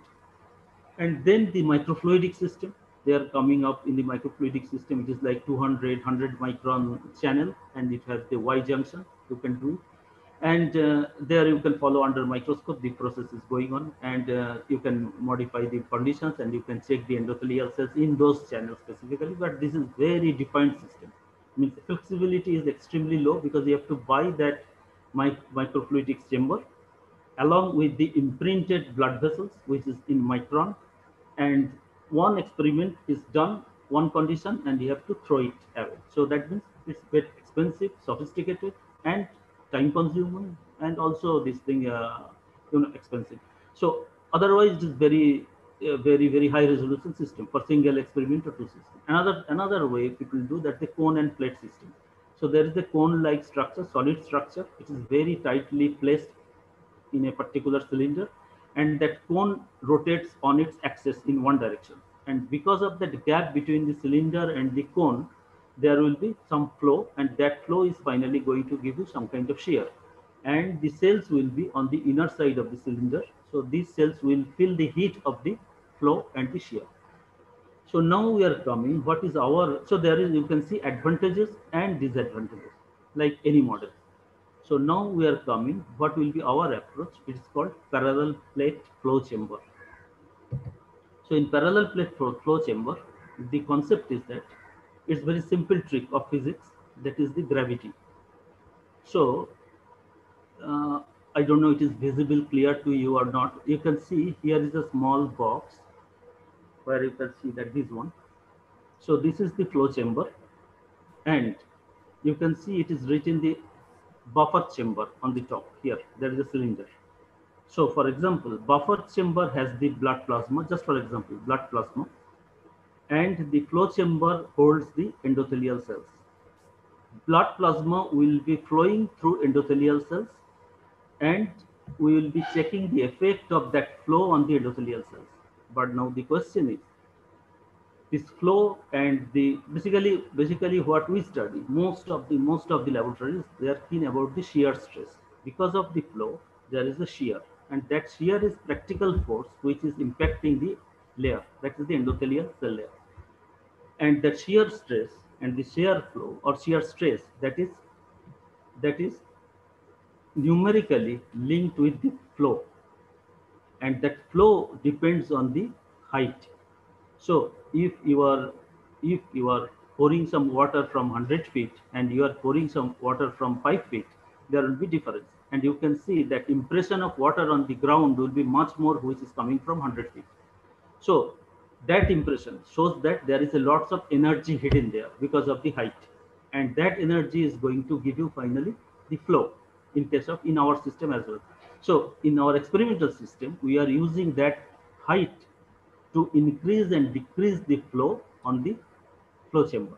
That means in the flow chamber. That means if your height is more, then flow rate will be more and flow rate will more means there will be shear stress more and that shear stress will be exerted on endothelial cells. And that is the way from this first heartbeat of our life until the last heartbeat, we are going to get the flow and the shear stress. So shear stress is very important component and this equipment is going to give you understand the effect of impact of shear stress on the endothelial cells.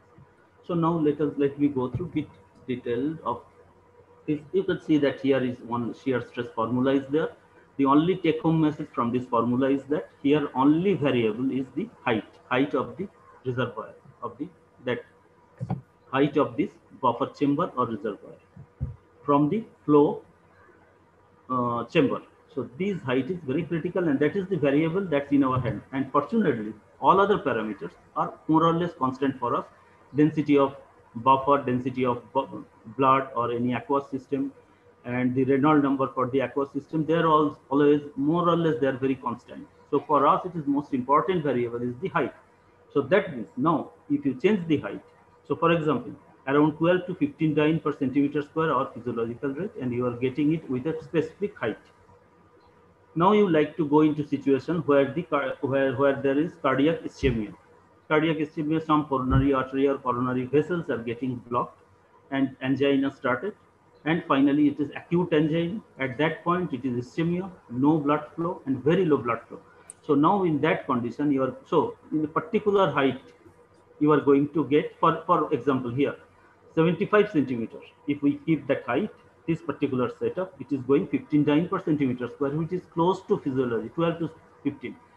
And when you are going for uh, uh, this thing, when you are going for uh, lower height of their chamber, then if the flow is rate, flow, flow rate is less, and that flow rate is finally translated into the ischemic-like condition and hypoxia and the angina condition. So that way, in this system, you can make the uh, system variable according to your experiments and the model. You can see this is the concept. You can see the follow this only B.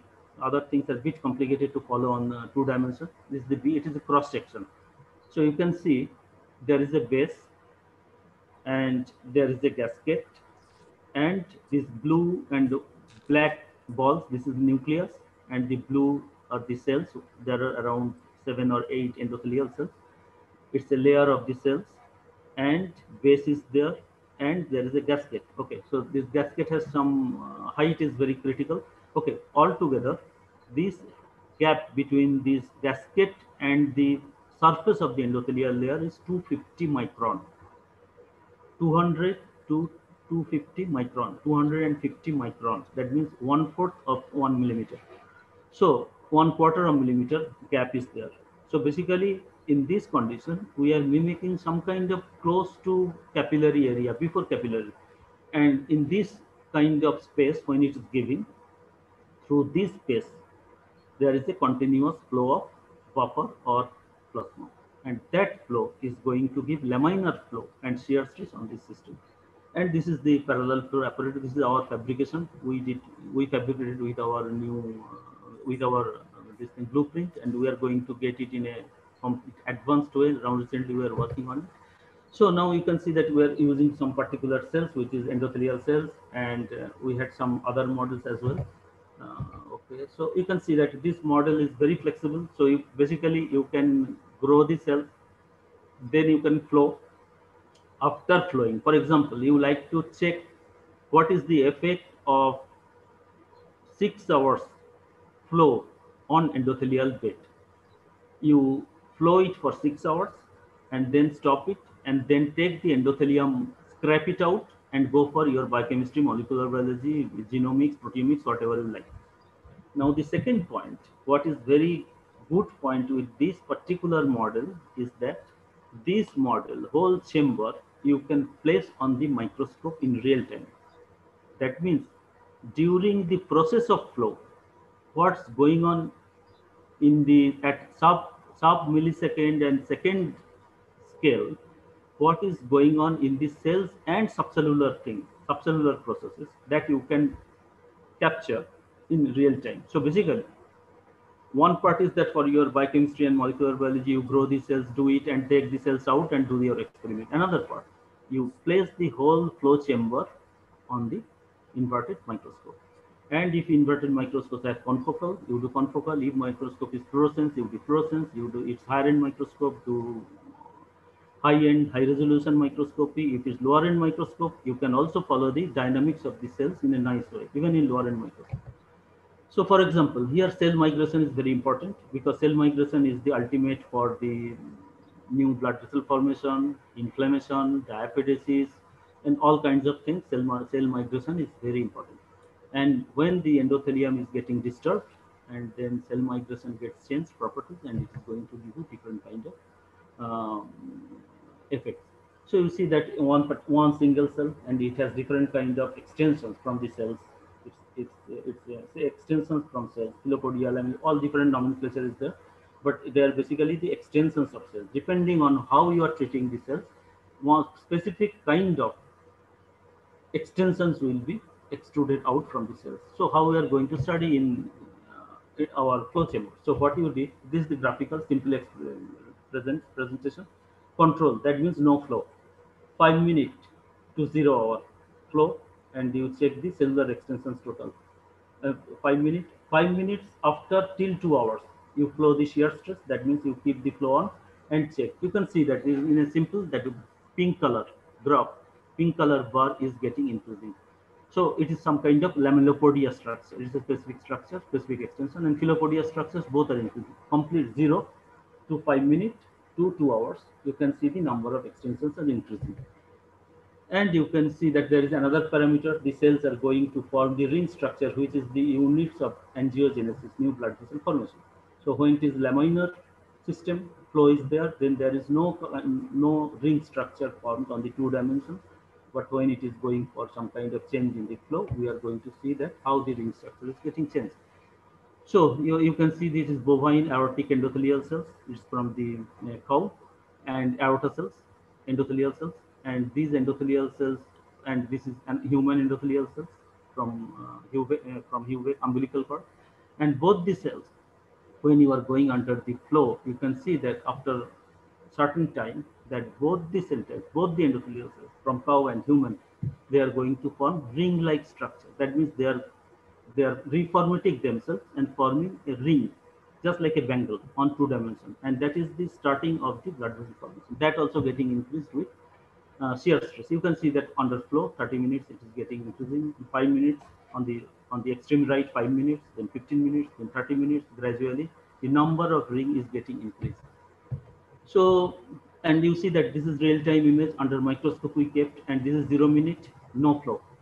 Now we will be giving pro, and I am just keeping that five snaps from this. This is basically video, and you just follow this red strong arrow here, and follow this particular area in the next. So this is after five minutes. This is after 10 minutes. You see the red arrow indicating a cells. Uh, uh, there are many things happening in, on, in this particular snap, but you better to be easier to follow the red one, strong one. You see this five minutes and 10 minutes. So it is going there to form a ring-like structure. This is initiation process. This is no flow. We are starting flow. Starting flow, five minutes already gone. There are many things happened. Cells are talking to each other in a different way. Now it is going physically towards the specific cell. And it took its hand. And it is inviting the another cell to come. And if you follow another five minutes you will see there is a complete restructure getting formed on it. So this surface is modifying based on the flow. So you can see here. So um, okay let us not go into that. Here also in representation. So now when the surface is getting changed so this migration what you showed i showed that migration of this it's forming a real time it is forming but there will be some fundamental mechanism to do it. That is subcellular mechanism, that signal. So there is cytoskeleton, there is actin, and this actin monomer is going to form the actin polymer to have each function. That means to cross-talk with another cell, to extend my hands to another cell, holding that cell's hand, and I am asking to have a specific structure, pattern to along with us. That means three cells, four cells coming together and forming a specific defined structure. So you can see here, so here under shear, the lower panel, shear with one white arrow, we are showing how this round shape is coming, one, two, three cells coming together under shear. So, so this subcellular, subcellular pattern of actin polymerization, we studied from this and then it can give you that, then we have a block actin, inducing act, acting, different kind of model and pharmacological pharmacological model like uh, like cytochalasin D, you block actin and show that how actin polymerization perturbation under shear, under flow is important to have a meaningful functional structure. This is the signaling pattern. So maybe I'll give you some another example what we can do here. Here you can see here is a specific probe, fluorescent probe, which is going to give you nitric oxide production.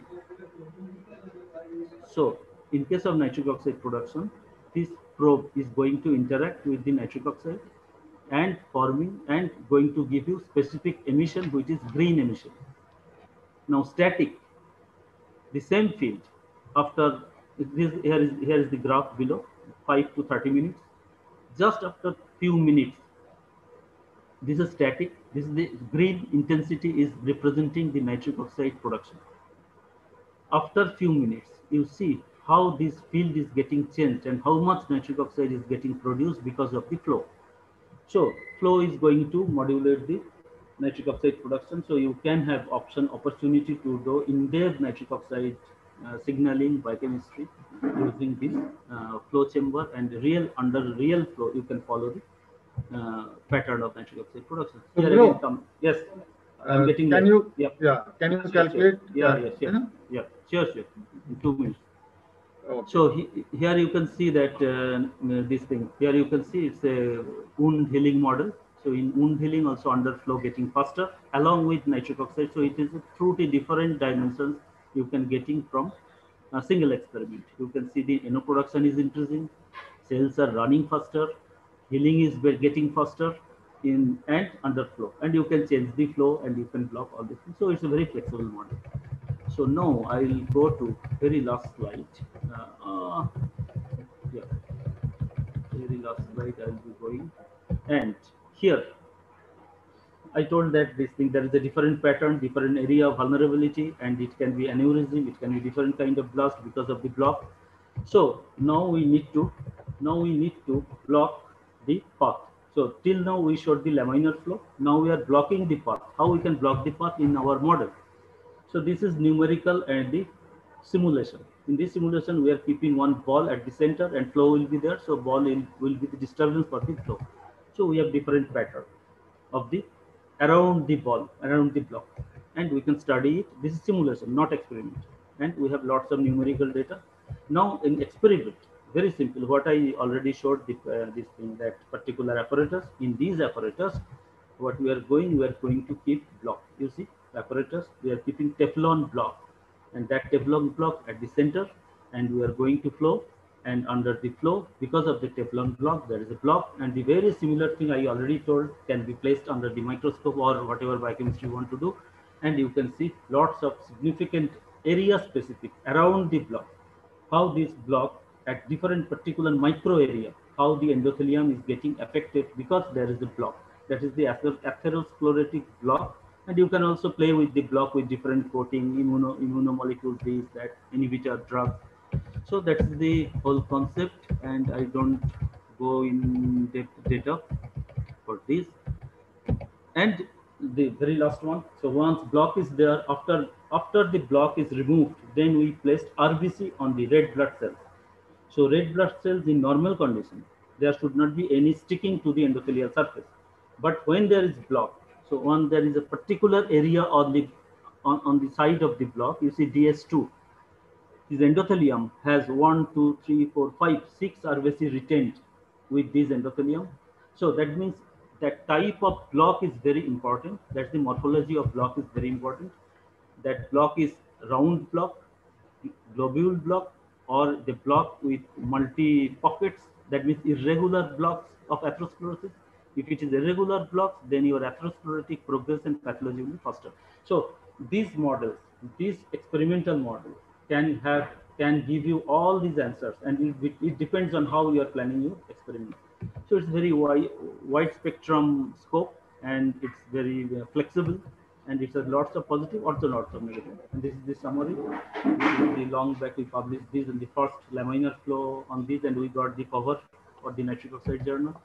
And just two or three years back, I think we published these scientific reports where we showed the last slide with the block. And uh, mostly it is done by Uma Maheshwari. And now she completed her PhD and still left lab. And thank you.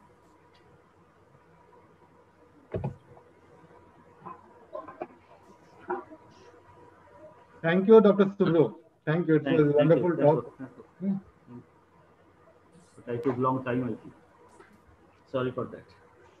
Now uh, we can directly move on uh, to next speaker. Uh, sure, sure. Sure, sir. Thank you for an excellent talk. Thank you. Over to our next speaker, Professor Muhammad Ubaidullah Ibn Ali, who's certified by the Bangladesh Medical Association and serves as an associate professor at, uh, of physiology at the Rajshahi Medical College Hospital, Rajshahi, Bangladesh. Please welcome him. Thank you. Over to you, sir.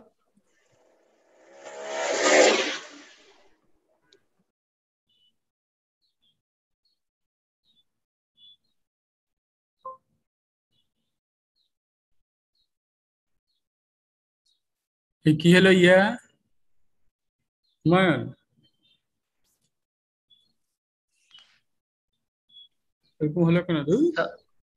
sir please uh, please don't put off put on your mask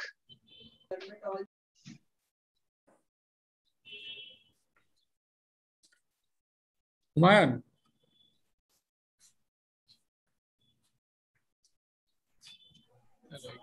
share your screen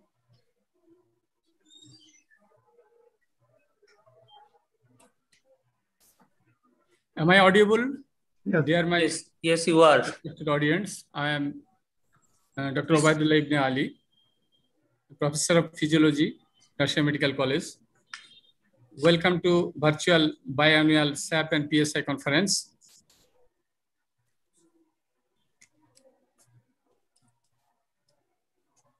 We all welcome you, sir, virtually for the time being.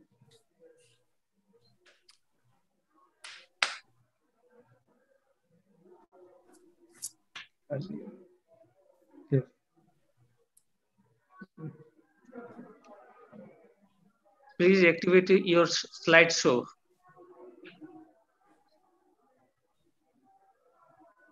Slideshow, please.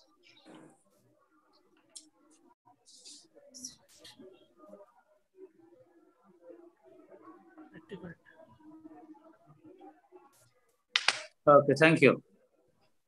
Thank That's you all. right. That's right. I am Dr. Professor Obaidullah Ibn Ali, Professor of Physiology at Rajshahi Medical College.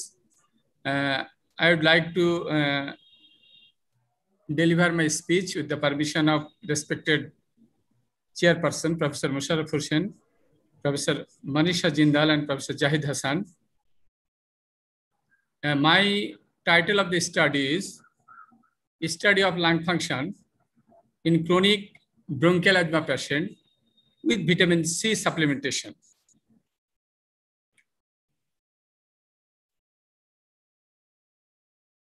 First of all, in bronchial asthma patient, the inflammation may be accompanied by intensive air airflow limitation, endogenous oxygen produced by the overactive inflammatory cell and destroy the airflow epithelium, which slap into the bronchial lumen and thus aggravate asthma. Actually, when the oxidant overwhelm the antioxidant, tissue injury and disease result. And the free radical play an important role in the pathogenesis of asthma. Respiratory disease is a major cause of death and disability in many countries. Chronic asthma inflammation may be accompanied by intensive airflow limitation. Free radicals are always being produced in our body. However, body operate to several mechanisms for termination of this free radical which are injurious to the body. And antioxidant neutralizing the free radical.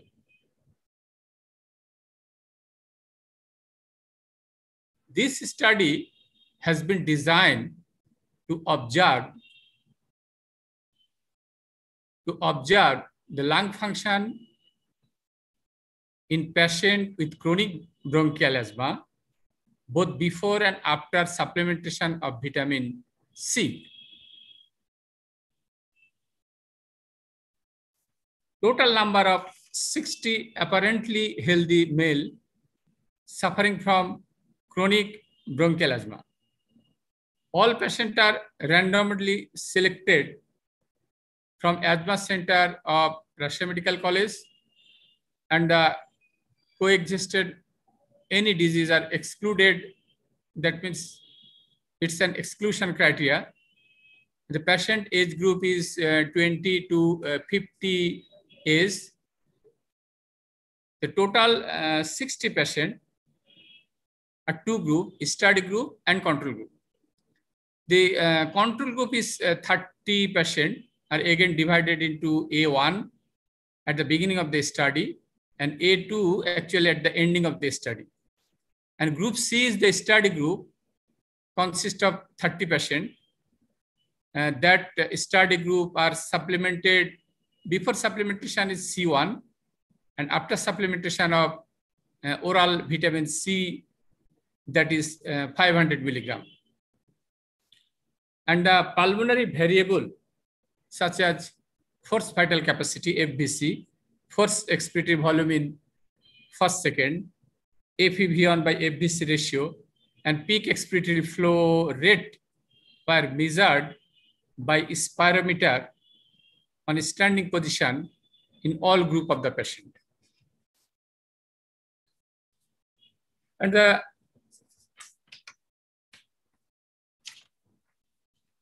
measured value of FVC and their deviation from predicted value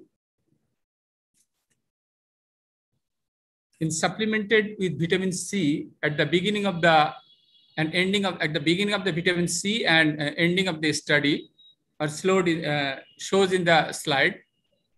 Group A and group C, C1, group A1 is divided into A1, A2 before supplementation and after supplementation. And C1 and C2 are increased at the beginning of the study and increase the measured value after ending of the study.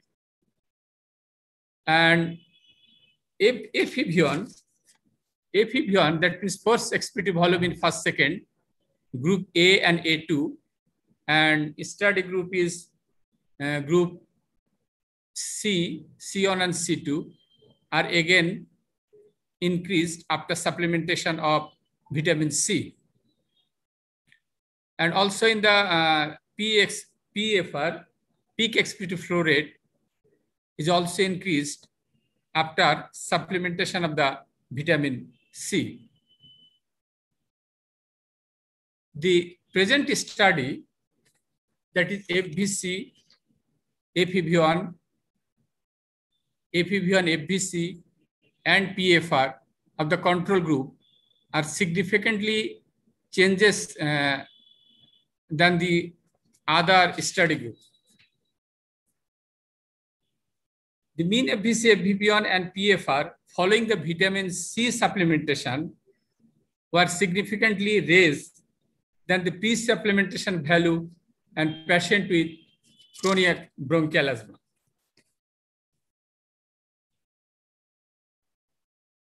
Uh, my conclusion is the pulmonary variable such as FVC, FEV1, FEV1 FVC, and peak expletive flow rate in patients with chronic bronchial asthma were significantly lower in comparison to the subject. An object value of this variable in the present study were much lower than the predicted value. The lower volume, pulmonary volume and capacity in asthmatic subject of present study are most likely due to bronchoconstriction by air pollution as because the uh, Bangladesh, uh, most of the cities are highly polluted. So the uh, common respiratory disease like asthma, that is obstructive airway disease, and all this predicted value is uh, lower, all the uh, predicted value, but lung volume and capacity of the present study are likely due to bronchoconstriction by air pollution, as most of the subject of this study were from the urban area, where the air pollution is supposed to be higher than the rural area. Improvement of the pulmonary volume and were significantly increased after vitamin C supplementation. But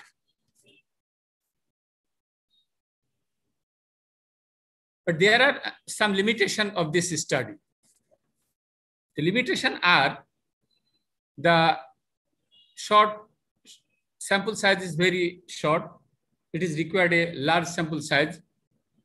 And if possible, the measurement of serum concentration of antioxidant A, antioxidant C, if it is possible, the measurement of serum concentration of different type of free radical. And if it is possible for different type of free radical in, in blood, then it is it, it should be a uh, concrete, a definite conclusion uh, by the sample size and uh, short duration of vitamin C supplementation. It is difficult to draw a uh, conclude definite conclusion within the uh, within very short sample size. So thank you all. This is my short presentation. The supplementation of vitamin C in chronic bronchial asthma patient. Thank you all. Thank you, Dr. Abedullah. So now we will conclude the session and we will start the next session. So there will be no lunch break because we have to start uh, start the next session uh, I the last session uh, from two two o'clock. Okay, sir. So uh, thank you for the interesting talk. Uh, Due to the dot, dot of time, we will move on to the next session, which is dedicated to nitric oxide and free radicals.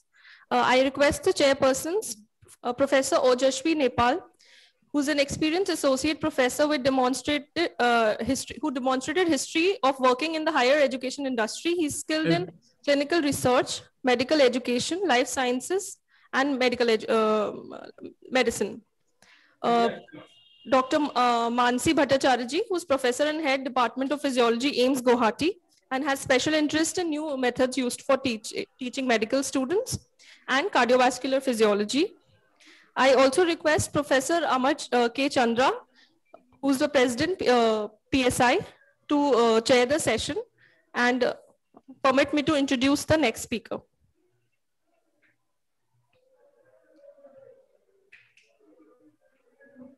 I'll, so with the permission of the chairpersons, I am uh, going ahead and introducing uh, Dr. Arunabha Ray, who's professor and head Department of Pharmacology at Hamdard Institute of Medical Sciences and Research, Jamia Hamdard.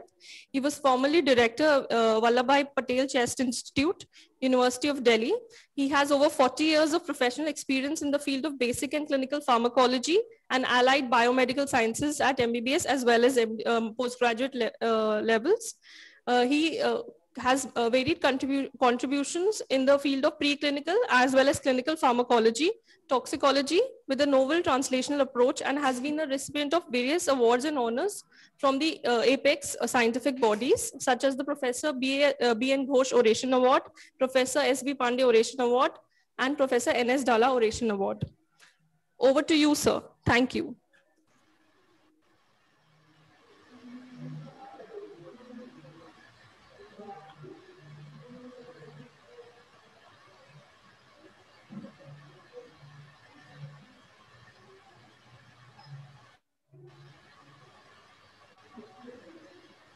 Can you see my slides? Yes, sir. Okay, you can hear me? Yes, sir. Okay, good afternoon, and I thank you all, especially Dr. Iqbal Alam, for uh, organizing such a nice conference and also giving me the opportunity to speak in front of this international gathering.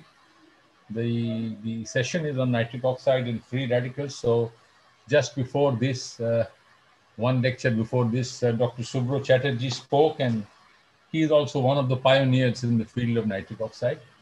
And so uh, I was, I hope that he's also listening to this lecture. Uh, the topic of the lecture is uh, nitric oxide gener gen regulates gender-based differences uh, in stress susceptibility and adaptation. the uh, now stress uh, is something which uh, relates to physiology because it's basically disruption of the physiological homeostasis which results in stress. And when such stress is go, goes on for a continued prolonged period of time and the ability to adapt or cope with such stressful inputs is uh, deranged, is that is when when you get pathophysiology, you get disease. So a variety of disease states are known to be precipitated by stress, which are known as stress-related diseases. And these diseases relates to the brain, the cardiorespiratory system, and the immunological system in particular. And there is a strong connect between these various systems uh, when uh, the responses to stress are actually happening inside the body. So the stress and stress response has been studied very extensively, and we know that the brain is central to the organization of the stress response. Complex neurochemical neural pathways are involved. Primary mediators are the HPA axis and the sympathoadrenal system, that is the catecholamines. But now the, the, the, the concept of stress has progressed much beyond that, much beyond these two basic, basic hormones, though they still remain the bottom line of the, of the stress response. But uh, what has now, newer, newer concepts have, have evolved and uh, we will be discussing on some of those things. What has emerged most recently, or why should I say most recently for quite some time, that gender differences exist with reference to stress responses. That is, you know, males and females react differently to different stressed situations. Neuropsychological disorders like depression, uh, cardiovascular disorders, respiratory disorders. So a variety of disorders and their related pathophysiological mechanisms are differently influenced in different sexes, that is males and females. However, uh, to date, uh, most of the research that has been done uh, as far as stress is concerned has focused on males just because, you know, people work a lot on male rats, people work a lot on male uh, species of animals. And, and the, the data of the females or on either sex and the data of the females was, was not very much highlighted. So uh, some, some literature uh, uh, seemed to emerge that males and females may be different and hypotheses were proposed.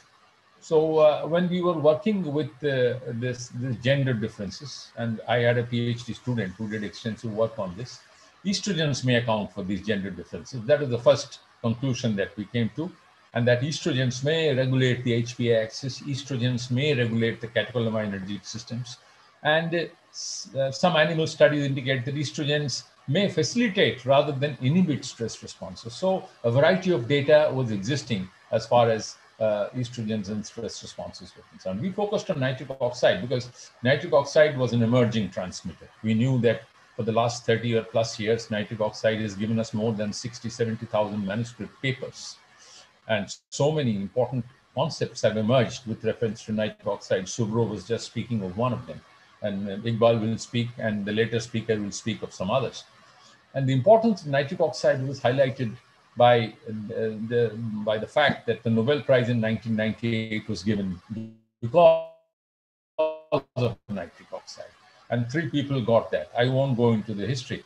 But recent studies have indicated that nitric oxide is not only important in the cardiovascular system, but it is also equally important in the central nervous system and the immune system. Two other areas which received less attention since all the focus was on the cardiovascular system. In the central nervous system, it is now known as a very, very important signaling molecule. It is synthesized in different parts of the brain, widespread, widespread distribution in different brain areas, involvement in variety of physiological functions, variety of pathophysiological conditions, and basically signal transduction that, that, that, that starts with nitric oxide involves diverse mechanisms. So what is the status of nitric oxide during stress? Obviously, it came to our mind some years back, and we thought that since nitric oxide is so important in the brain, and some areas of the brain which are important for stress also have a lot of nitric oxide generated in those areas. So there must be some role of nitric oxide as far as stress is concerned. And we found out that yes, nitric oxide was actually uh, implicated in a variety of stress related responses. The idea also came from the fact that uh, earlier today, uh, nitric oxide mimetics, like uh, so many nitric oxide mimetics, trinitrate, isosorbide dinitrate, etc., etc., nitrates and nitrites, used in cardiovascular disorders are, are, are disorders which are stress related. So stress precipitate these disorders. Ischemic heart disease, we know that nitric oxide modulators are very important moieties as far as ischemic heart disease is concerned. But the regulatory role of nitric oxide with reference to stress mechanisms, stress susceptibility and stress adaptation was not very clear. So we, we, we, thought that we should study this. And we also thought that it's important to know that why males and females differ, differ as far as stress responses are concerned. And was nitric oxide involved in such differential regulation? So we did, we took two parameters. One is behavioral parameters and we took immunological parameters. To start with behavioral parameters, we knew that stress can induce a condition which is known as anxiety, anxiety related behavior. And we looked at stress induced anxiety and we showed that males and females actually reacted differently with response with reference to stress. So anxiogenic responses or anxiety-like behavior was greater in males as compared to females. This was done in a simple test, which you all know, those who do behavioral pharmacology or behavioral studies, an elevated plus maze test, which is a very simple test for anxiety in which the rats tend to prefer closed spaces, which is an indication of normal behavior and anxiety-like behavior. And when they are, when the anxiety is relieved, they tend to prefer open spaces. They go more into the open spaces. This is their natural behavior based on their habitat. So uh, when stress, when male and female rats were stressed, we showed that both these groups of rats had fewer open arm entries. That is, they, they were more into the closed arms and le lesser time as compared to the open arm time in, in, uh, with response to stress. And these responses were much more in males. You can see the reductions are much more in males as compared to the females. So this told us that the anxiety, anxiogenic behavior in rats were more in females in, in males in response to stress as compared to females. So that was the first observation. So this again is a schematic representation. You can see that the females were more adaptive to the stress responses as compared to males with reference to behavioral suppression in response to stress in the elevated plus maze. When we tested with nitric oxide modulating drugs, like L-arginine is a precursor of nitric oxide, and we gave L-arginine, and we showed that L-arginine reversed this anxiogenic behavior and tended to bring it back towards normalcy in both male and female rats.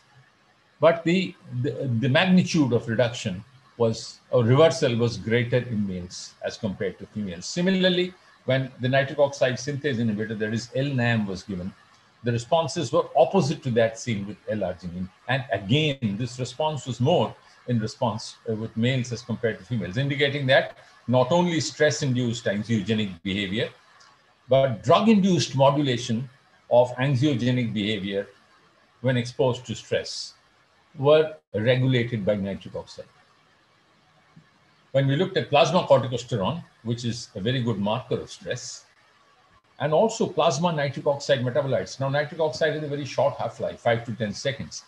So in order to measure nitric oxide levels, so we need to measure nitric oxide, stable nitric oxide metabolites, which is a mixture of nitrates and nitrites. So when we looked at the nitrate and nitrites, we, corticosterone levels were elevated. Again, you can see the elevations are more in males as compared to the females, the extent of elevations.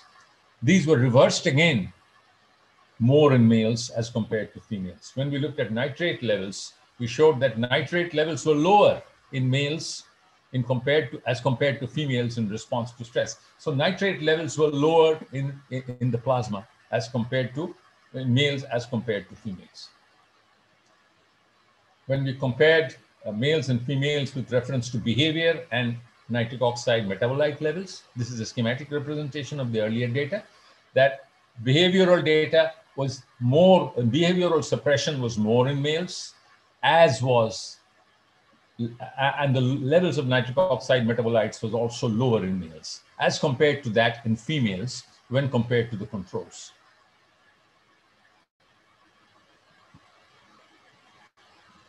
One of the signaling mechanisms that were being proposed during that time was, and Suvro pointed out rightly, that complex interactions between reactive nitrogen species and reactive oxygen species, that is oxidative stress, takes place. And it can go both ways. Nitric oxide is known to be protective at lower concentrations, and at higher concentrations, it combines with superoxide to give you peroxynitrite, which is toxic. So here we looked at oxidative stress markers and nit nitric oxide metabolites in, in males and females during, stress. And we showed that oxidative stress it was induced, that is, MDA levels were higher in males as compared to that in females. Similarly, reduced glutathione levels were lower in males as compared to females, the extent of reductions. And these changes were reversed both in males and females by the N-O-mimetic, that is L-arginine. And this reduction or reversal in reductions in, in modulations in oxidative stress parameters, but more in males as compared to females. So this again um, vibed with the earlier hypothesis that stress-induced changes and their modulation by N-O-mimetics were, were predictable, meaning that they were more in males as compared to that in females. Now we looked at immune responses. Now we know that stress also suppressed immune responses. And we looked at two very simple parameters of immune responses one of humoral immunity and one of cell-mediated immunity. Humoral immunity, we know that's antibody-forming cells in the spleen, plaque-forming cells in the spleen, and we showed. And for the delayed type of hypersensitivity, we looked at the, the, the, the, the DTH response, that is the CMI response. the foot pad thickness response. And we showed that both these responses were suppressed in response to stress in males and females. And the suppression was greater in female males as compared to females. You can see in the table, the extent of reduction in males was greater as compared to females. Similarly, in the DTH response, the extent of reduction or suppression was greater in males as compared to that in females.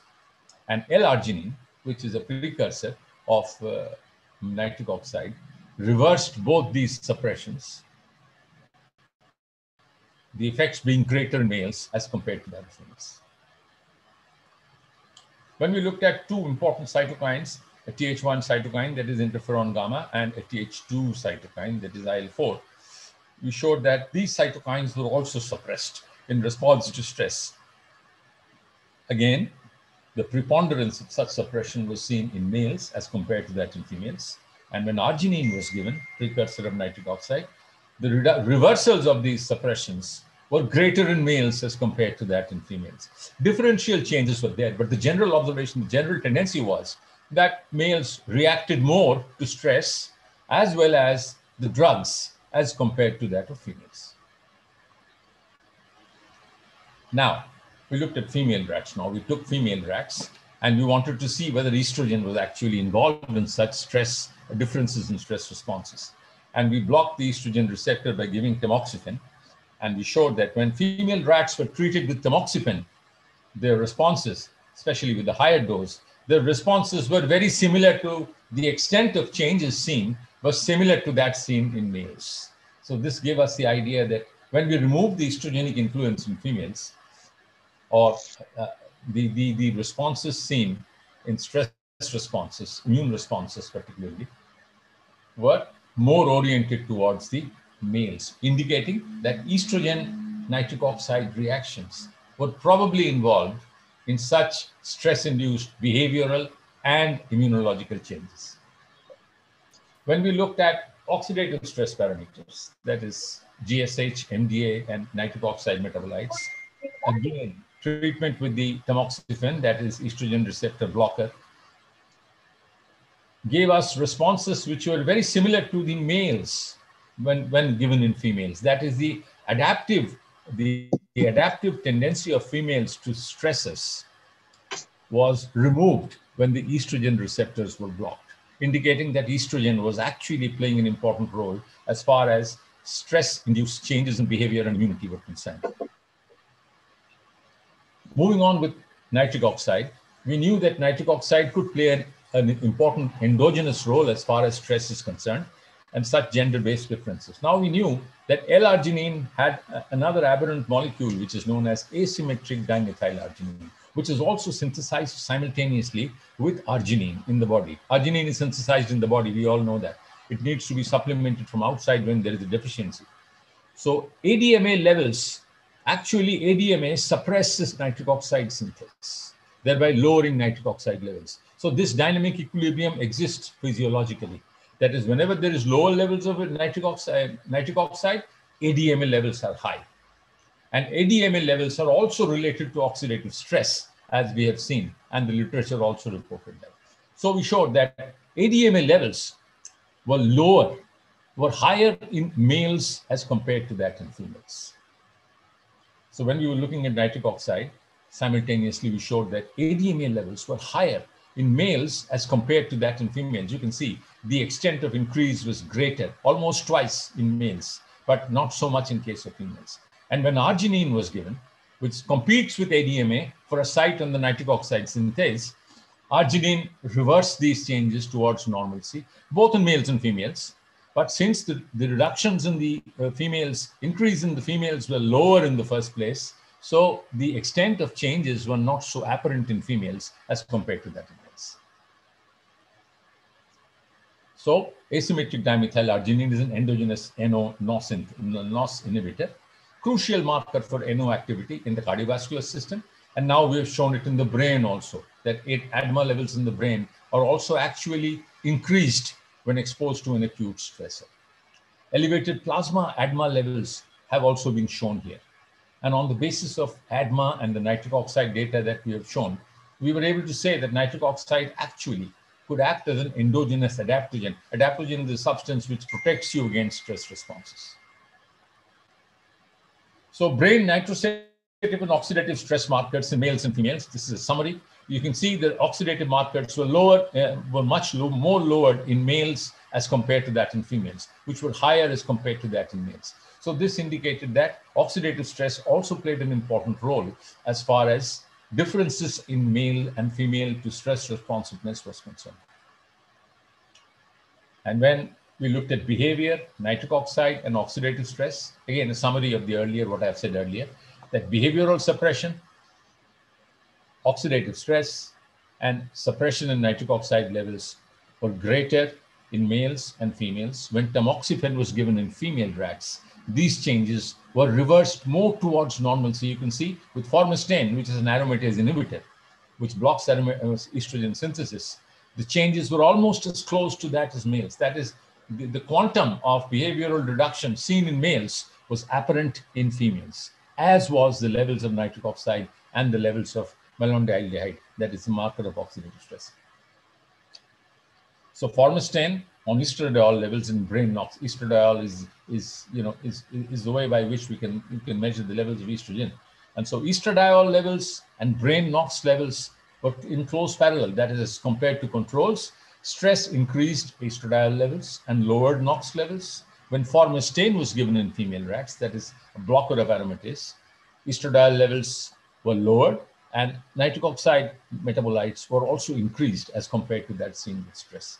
So all these informations collectively taken together gave us the concept that gender-based differences in stress responses, that is behavioral response and immunological response, were linked with NO.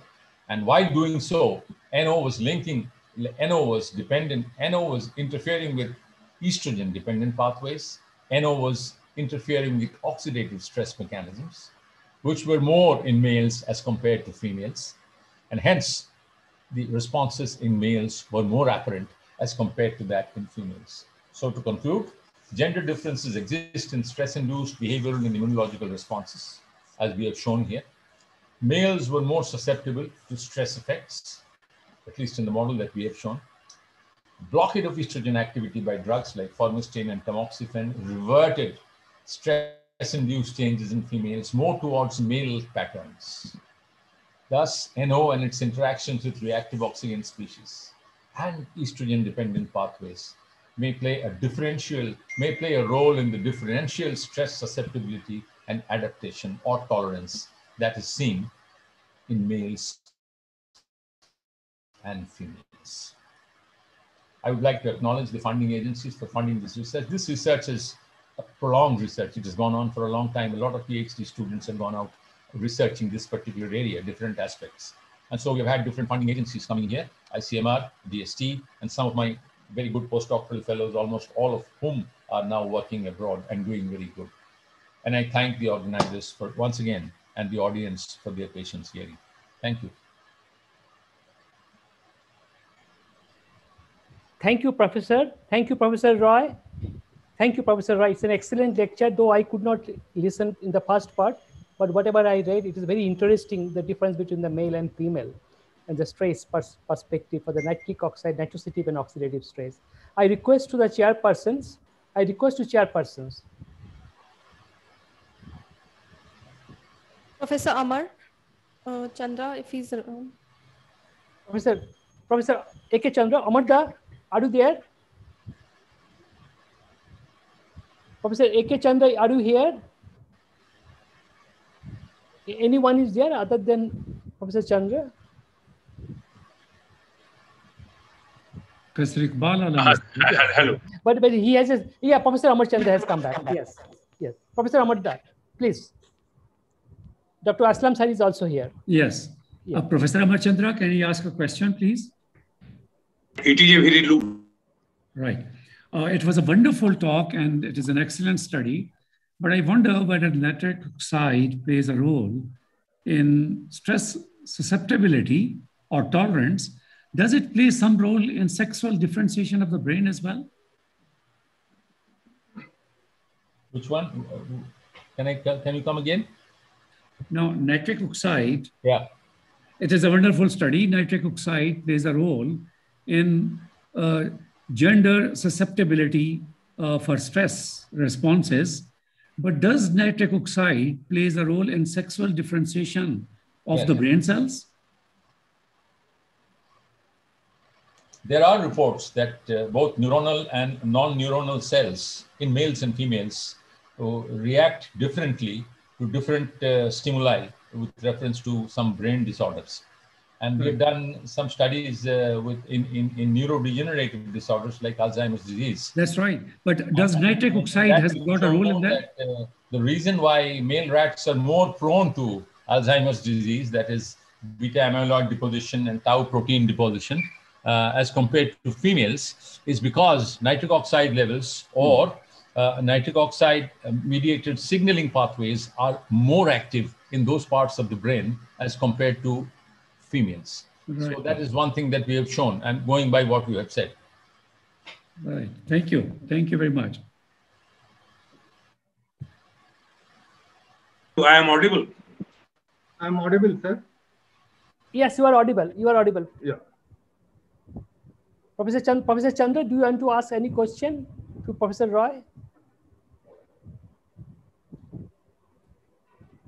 Okay, if there is no question, I think that it is the uh, uh, time is there. I think We are organizer. running short yes, of time. Yes, So we have I to re- I- start. yes, I request the org- organizer, uh, please to go for the next next speaker. Yes. Thank you, sir. So it's uh, th- thank you for the enlightening lecture first to Dr. Ray. And uh, it's my great pleasure to introduce uh, Professor Iqbal Alam, who actually needs no introduction now. He's the professor and head of physiology at uh, Hamdard Institute of Medical Science. uh, no need to introduce me. And just, uh, I would like to thank please Professor take over. Aslam. Thank you. Yeah, I, I would like to thank um, thank Professor Aslam, Professor Savi, Amar sir, and Kusalda, Rukaiya uh, Begum, Professor Rukaiya Begum, that they have all given me and trusted me to organize uh, the virtual conference in Jamia Hamdard.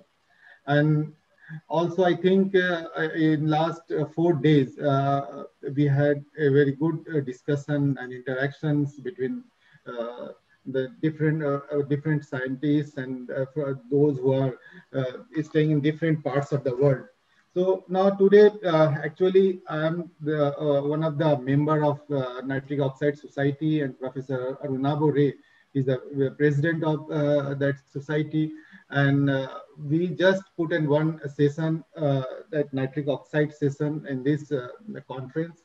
So in this conference, we have two, three, four papers, but now we actually uh, taken the three papers, one from Dr. Ray, one from myself, and the other from uh, uh, Dr. Gulati, who, who is uh, from uh, VPCI, Patel, Patel Chest Institute.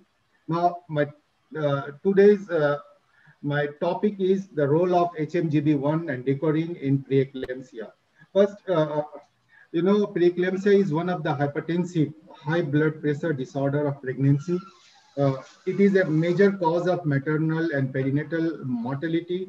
So number of uh, stillbirth, uh, is, uh, stillbirth and death of newborn in first few weeks of life and uh, morbidity. So you see, hypertensive disorder of pregnancy occurs about 10% of all pregnant women around the world. So preeclampsia affects 3 to 5% of pregnancies.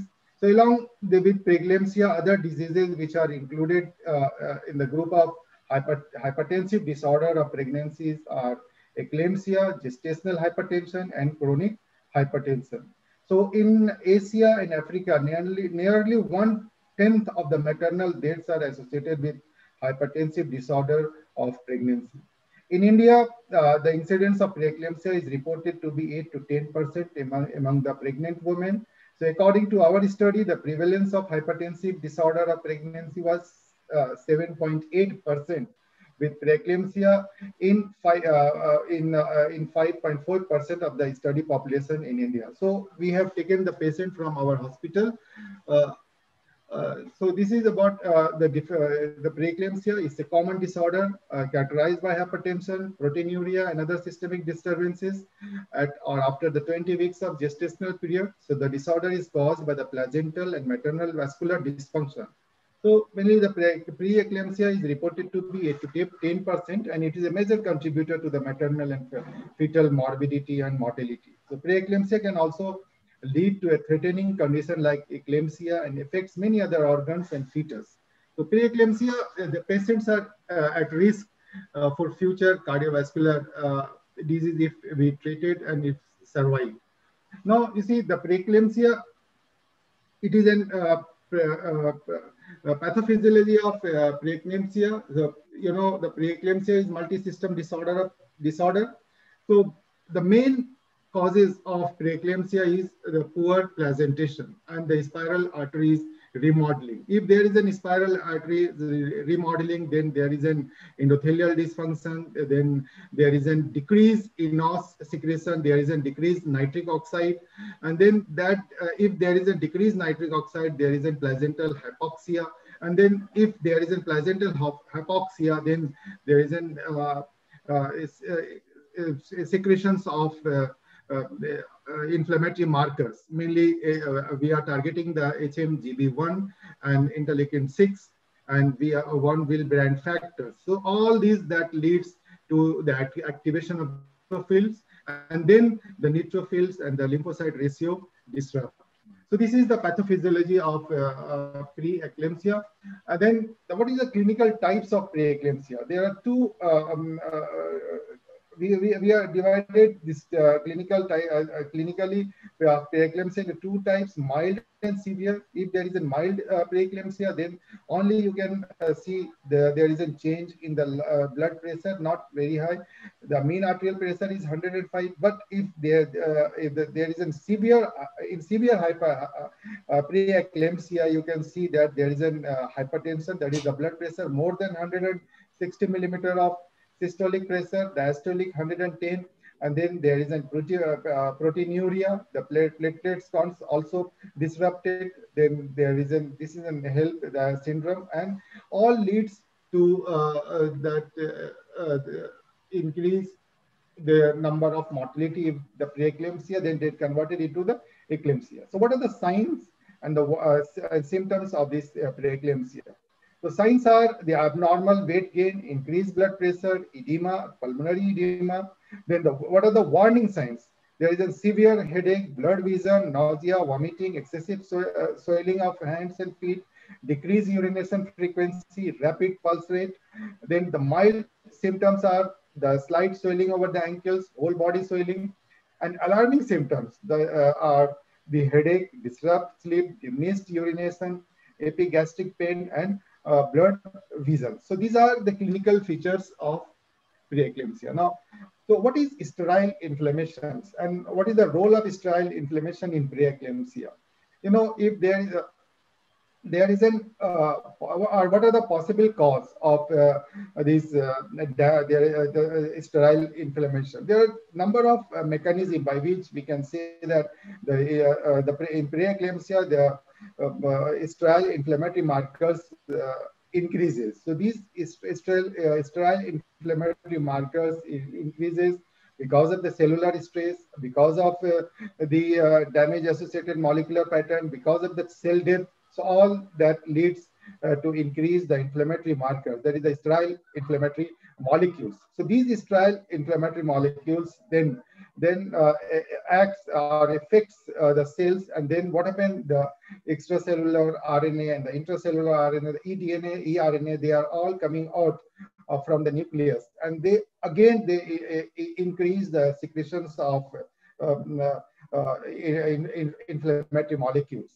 So so what is the etiology of preeclampsia? You know, it's maybe genetic uh, genetic predisposition, there may be abnormal immunological response, maybe the deficient of trophoblast invasion or hyperperfused placenta. It's maybe the endothelial uh, cell injury, activation of coagulation system, uh, uh, that and also the vascular endothelial cell activation. So these are all the etiologies. one and if one thing happened, then that leads to the another um, mechanism, and then the, if the vascular endothelial cells activation occur, there is an because of the circulation, the abnormal hemodynamics um, that is the change in the blood pressure, change in the heart rate, uh, and the other factors. Also, they reduce the euro uh, uteroplacental blood flow if there is an uh, uh, abnormal hemodynamics or abnormal uh, uh, blood pressure or abnormal heart rate.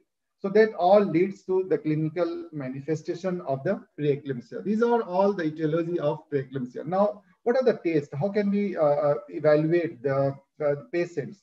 The, what are the screening tests of preeclampsia? So there, there is a number of tests available. So they are the Doppler ultrasound, presence of diastolic notch at uh, 24 weeks of uh, gestation, absence of end diastolic frequencies, average mean arterial pressure in the second trimester, that is more than uh, 90 millimeter Ag, and then we can see the fetal DNA. So prophylactic measure, what prophylactic measures we can take? So we can uh, check the regular antenatal checkup we can uh, see about the antithrombotic thrombotic agent. Then we can see the heparin, calcium supplement. Uh, we can give the uh, calcium supple uh, supplementation.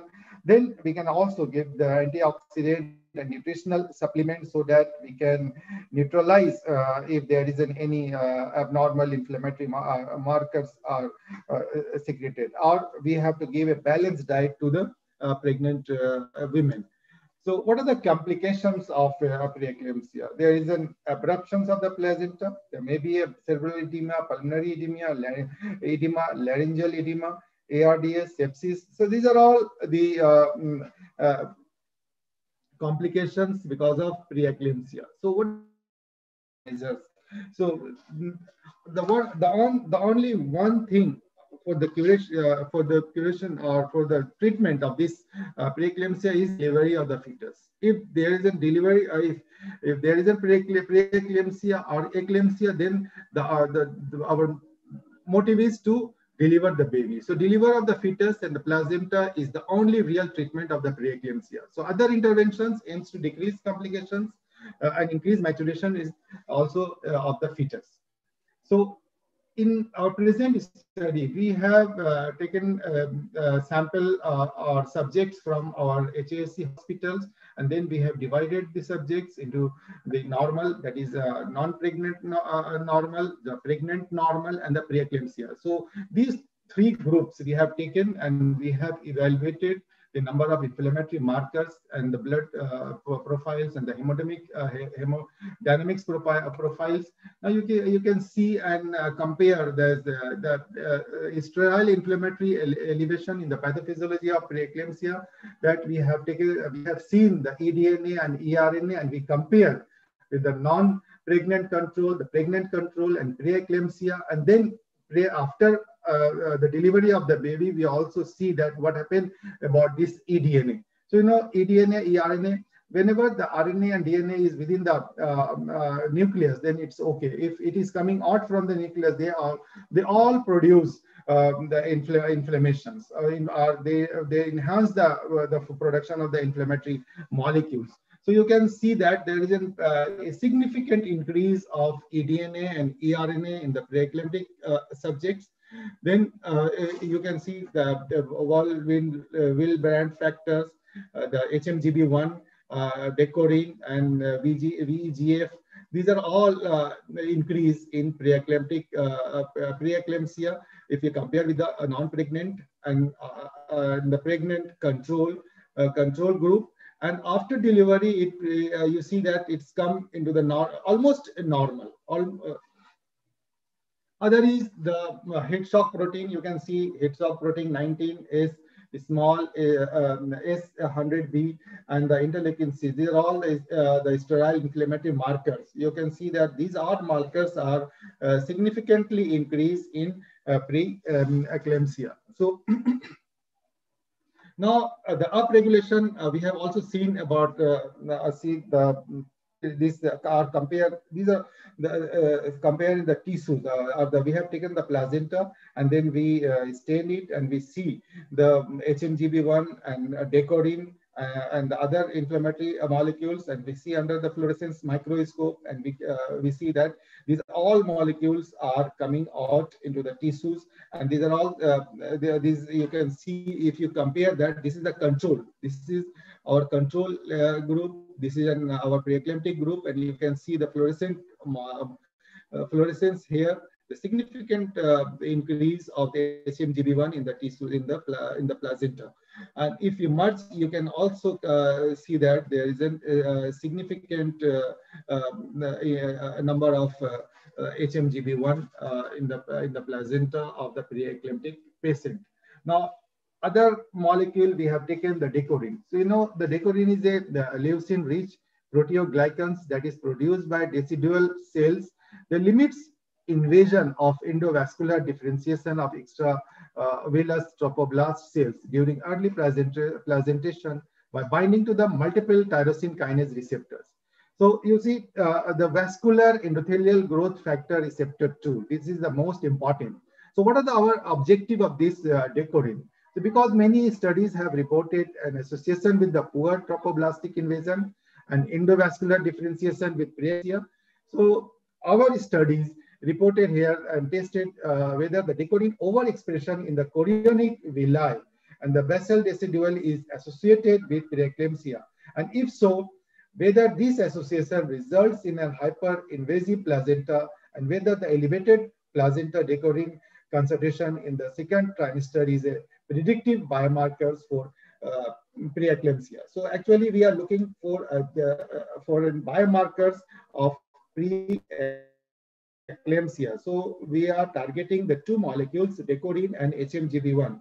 So what about the HMGB1, how it uh, increase uh, during the, the, different phases of uh, preeclampsia and uh, uh, also we are comparing with the decorin, um, decorin also. So, you know, uh, in our present study design, so we have seen that the decorin is, uh, uh, is significantly increased in the tissues of the uh, of the uh, placenta, you can see uh, under, so this is, this is the fluorescent microscope, under the fluorescent microscope. So you see that if you compare with the control group, and then again we merge the both, and then there is a significant increase of decorin in the tissues also the von Willebrand factor, but there is a no significant uh, difference between the control group and the uh, preeclamptic group. Not say that whether uh, this uh, uh, brand factor is coming out and they are uh, uh, there isn't any significant change in the um, but we have seen that there is a significant change in the plasma.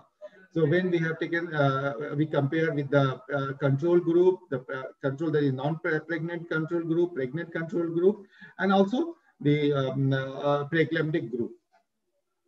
Now, again, uh, we have seen the hemodynamics parameters and other uh, biology, biochemical parameters. You can see here that the nitric oxide is also significantly decreased in preeclampsia.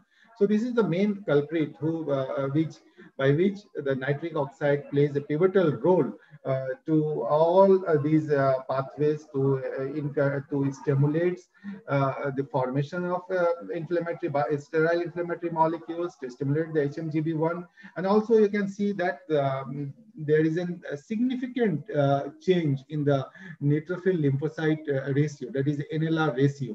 So this is also one of the marker of uh, uh preeclampsia. We are proposing that, and uh, number of uh, public publications are there that there is a significant change in the neutrophil and the lymphocyte ratio. Other the effects are, are, are on the preeclampsia progression on the hemodynamics parameters. You can see there is an uh, systolic uh, change in the systolic blood pressure. There is a change uh, in the diastolic blood pressure.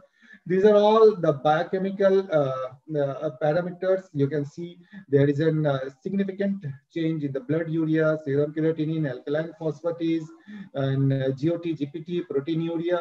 You can see these are all the, uh, the these all parameters we have taken uh, from our uh, hospital record. Now the severity of preeclampsia on the basis of NLR ratio. So there we can identify that on the basis of this uh, NLR neutrophil lymphocyte ratio, there's a normal, mild preeclampsia and severe preeclampsia. So we can uh, we can uh, we can distinguish uh, uh, as per the neutrophil and the lymphocyte ratio change. So the physiological objective is uh, that the fetal mortality rate is 10%, neonatal mortality rate is 50%, eclampsia superimposed, preeclampsia is 20%, and preterm delivery is uh, delivery uh, is 80%. This is our record what we have studied in our hospital. So these are the, uh, the mortality rate is uh, still, it is 10%. Neonatal mortality uh, rate uh, is still 50%. Eclampsia super eclampsia, so 20%. And the preterm uh, delivery is there. So this is the mechanism. Uh, this is a schematic representation of the progression of the preeclampsia and the, in clinical in clinical manifestation. You know, there is a poor spiral arteries remodeling, a poor uh, supply of the oxygen, then what happens? There is a placental hypoxia. Then this, because of this placental hypoxia, there is an increased oxidative stress, decrease in eNOS. Then there, if there is a placental hypoxia, there is an increased damage. There is a damage associated molecular patterns, a release of damage associated molecular patterns. Then all these, uh, they affects the biochemical and uh, hematological parameters, that is the increased alkaline phosphatase, increased GOT, GPT, uh, uh, there is an increased proteinuria, the increased NLR ratio. So these uh, work is sponsored by the Indian Council of Medical Research and the Grand Challenge in Canada. Our acknowledgement is that our collaborators are uh, Professor uh, Gausul Azam Khan, uh, Dr. Miraj Ahmed Ansari, uh, Dr. Gausul Azam Khan, he is now in Fiji, and Dr. Miraj Ahmed Ansari is in uh, uh, he's work. He's a uh, assistant professor working in the bio, biotechnology uh, biotechnology department, Jamia Hamdard. And these are all my students. Uh, Homa Kasmi, who is working is working as a PhD scholar, and he is working also in the pre-eclampsia. Somia Bhagat, he is a postdoc fellow of Grand Challenge Canada project. Neha Dehani, he's uh, also working in uh, some other projects, and the Seema Wajib, is also working on uh, pre-eclampsia uh, projects. So thank you, thank you so much.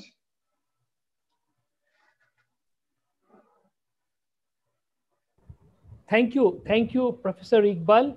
It was indeed a great lecture in spite of your such a condition when you are organizing secretary of Six Nation SURF conference and you did it even to present the scientific presentation of your own.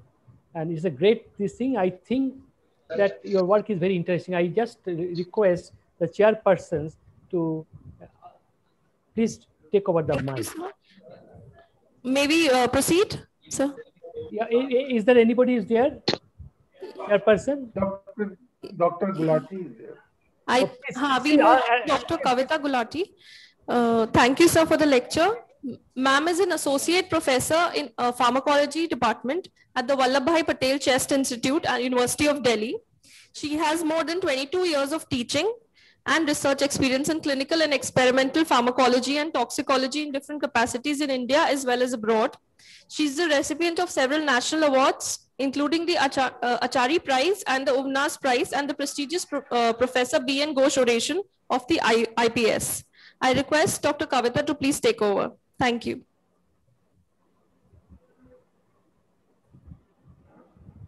Am I audible? Yes, you are audible. Yeah. Ma'am, you are audible. Okay, I'll just share my screen. Uh, you cannot start screen share while the other participant is sharing. Can you allow me to share the screen? Yes, yes. So uh, you'll have to stop your screen sharing. Uh, Dr. Iqbal, Dr. Iqbal, you just stop sharing screen. Yeah.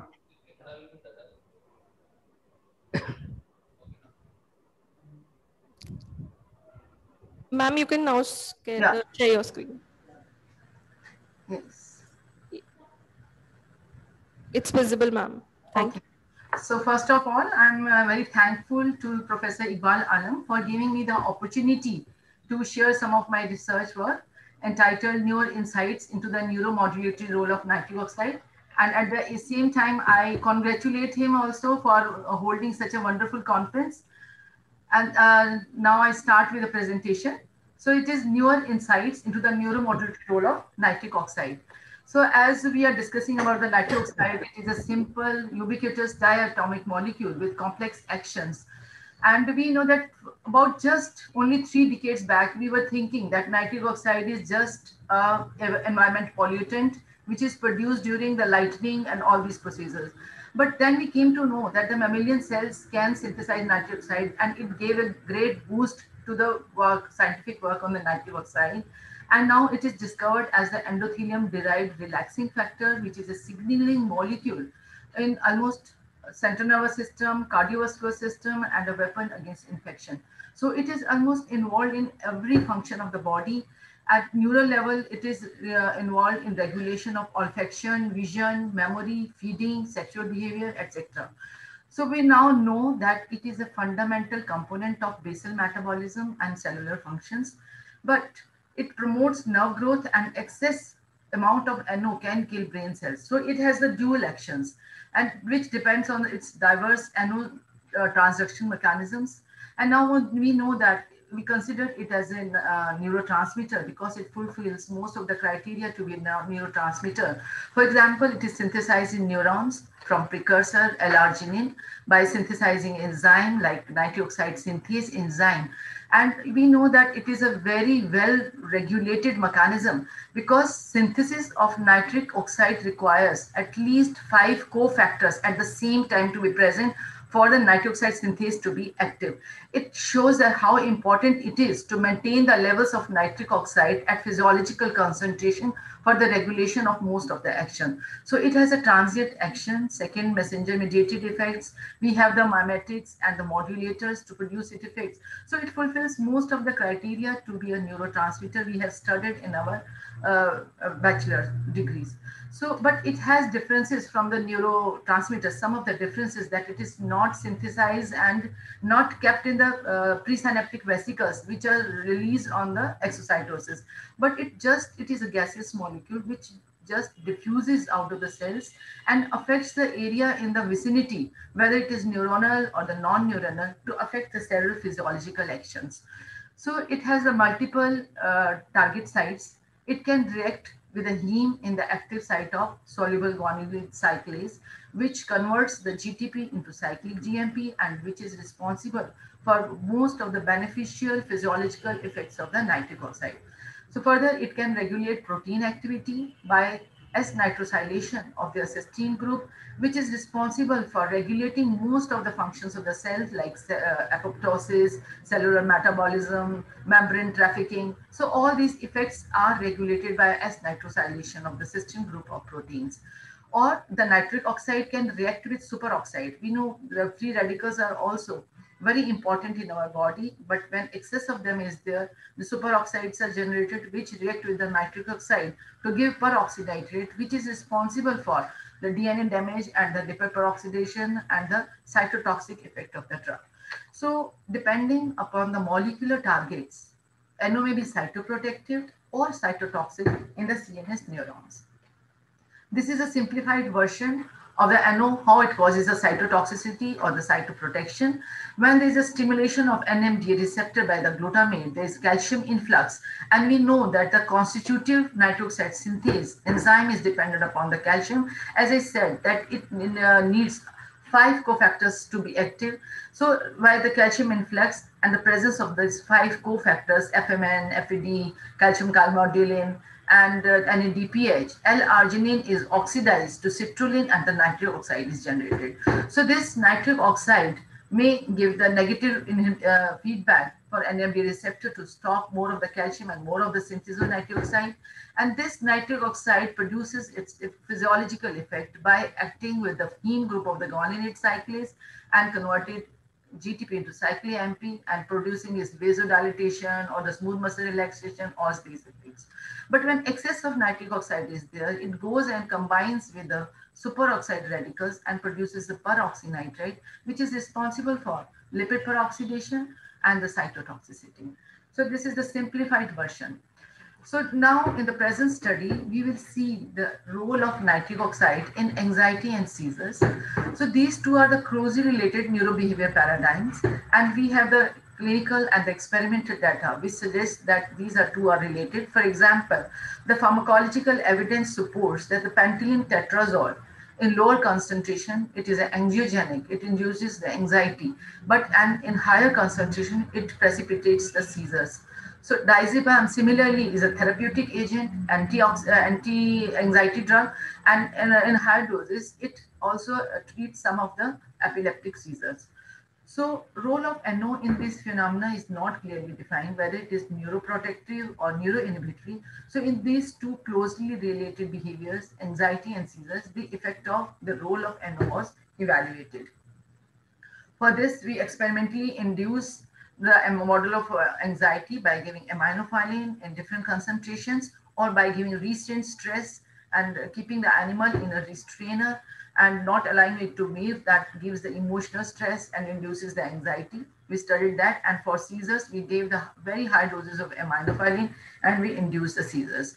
So these are the various parameters we used for studying uh, the effects so this table shows the aminophylline and angiogenesis. This is a model development. We gave the aminophylline in 10 and the 50 milligram per kg intraperitoneal injection daily for five days.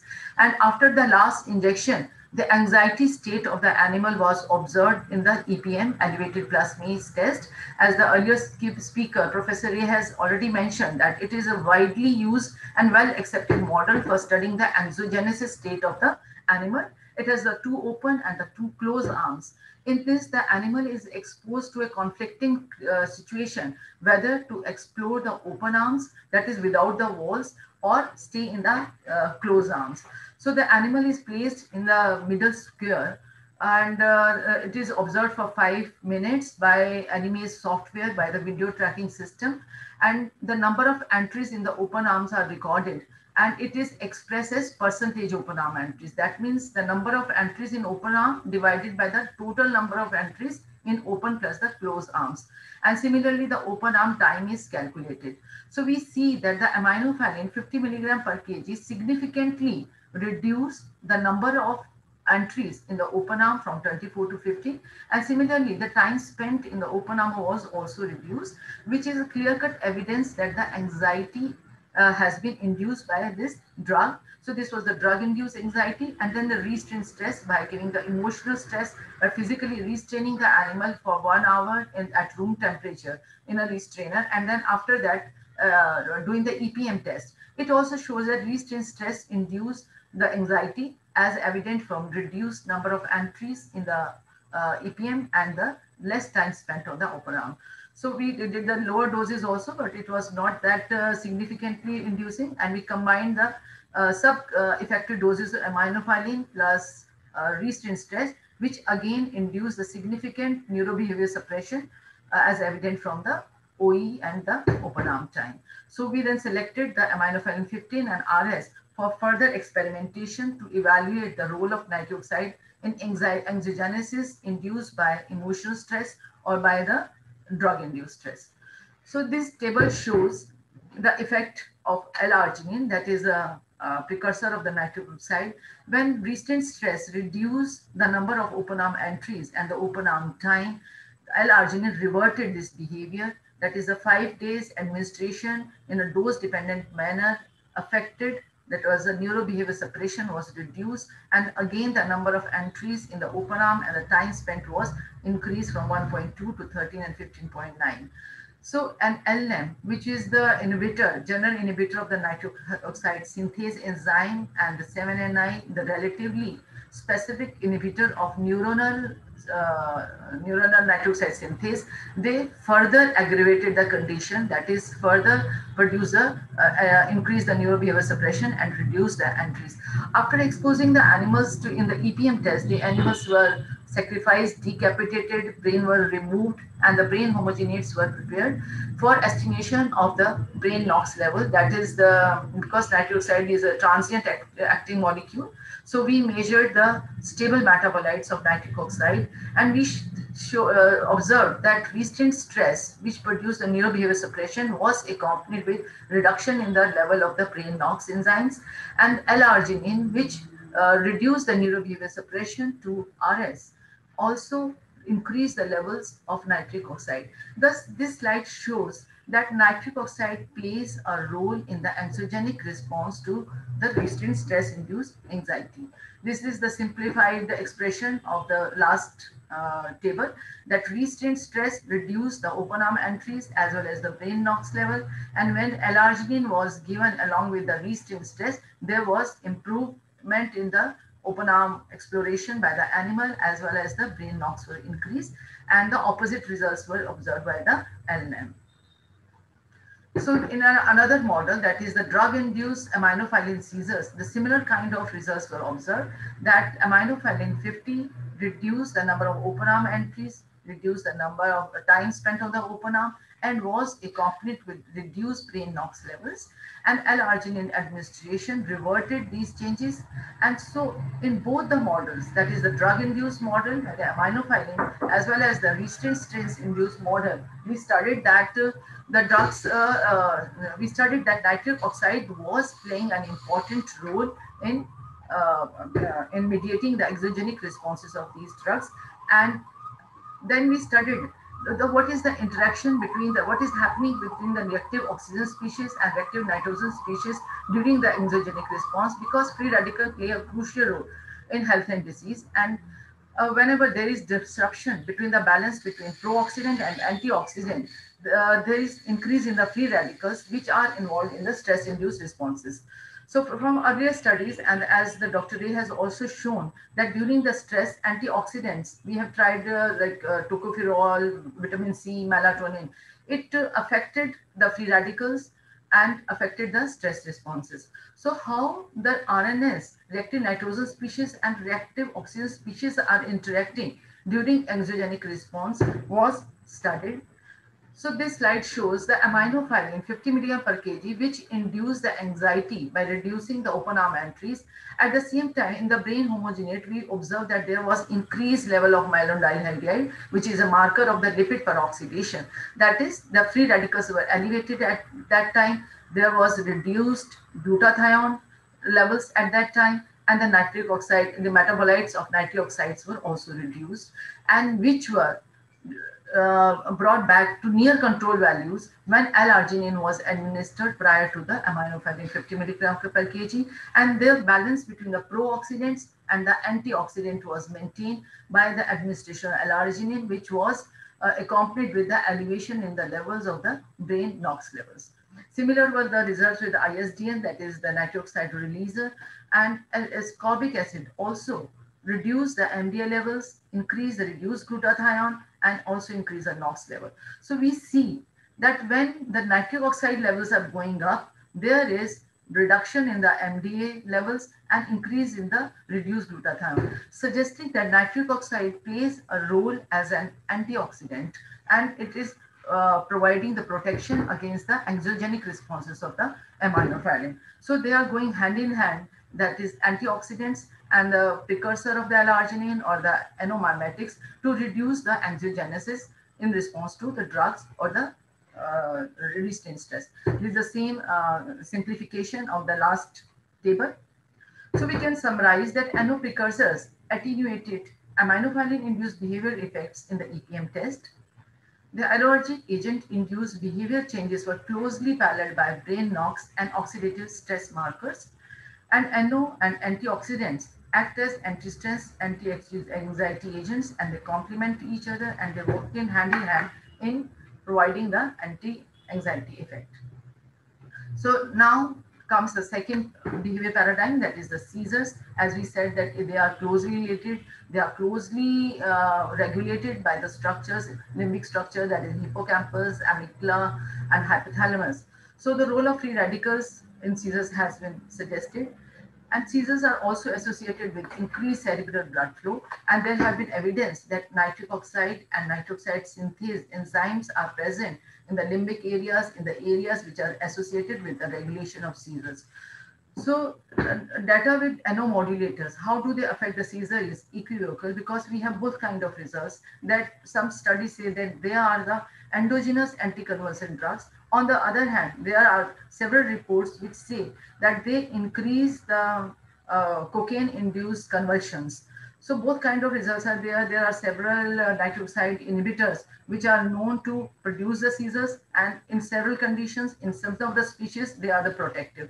So the data is equivocal about its role in the seizures. So we induced a model of conversions by giving various doses of aminophylline and then we selected the aminophylline 250 milligram per kg uh, for uh, inducing the seizure, uh, incidence of seizures. The drug was administered and the, all the mice were kept individually in perspex cages and they were observed for one hour for clonic, tonic, clonic conversions. And after one hour, during the one hour, what was the mortality? So it was observed that the 250 milligram per kg produced incidence of conversion in 100% of the animals with 90% mortality. For this uh, dose was standardized for doing the further experimentation with the nanomodulators. So we see that when, uh, surprisingly, when in this condition, L-NIM was given in a dose-dependent manner, it reduced the incidence of uh, induction of the clonic and seizures as well as it reduced the post-ictal mortality. So these results were just opposite to that which we observed in anxiety, where L-NIM was further aggravating the situation. But in this case, L-NIM blocked the uh, incidence of seizures as well as the mortality. Similar was the case with the neuronal NOS inhibitor 7-nitroindazole. So we uh, this observation, this hypothesis was strengthened by the modulation by the uh, uh, nitroxide precursor, L-arginine and the GTN glycerylnitrate, that is a release of nitric oxide, which when were given with the sub-convulsive doses of aminophylline induce the convulsions, they increase the incidence of clonic, tonic, clonic uh, convulsions and increase the mortality. So thus suggesting, this is the just simplification of this finding, that is when the nitric oxide inhibitor, synthesis inhibitor were given, there was a reduction in the incidence as well as the no mortality at all with the LM30. This is the sub-effective dose. And similarly, 7NI, it also significantly reduced the incidence of seizure as well as the mortality. This is the sub-convulsive dose of aminophylline. When it was given along with L-arginine, it increased the uh, convulsions as well as the mortality in response to the lower doses of aminophylline, thus suggesting here again the nitric oxide may be probably playing an important role. But the uh, effects are opposite to that seen with the anxiety, where the LM was aggravating the conditions and the L-arginine was providing protection against the anxiety. So then we studied the uh, to how do the ROS and RNS are interacting during that period. We studied the LM, which was effective in reducing the convulsions, was also uh, with aminophylline 250, there was very much high levels of metabolites of nitric oxide were observed and there was increase in the lipid peroxidation also. So LM, which reverted the condition of the seizogenic effect of the aminophylline, was accompanied with reduction in the level of NOx and the MDA. Melatonin, which is a very important uh, antioxidant released from the pineal gland, it plays an important role in scavenging the hydroxyl radical, peroxide radical, and it also increases the levels of antioxidant, superoxide dismutase, catalase. So it, it is a very important antioxidant present in the body. So it also reduced the aminophylline 250 seizures to about 50% of incidence, which was accompanied with reduction in the le level of NOx and reduction in the MDA. So when the sub-effective dose of melatonin was combined with LNAM, there was significant reduction in incidence and improvement in the NOx and the MDA levels. So this again suggests here the melatonin and LNAM were producing the complementary effects, suggesting that in this condition, in, uh, increasing the level of NOx is producing the pro-oxidant kind of effect. So in lower doses, when it was playing a role as an antioxidant, in seizures we see that it is playing a role as a pro-oxidant. This is the simplified version, the expression of the last, last uh, table that melatonin is reducing the incidence as well as the mortality. And when these two are combined, there was a significant improvement in the mortality observed in response to the uh, seizures. So we have uh, confirmed this finding in another model also, and that is the pro-convalescent effect of aminophylline. Because we know that aminophylline, uh, theophylline, which is a water-soluble sort of theophylline, which is given, methylxanthine given in the patients of bronchial asthma. Always, uh, because it is a low therapeutic index drug, there is a, always a chance of precipitation of sorry, madam, madam, sorry. Yeah, yeah, time is up now. You please yeah, conclude at the earliest. Okay, sir. Okay, sir. I'll thank just you. Thank you. Thank you. Thank you very much. So in this model, again, the similar kind of results were observed as observed in the convalescent effect of the aminophylline. So we, I can summarize, we can summarize that NO synthase inhibitors antagonize aminophylline seizures, whereas NO-mimetics potentiated them. Aminophylline seizures were associated with elevations in brain NOx and MDA levels, and combined pre-treatment with LNM and amyloidine showed synergistic effects in attenuating the seizures and the brain NOx levels. So we can conclude that NO may act as a neuroprotective or neurotoxic in different experimental situations of seizures and anxiety. And the differential NO involvement is in these neurobehavior paradigms can be explained by different mechanisms. That is the stimulation of constitutive nitric oxide synthase versus the inducible nitric oxide synthase or the differential ROS RNS interaction may be responsible for these effects because in one condition the nitric oxide is acting as antioxidant and in another condition it is producing effects as a pro-oxidant. So NO could act as an endogenous neuroregulator and a target molecule for drug development in areas of anxiety and epilepsy. I'm very uh, thankful to Professor A. Ray who was the head of the Department of Pharmacology and uh, BPCI in the University of Delhi. Seema Anand, who uh, did the thesis, or she did her MD thesis on the work, which uh, showed a seizurogenic effect and the nitric oxide. Ainav Chakravarti did his PhD on the work of the restraint stress and uh, nitric oxide role. And this work was supported by the Council of Scientific and Industrial Research, New Delhi, the seizurogenic effect and role of NO. And the anxiety and NO was supported by, the funding was by the Department of Science and Technology. So thank you so much. So at last, I will just like highlight uh, one thing that uh, what we know today about the nitric oxide is just the tip of the iceberg. Lot needs to be explored that how the nitric oxides level has to be maintained at an optimal level. When the levels are reduced, it leads to one kind of the uh, disorders like anxiety. And when the levels go above the normal optimal level, it induces the seizures. So a balance has to be maintained. And we know that uh, reactive oxygen species and reactive nitrogen species, they interact in a complex manner to maintain that uh, homeostasis and any disturbance in this balance results in biochemical and cellular changes when induce various pathophysiological conditions. So a lot needs to be done about that and it can be a therapeutic molecule, target molecule for developing the drugs for these disorders. Thank you so much for the patient hearing. Thank, thank you, Professor Gulati. Thank you, Professor Gulati. I think that because of the shortage of time, we are running nearly 40, 50 yes, minutes. Yeah, we have a lot of questions. Actually, I request others to please put in the chat box and organizer to please forward it to the madam. It is an excellent sure, talk, sir, sure, no sir. doubt about that. Yeah, over to uh, over to organizing committee. Okay. Thank you to the uh, chairpersons for chairing this session. And thank you, ma'am, for the enlightening talk. We move on to our last session, which is dedicated to the neurosciences. I uh, call upon the chairpersons, Dr. Suman Jain, who's professor at the Department of Physiology, All India Institute of Medical Sciences, New Delhi. She's the recipient of the AIIMS Research Excellence Award and has her expertise in the areas of neurophysiology, synaptic plasticity, and neuroregeneration. Her also uh, in, her interests also lie in use of nanotechnology in rat model and finally, its application in human diseases such as spinal cord injury and Parkinson's. A very warm welcome, ma'am. Our next chairperson is Dr. Sohail Parvez, Professor and Head, Department of Toxicology, School of Chemical and Life Sciences, Jamia Hamdard. His areas, uh, area of expertise is uh, mitochondria as a target for neuroprotection, cellular and molecular mechanisms of neurodegenerative disorders, and alternate models of neurotoxicology. Very, a very warm welcome, sir. Uh, Professor Minakshi Chaswal, our uh, chairperson for this session, director professor and head at the ABV IMS and RML Hospital, Department of Physiology. Her interests lie in cardiovascular and autonomic functions. A very warm welcome, ma'am. Our final chairperson for this session is Dr. Prasoon Priya Nayak, additional professor at Ames Jodhpur with a special interest in oxidative stress physiology.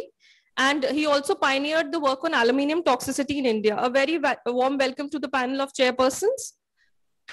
Uh, with the permission of the chairperson, I would like to invite our last keynote address speaker for the day, a Professor Chai Hun Lim, President of the Federation of the Asian and Oceanic Physiological Societies. He has more than 30 years of experience in the area of cardiovascular physiology, mitochondrial energetics, and the physio. I welcome uh, Dr. Chai.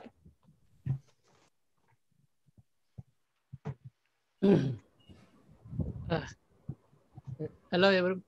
Yes, yes. Thank you, Professor Kim. Thank you. Thank you very much.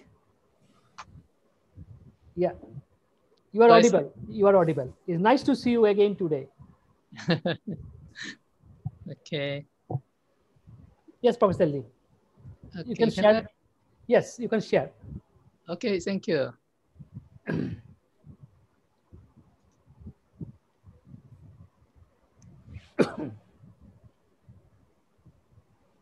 Okay, could you see the screen? Yes.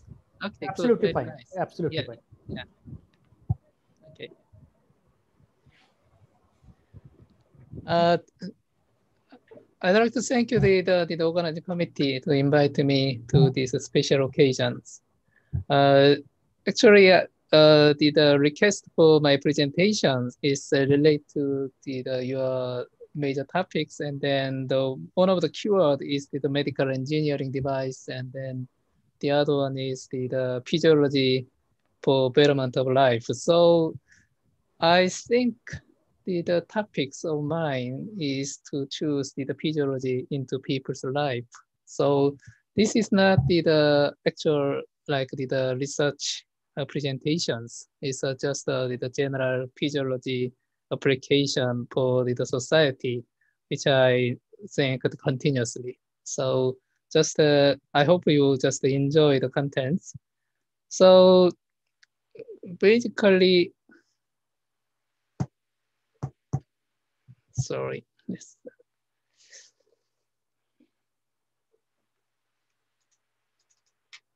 Hmm.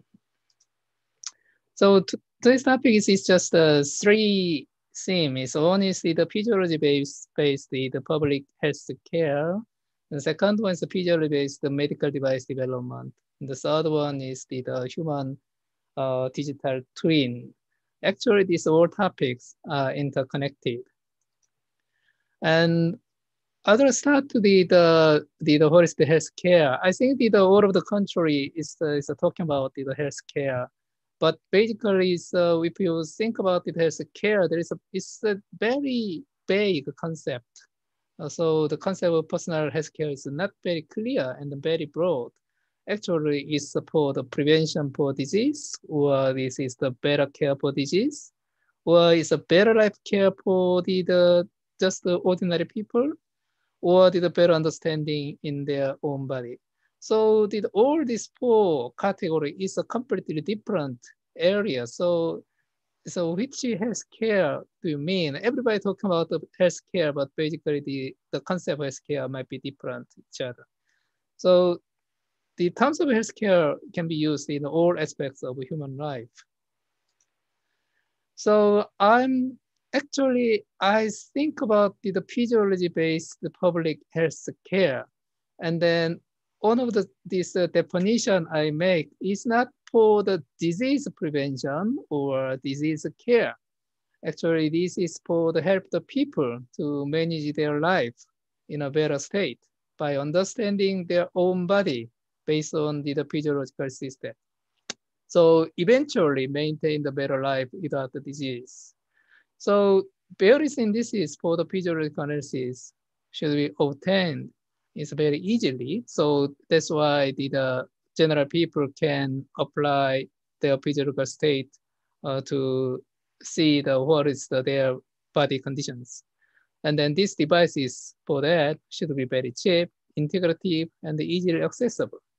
And then if this this kind of uh, the physiology-based public health care is uh, might be the market is open to the new market, and then the side of market cannot be imaginable. But basically, healthcare at this moment is a little focused on the, the clinical side, not the, the for general people's concern. For example, like the, the, the, the temperature regulations or the, the air conditioning or the, the exercise or their uh, general diet or the, if they put in a certain environment, what is the, the body conditions can be. So this sort of information is not linked to the, the clinical status. It's a, just a help to understand their physiological condition in their ordinary life. So basically, the medicine, at least our the medical knowledge for public health care is uh, very difficult because the, medical medicine is too focused on the disease. Actually, it's greatly developed in treatment plan for known disease. And then diagnosis criteria is uh, very quite clear, but only used for separating the disease and the health, health conditions efficiently. And the many indices are created on an average-based cross-sectional measurement and then define the certain threshold, like the, the normal, the, the blood pressure is the, the systolic pressure is 120, and then the pressure under 80. Like the, the, the kind of threshold, they define the, disease condition and health conditions. And another problem is the, the longitudinal indices is, a, is a, for example, the right lifetime measurement of their certain indices are not used because of they haven't developed as a, medic, as a medical knowledge. And the most devices used in clinical field are very expensive and they also require the specialist and then which is the, the ordinary people cannot access this kind of uh, data very easily. And then also the, the clinical peer is to not consider the individual differences, sometimes even sex. So basically, this kind of indices only efficiently uh, divide the, the disease and then the disease conditions and the health conditions. So it's, it's a, it cannot be used in for general public health. And then also, sorry.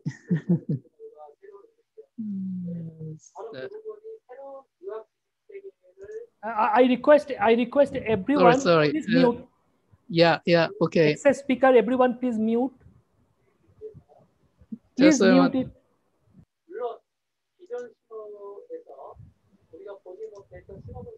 Yep.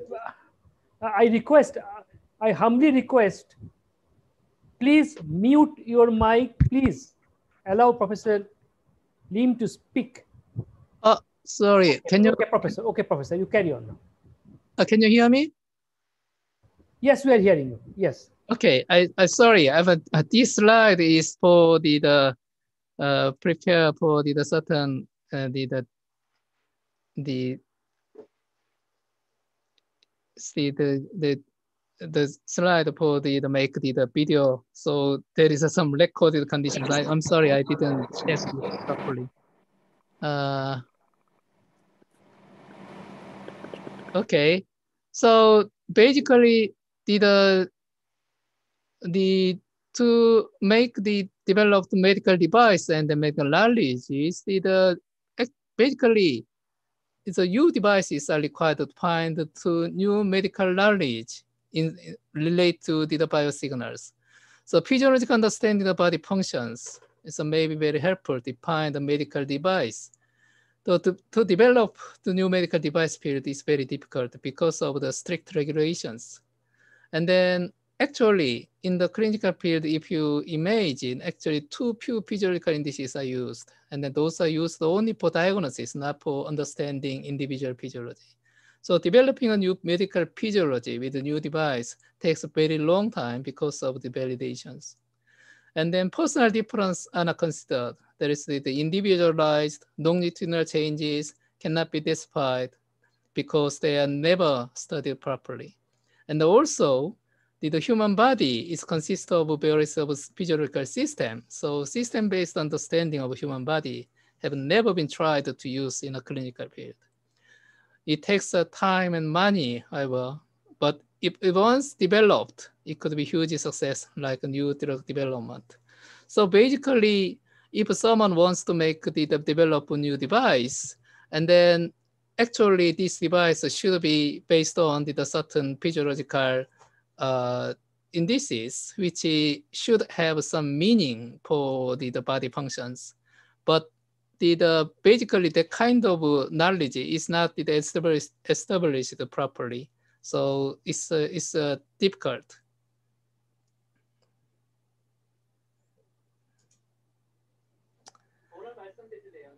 Sorry.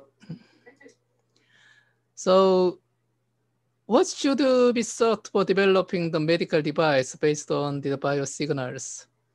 For example, I would like to make some example, blood pressure measurement device. Uh,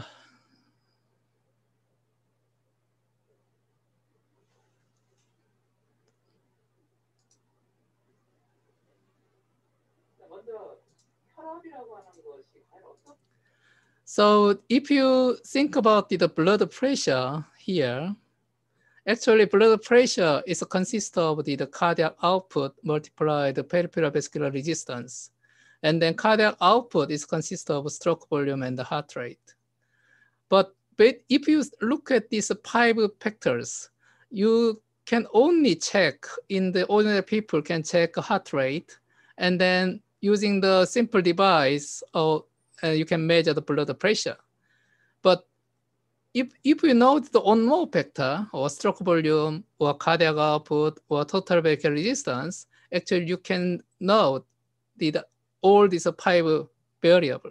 So, so this kind of things, if you know the, the, the other variable related to, for example, cardiac output, and then you can ex expand this kind of physiological indices to find another useful physiological indices.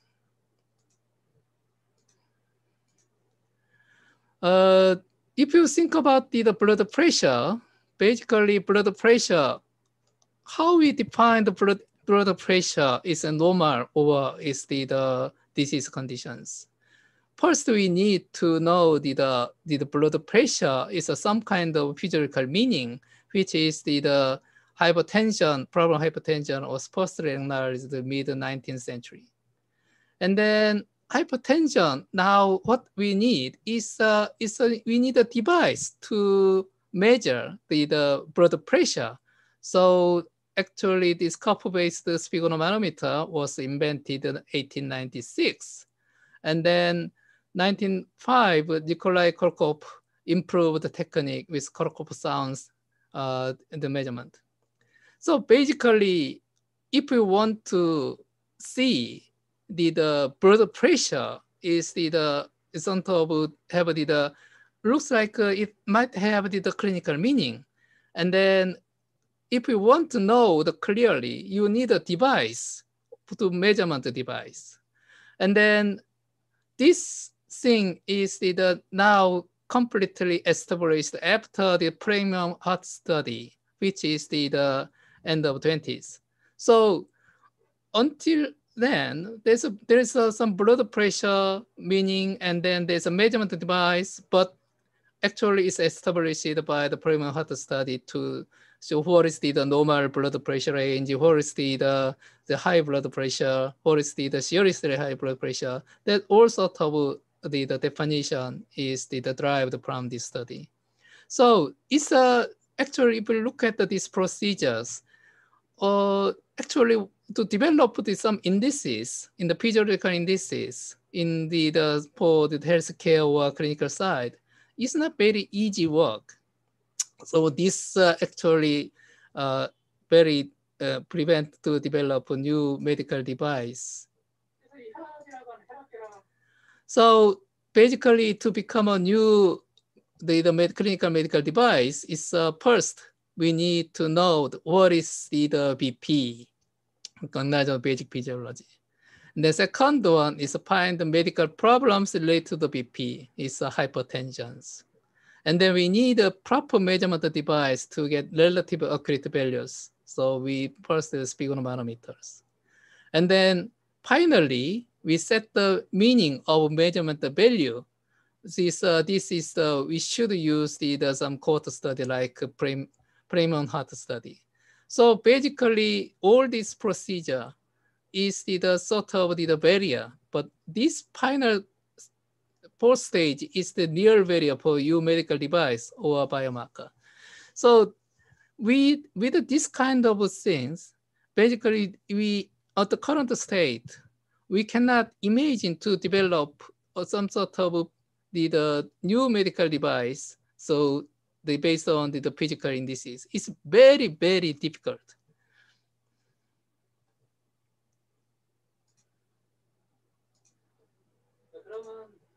Sorry.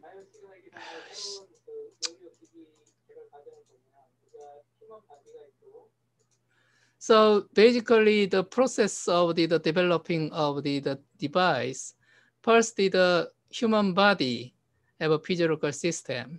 And then we have the, various candidate of some biosignal seems to have the, some meaning.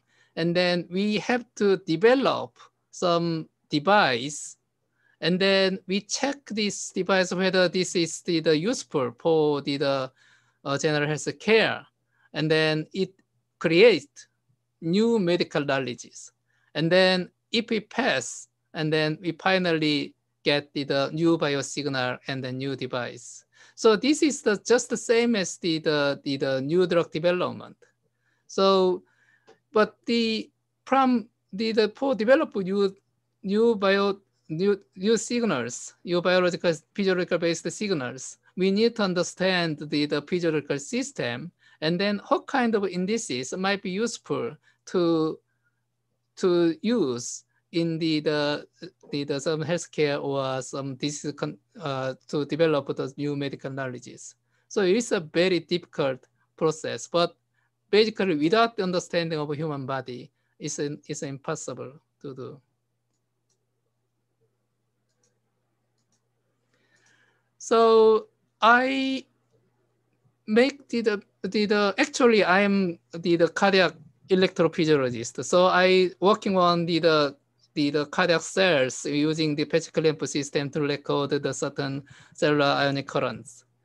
But the, I have a chance to participate the, the human-based study from 2009. And then after I get the, some data, get the, some human data, and then I found that there is a many chance, really broad area is still open in this area.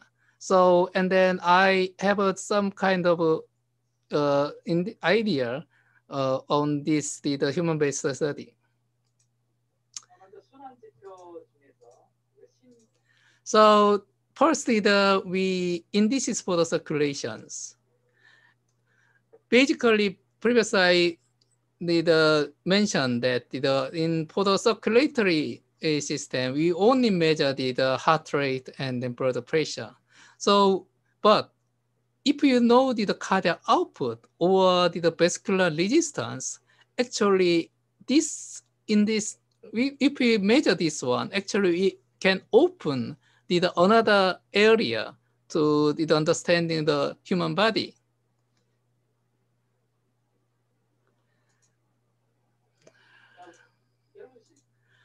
So basically heart rate and then arterial pressure is measured. Hypertension is a national problem. So textbook is, you know that the blood pressure is a cardiac output multiple vascular resistance. But we know that the, the normal blood pressure is uh, 120 to 80 millimeter mercury. However, if we think about these conditions, So blood pressure is a one, mean blood pressure 100 millimeter mercury. Cardiac output is a 4 liter per minute. In this case, total peripheral resistance is a 25 milliliter mercury minute per liter. So if this blood pressure go to 160 millimeter mercury with the same cardiac output, now total peripheral resistance increase 40 millimeter mercury. However, if you think about this case, blood pressure is now 100 milliliter mercury. Cardiac output is 8 liter per minute. And then in this case, total peripheral resistance is only 12.5 millimeter mercury minute per liter. If you increase blood pressure with the same cardiac output, now total peripheral resistance 20 millimeter mercury minute per liter. So is this condition is uh, abnormal or normal? It's, a, it's very difficult to say. And then the when I measure the cardiac output, actually the range of cardiac output is, uh, is uh, from the, about 2.5 liters to the, the more than 8 liters. There's a huge range of cardiac output in the resting conditions. So basically in this, uh, we deal the, these people in the same conditions. Only we measure the blood pressure. And then based on blood pressure, we say that this is a hypertension or not. So actually, even though this this this person have the high blood pressure, but basically their total ventricular resistance is only 20 millimeter mercury meter per liter. So basically, these persons, the, the maybe they have uh, cardiac problems, but the, the, they might not have the, the some vascular problem in the other systemic uh, body. So also, the, the blood pressure measurement is not follow the standard protocol strictly. So basically, we know that if we want to measure blood pressure, by five minutes rest, and then measure once, and then another five minutes rest, and the second measure. And then actually, you repeat it three times and have a mean blood pressure. But actually, in hospital, the kind of blood measurement is never happened. So that's why the hypertension measurement in this is blood pressure is a very poor indices to circulation.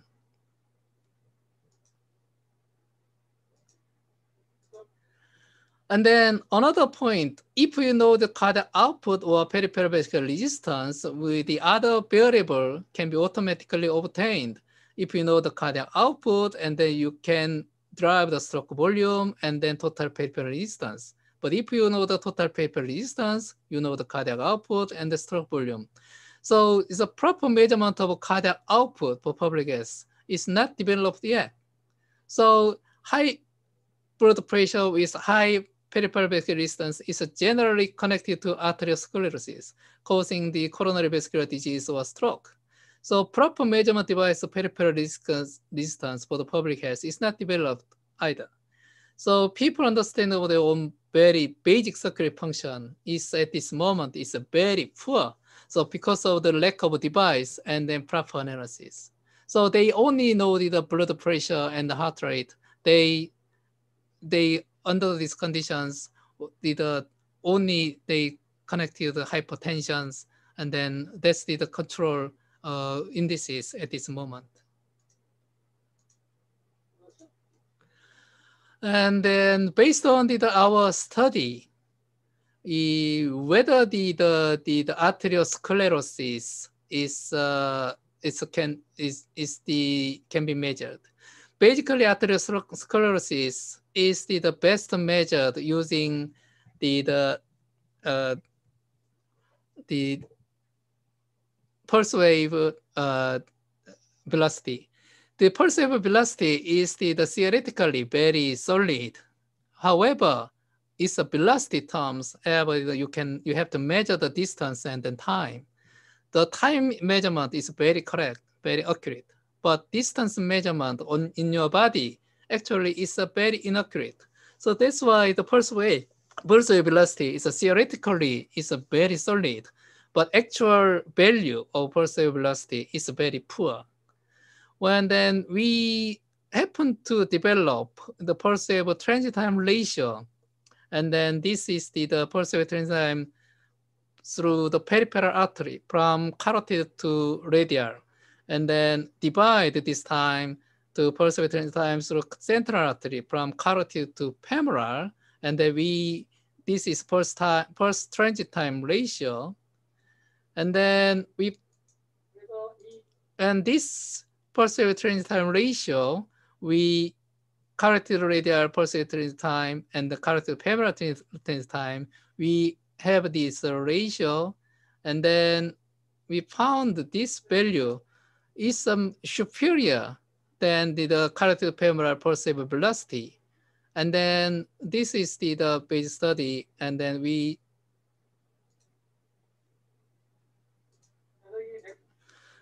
if we show this one, this is the, the RC curve of the RC curve. And then this black line is the, the uh, carotid femoral velocity. And then this is new indices is a superior value compared to the, the uh, velocity. So this new indices is very useful for the, the determined arteriosclerosis. And then we tested in the, the around 300 people uh, with the, the stroke and coronary uh, vascular disease and then normal compared to the other indices. And then these indices. Uh, my sincere apologies for interrupting, sir. Uh, but Dr. Adel Helmy is uh, waiting for his talk and uh, he's having um, uh, emergency that he has to uh, perform a surgery. So he's waiting for it. So can you please wind up? Uh, okay, I see. So sorry. Five minutes. Uh, so it takes quite a long time. So, so okay. So I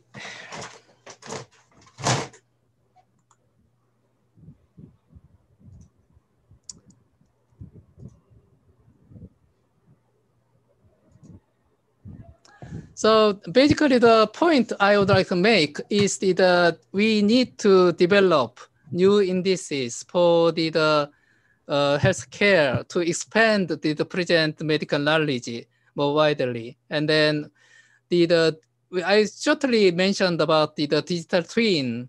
And this the digital twin is the technology of making twins of real things on a computer and predicting results in advance by simulating real world situation on a computer. And then this uh, example of digital twin and this uh, this is the this is a real airplane. This is an individual data twin. Basically, there is a communication of the, data and the prediction of the, the digital twin to the, the uh, a plane. So all of this digital twin is uh, actually really uh, mirrored of real condition and then find the problems or is the best options to make a better product. And then this concept can be expanded to the, the medical device and also it expands to the human digital twin. So all of this uh, biological information data based, uh, based on the, the human model make a digital twin and then we can use this kind of digital twin to diagnosis prognosis therapy optimization in the clinical side. Also the individualized, they can maintain the, the ordinary uh, healthcare. So this, uh, this, uh, this human digital twin, we can, you need to apply the, the machine learning of multi-scale modeling. This uh, basically multi-scale modeling is a causal relationship based on the, the model.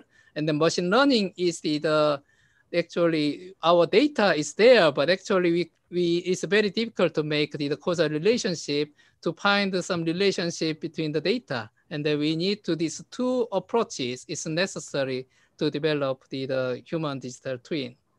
And then also we know the very many kind of wearable device for smart health care. And then all of this kind of data is the, the to show the, the physical indices. But, but unfortunately, this all sort of data is always linked to the, the clinical data. So the, the, for the ordinary life people, there's a, we need more uh, data can be obtained, need to be obtained. So I'd like to summary, summarize. Yeah. So I'd like to make a very brief summary is the, the developing new medical knowledge and the developing new medical device come along together. It takes a long time, but if you success and if you success like new drug, develop the, new biological signal-based medical device and knowledge and the supporting device are need, necessary. So it's mostly good strategy to start with a device for the public health care to develop a future medical device. And the human body is a physiological system. So human digital twin approach will greatly help the personalized healthcare. So physiology is not existed only in textbook and it shouldn't be a conceptual knowledge. So imagination from physiology can be real with a new technology. So I would like to say the we have to physiology into people's life and then to develop the many kind of uh, medical knowledge based on the physiology, not the, just the clinical side, just uh, just for the, the general public healthcare. So this is uh, my final slide. Sorry. Thank, so, thank you. Th thank you very much, Professor Lim. Thank you very much for unique and very innovative uh, thought. And really, it is important for the medical education for such a type of applied, which is very innovative and unique in their own way. I, because of shortage of time, I think that we could not go for the question answer. I request the uh, organizer to please proceed the final. Yeah. Thank you, sir. Thank you for the wonderful talk. With the permission of the chairpersons, I would like to request our next speaker, Dr. Adel Helmy. Dr. Helmy is a university lecturer at the University of Cambridge and an on. Uh, uh, is it okay with Dr. Eric if it, uh, Dr. Adel proceeds first? He needed to leave for a surgery. We did, I think, put it in the chat box. He said. Yes, yes that's what I also seen. He requested, but response has not come.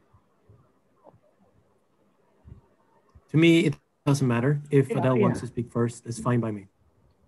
Okay, it's okay for him. Thank, Okay, fine, thank you so much. thank you. So, uh, Dr. Adel Helmy. Dr. Helmy is a university lecturer at the University of Cambridge and an honorary neurosurgical consultant at the Cambridge University Hospitals NHS Trust. He combines an active neurosurgical clinical practice with a research portfolio focusing on acute brain injury and neuroinflammation in particular. I now request Dr. Adel to please take over. Thank you.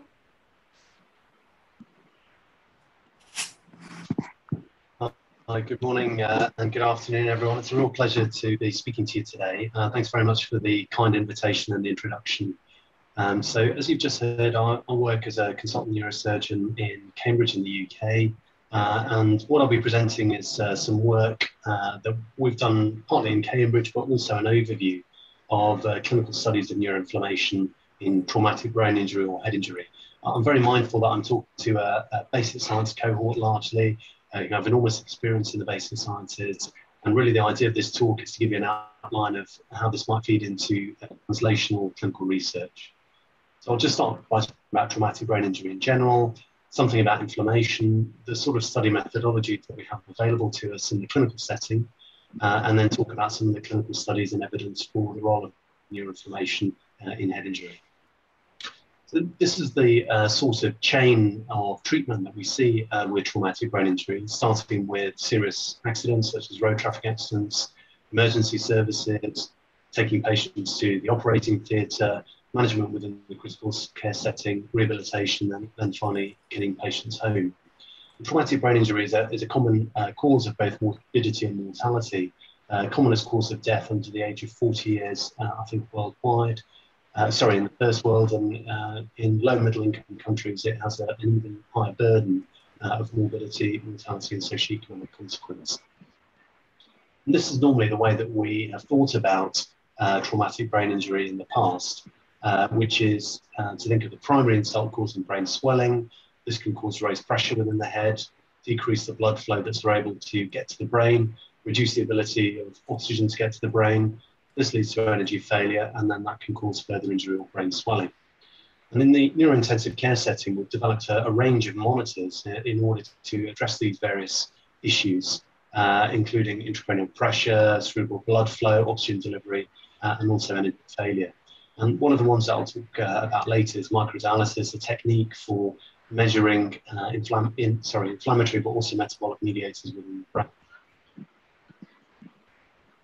This is the setup that we have within the neurointensive care unit for treating brain injury patients. So in the patient with brain injury, we can insert a number of monitors directly into the brain substance, including intracranial pressure monitors, brain tissue oxygen monitors, and, and microdialysis. This technique for sampling brain extracellular fluid. We can use these various signals to derive uh, various physiological parameters, such as muscle regulation indices, and we use these to, to guide our management uh, of the patient. And obviously, this setup gives us enormous opportunity for research uh, and to tell us something about the mechanisms and pathology that underlie traumatic brain injury. Just moving on to inflammation. What is inflammation? And I like to think of inflammation as the endogenous response to injury. And when you think about it this way, then you can see that inflammation is uh, part of every pathology. We can think of inflammation in terms of cellular components versus humoral components, soluble components, acute versus chronic inflammation. We can look at different biological compartments, and we can look at different phases of the uh, immune system, either innate or adaptive immunity. This is a cartoon which gives you an idea of the sequence of events that follows a traumatic brain injury from release of disease-associated molecular patterns causing activation of uh, resident cells within the brain, astrocytes and microglia, which in turn set off a chain of inflammatory mediators uh, released into the brain extracellular space and also into the peripheral circulation, recruiting a sequence of inflammatory cells. And many of the consequences of head injury or traumatic brain injury have been related to specific mediators, suggesting a, a mechanistic role for these, uh, for these processes. So I've got a number of slides on the various study methodologies um, that we can use in human patients in, order to look for cytokine chemokine expression or to look for inflammatory responses following head injury. And probably given the short time that we have, uh, I'll probably just give you an indicative idea um, of studies that have looked at these various parameters. But in general terms, we can biopsy biological fluids, plasma, blood, cerebrospinal fluid, or microdialysates. We can look at direct tissue sampling, either at the time of uh, uh, operation or for post-mortem tissue. We can look at advanced imaging parameters such as positron emission tomography, we can look for aspects of the adaptive immune system, uh, such as autoimmunization of peripheral immune cells and neuroantigens. And then we can consider the long-term sequelae of inflammation in terms of the burden on the patient. Plasma is probably the most widely used biological sample, and there are a whole range of biomarkers that have been assessed in plasma and traumatic brain injury. And we can see that in those patients who uh, die following head injury, they have high levels of these cytokines and chemokines more sophisticated analysis, uh, such as done in this paper by Kumar, an American group working in MD Wagner's lab, uh, they were able to look at a range of cytokines and demonstrate that the pattern of cytokine uh, changes in subacute serum in relation to the outcome here measured using the Glasgow outcome score. Cerebrospinal fluid is a, another easily accessible biological uh, fluid, which is closer to the brain and is probably a global average of the brain inflammatory states.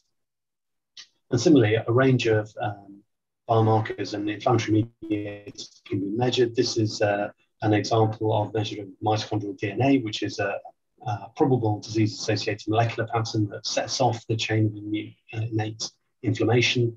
Uh, and we can see here again on the x-axis the Glasgow outcome score, which is an outcome metric.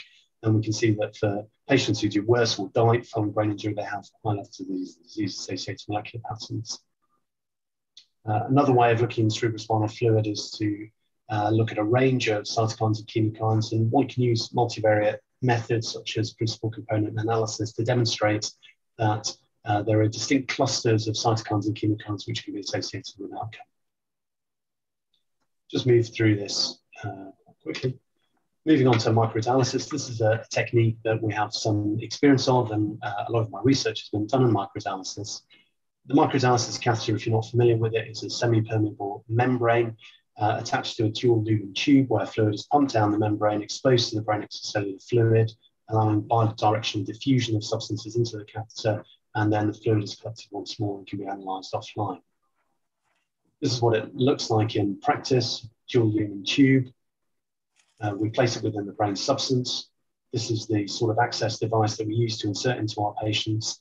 Uh, and this is a scanning electron micrograph of the semi-permeable membrane showing the sponge-like uh, characteristics of it. And what we've been able to demonstrate is that using this microdialysis technique, we can look at cytokine and chemokine expression uh, following uh, traumatic brain injury. And specifically, we can see that the concentration of these cytokines and chemokines is much higher in the brain than it is in plasma, uh, suggesting that this is a brain-derived response rather than passive leak through a leaky blood-brain barrier, but also um, that uh, there's a stereotype sequence of inflammatory mediators, suggesting that this is uh, playing an important mechanistic role. We can use other multivariate techniques such as principal component analysis to demonstrate this. Uh, and these observations going from red, green, blue to yellow uh, are observations taken at different time points. So we can see again that there is this stereotype sequence of responses. Of course, having measured these uh, things through biological samples, it's important to demonstrate that these cytokines and chemokines are being uh, produced in the brain. And for that, we need tissue. Uh, and there are studies showing um, both mRNA and protein level that these cytokines and chemokines are being produced within the brain substance following traumatic brain injury. This is a post-mortem study demonstrating the same thing. I'm sorry to flip through the slides quickly. It's uh, just, just to make sure that we try and stick to time. Of course, in vivo, one can use specific uh, ligands using positron emission tomography uh, to demonstrate that these inflammatory mediators and cells are within the brain. And in particular, the TSPO ligands, that's translocator protein, um, which is a 16 kilodalton uh, protein found within um, the mitochondrial membrane. It's thought to be related to activating microglia. There are a number of ligands um, using PET that can be activated and attached to it. Uh, and these studies have really demonstrated there's a, a microglial response, a recruitment of inflammatory cells to the brain uh, following traumatic brain injury.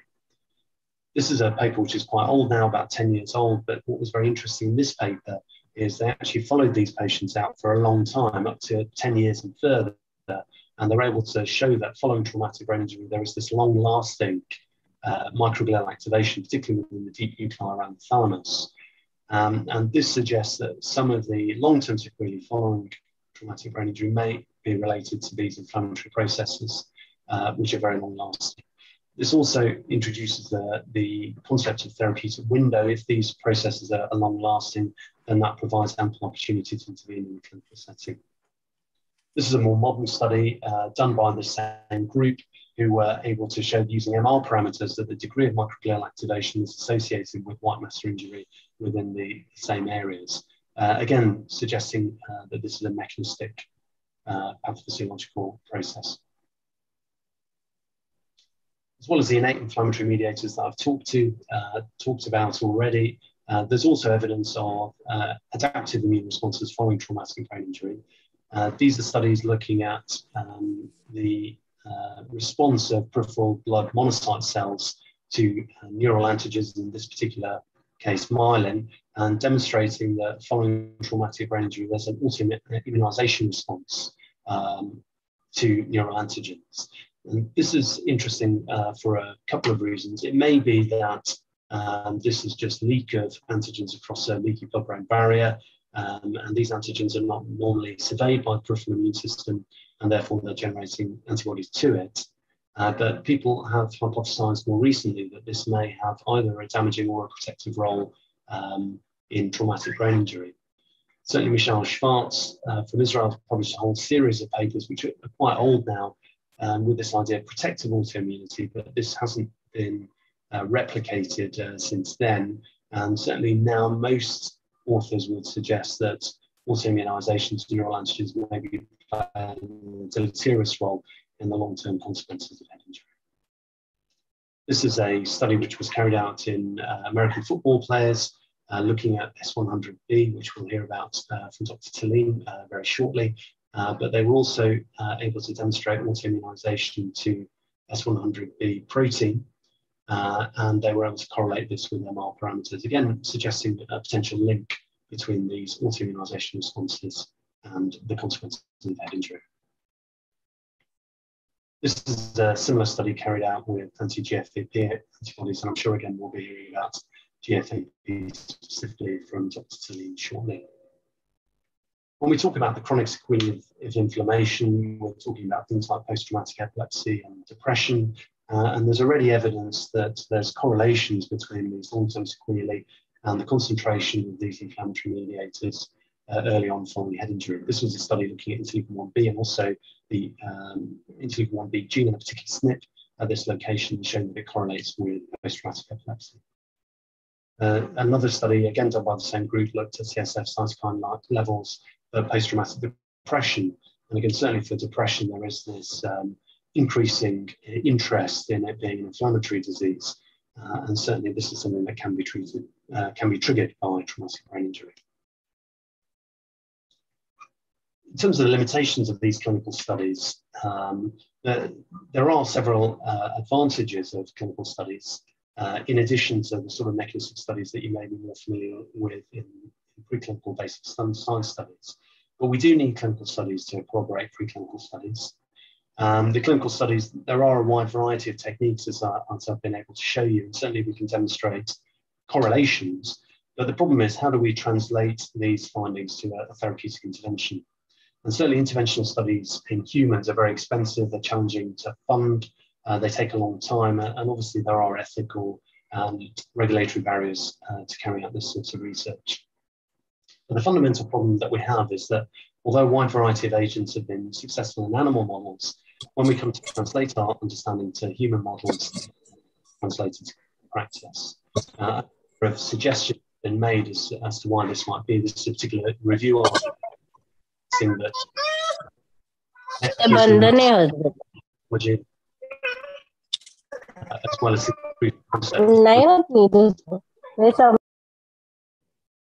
So I think we're just getting some interference from uh, another participant. So what we thought about is how we can use microdialysis in these drug studies uh, to assist us. There's a very famous quote about insanity doing the same things over and over again and expecting different results.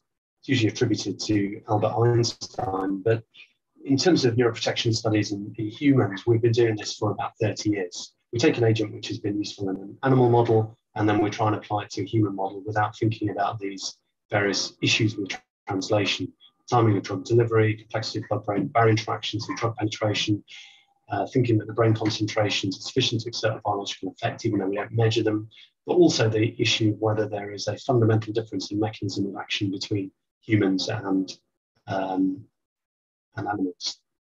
Um, we can divide these considerations up into pharmacokinetic considerations and biological considerations, and microdialysis can help us to address these issues.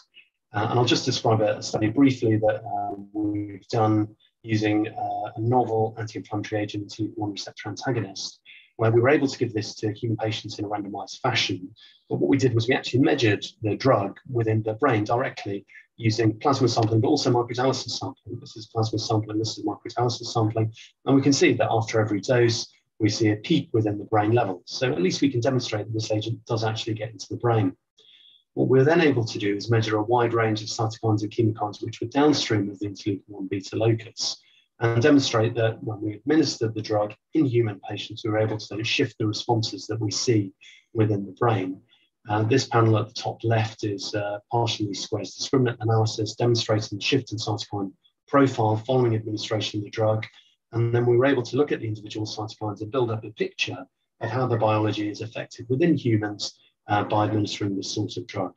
And I think this sort of approach is what's going to be required in terms of translating these promising preclinical findings into the clinical arena by using these targeted experimental medicine approaches to translate promising preclinical findings into our patients. So uh, I've tried to squeeze it into 20 minutes. Uh, I apologize if I've run over, uh, but what we can demonstrate uh, using this range of uh, techniques is that the inflammatory processes that we're seeing within our preclinical models, what we understand of as inflammation, replicated in human disease. Uh, the human observational studies can certainly demonstrate correlations, but they're limited in terms of their interpretation because we can't prove causation. But what we can do by using interventional studies and by measuring these self-same parameters either within the brain or in the periphery is to demonstrate definitive evidence uh, of causation and hopefully take us through into translating these uh, for the benefit of patients. So I will stop sharing there. Hopefully that hasn't uh, gone over. Uh, and uh, yeah. if there are any questions, I'll be delighted to answer them. Okay, thank you very much. Doctor, thank you very much. It's a very lucid and interesting talk in a very important talk. I request uh, chairperson if you have any question because he has to go for surgery now. Chairperson, if you have anything questions or I think we can uh, skip the question and answer session now. He is in hurry and yes. Dr. Thelin is also waiting. So I, we should go for the next session. That will be better, I believe. Anyway, that's a very good presentation and it's a new insight. It's like, uh, it's a food for thought for many of us, I believe. Well, thank you very much. It's a real pleasure speaking to you and uh, delighted to participate in your excellent conference. So thank you very much. Thank you very much. Thank you very much. Have a nice day. Yeah, I request the chap, I request the organizer to invite the next speaker. Oh. Thank you. Yeah, Thank you, Dr. Adel, for the wonderful talk. With the permission of the chairs, I would now uh, introduce our next speaker, Dr. Eric Thelin. First of all, I would like to thank him for his patience. Uh, Dr. Thelin is an affiliated researcher with the Karolinska Institute, Stockholm, Sweden, and a neurology registrar at the Karolinska University Hospital. His main focus is on the protein biomarkers in the management of acute brain injuries, and his p- portfolio includes studies on other areas such as neuroinflammation, neuromonitoring, as well as neuroimaging. Over to Dr. Eric. Thank you. Thank you very much. And you can see and hear me? Okay, okay. Yeah, yeah, it's okay. You are audible and visible, both. Yes, perfect. Thank you very much. And thank you for the kind uh, introduction and invitation to this conference. And uh, I will see if I can change slides. Yes.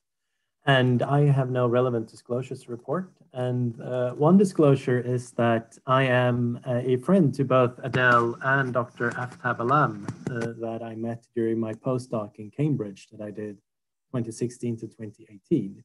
And this is why I'm here. And I, am very happy to, to be participating in your conference.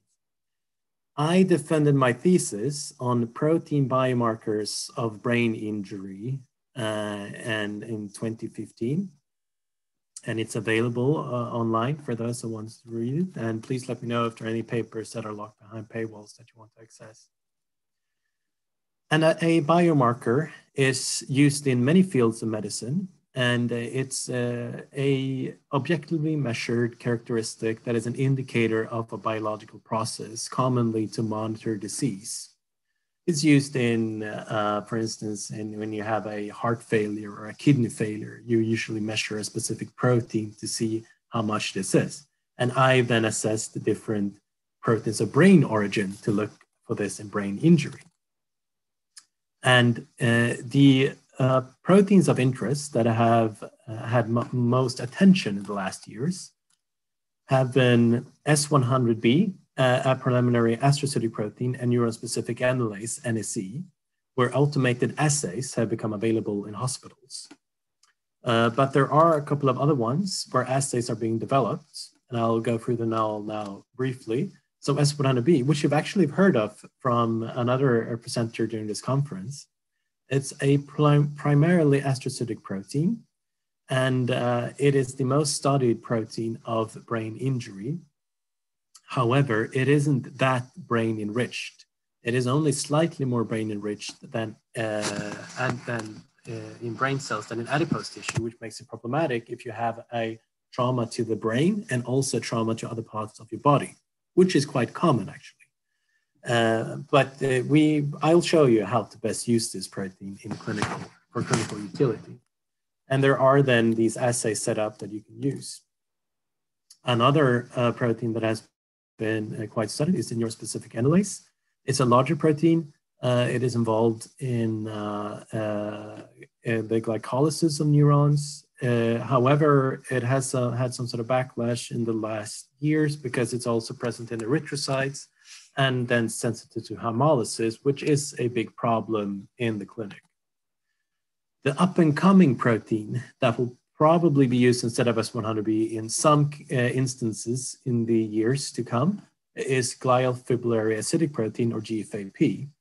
It is way more brain enriched than um, S100B, which makes it more brain specific, which is good if there is multi-trauma.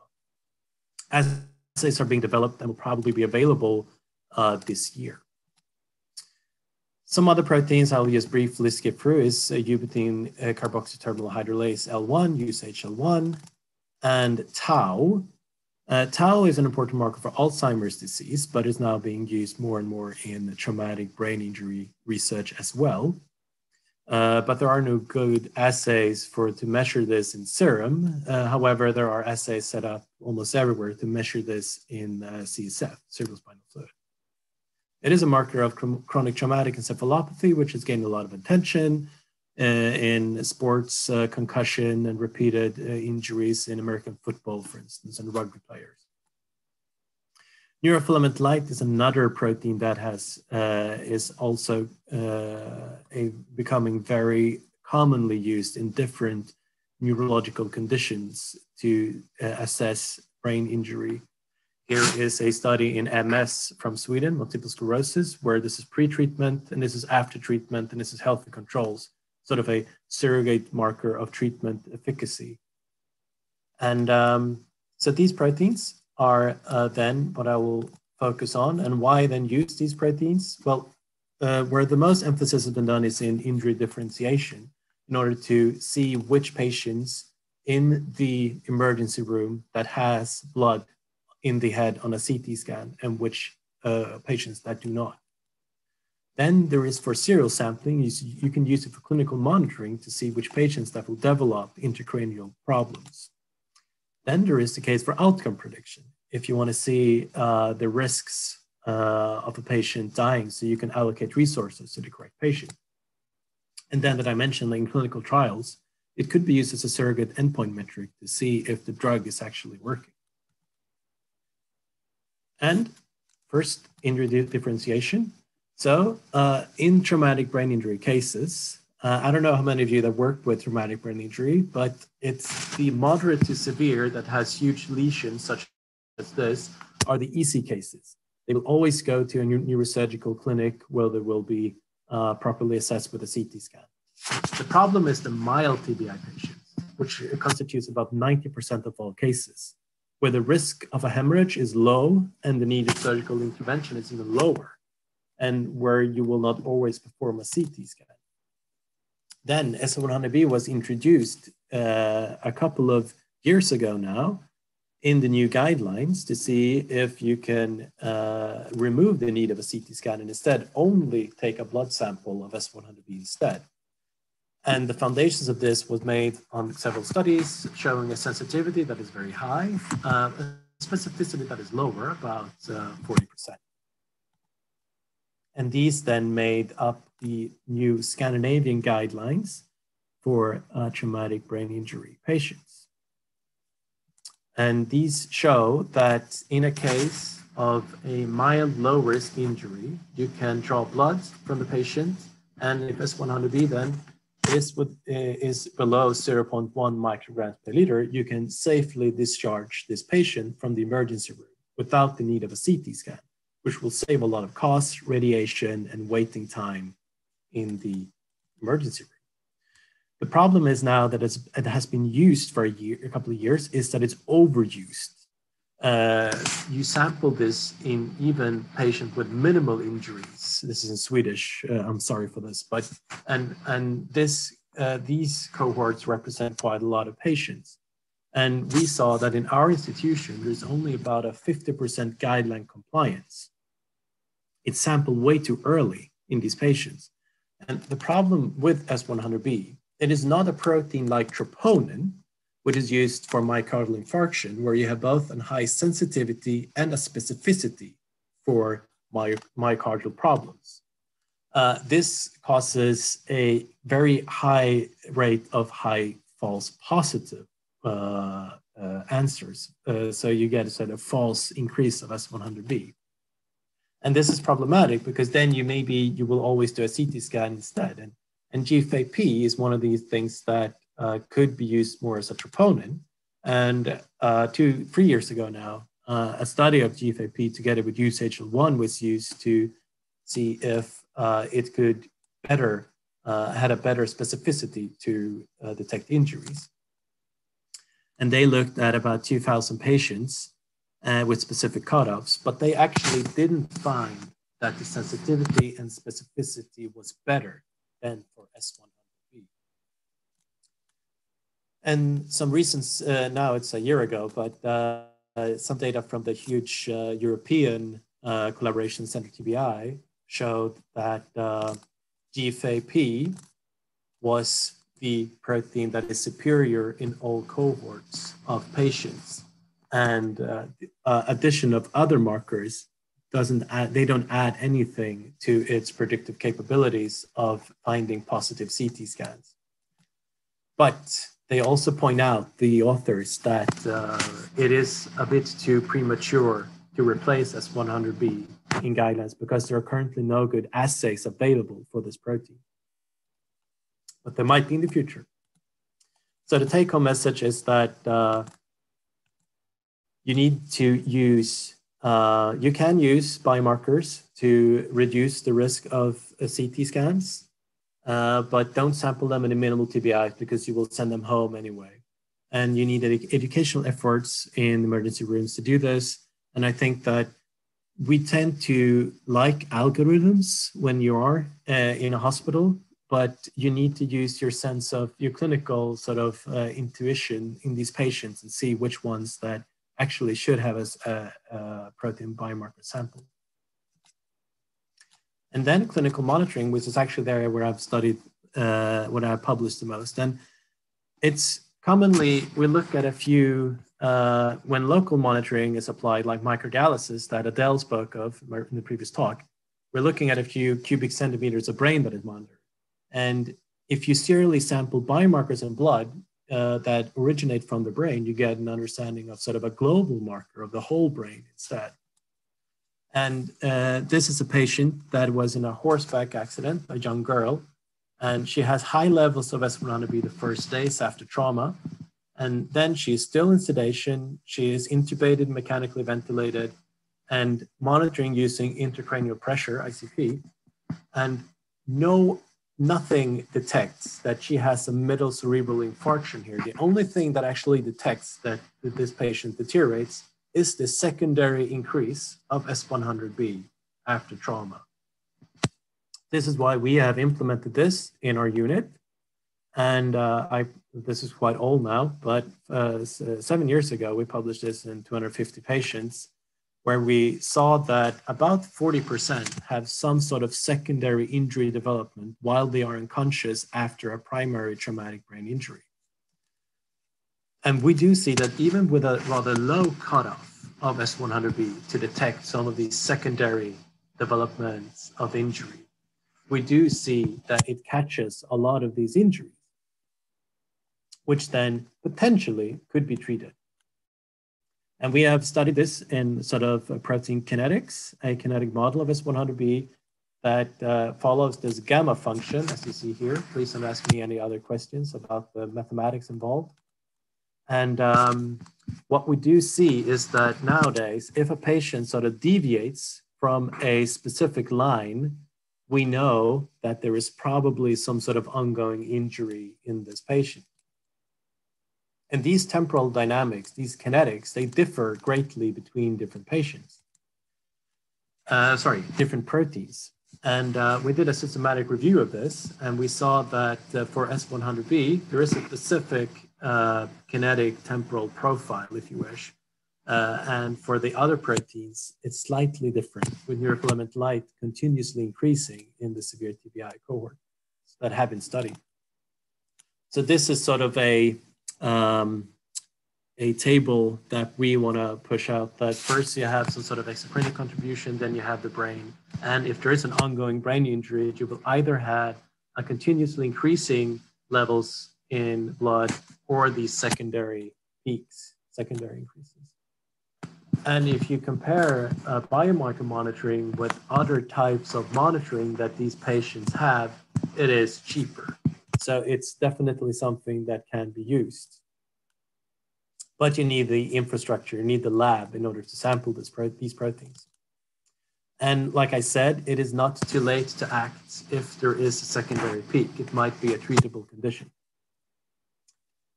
All right, that, that was a summary. And then uh, briefly, protein biomarkers and outcome prediction.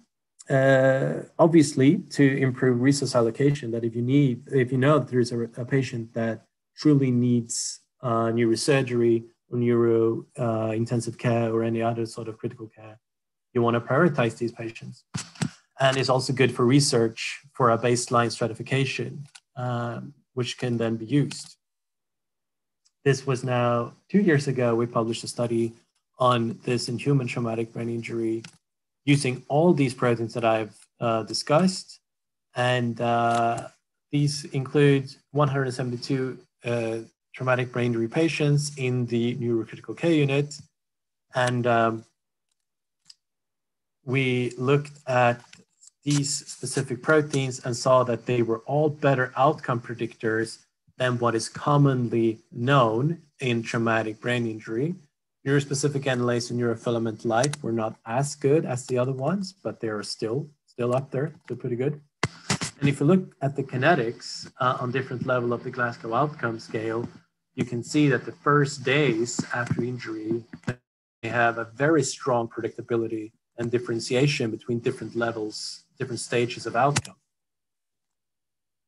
And which, if you're going to look at which are the best ones and the best ones to combine, I'd say that S100B and GFAP are probably uh, together with uh, uh, are probably the best ones. But if you want to combine proteins, you need to think a little bit because they show a lot of cross correlation between them uh, especially GFAP use UCHL1 and tau almost have a 0.9 correlation coefficient. And if you look at the principal component analysis, you can see that neurofilament light uh, should probably be combined with the other proteins if you want to use several markers in a panel. Like I said before, these proteins are not that brain enriched, especially S100B, which then has a rather low predictability of outcome early after trauma. And we see that this correlates with extracranial contribution of multi-trauma early after injury. So you need to think about this in patients that have extensive extracranial injuries. I'll skip through this uh, due to time constraints. Um, and then validating treatment efficacy, uh, it can be used as a companion diagnostic and it has been done in a few trials, for instance, for EPO treatment, which is an up and coming drug in traumatic brain injury. In this Chinese study, it shows that in the group that was treated with EPO, uh, there are lower levels of both S100B and NSE as compared to the controls. And in this study, EPO had a positive effect on outcome. In a uh, Australian study, however, there were no difference between the EPO and the placebo groups, sort of then uh, showing similar results as in the main trial, that uh, there were no differences in biomarker levels. So, conclusions. You may use protein biomarkers of tissue fate to screen for patients in the emergency room that have a CT positive uh, finding or not. You can also use it for serially monitoring in order to monitor patients that are unconscious in the intensive care unit. You can also use it to predict functional outcome and validate treatment efficacy in clinical trials. Serum S100B and NSE are clinical available, so these are the ones that you can use in a clinic, but for research purposes, you can use all of them. And GFAP and neurofilament light are probably the two proteins that will have the most interest in the near future. I want to acknowledge some of my colleagues, and I want to thank you for inviting me.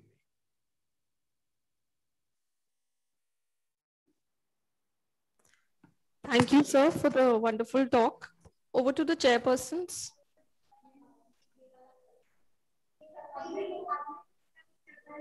Professor Suhail Parvez, Professor Suman ma'am, Professor Prasoon. Thank you. Uh, thank, thank you, Dr. Eric.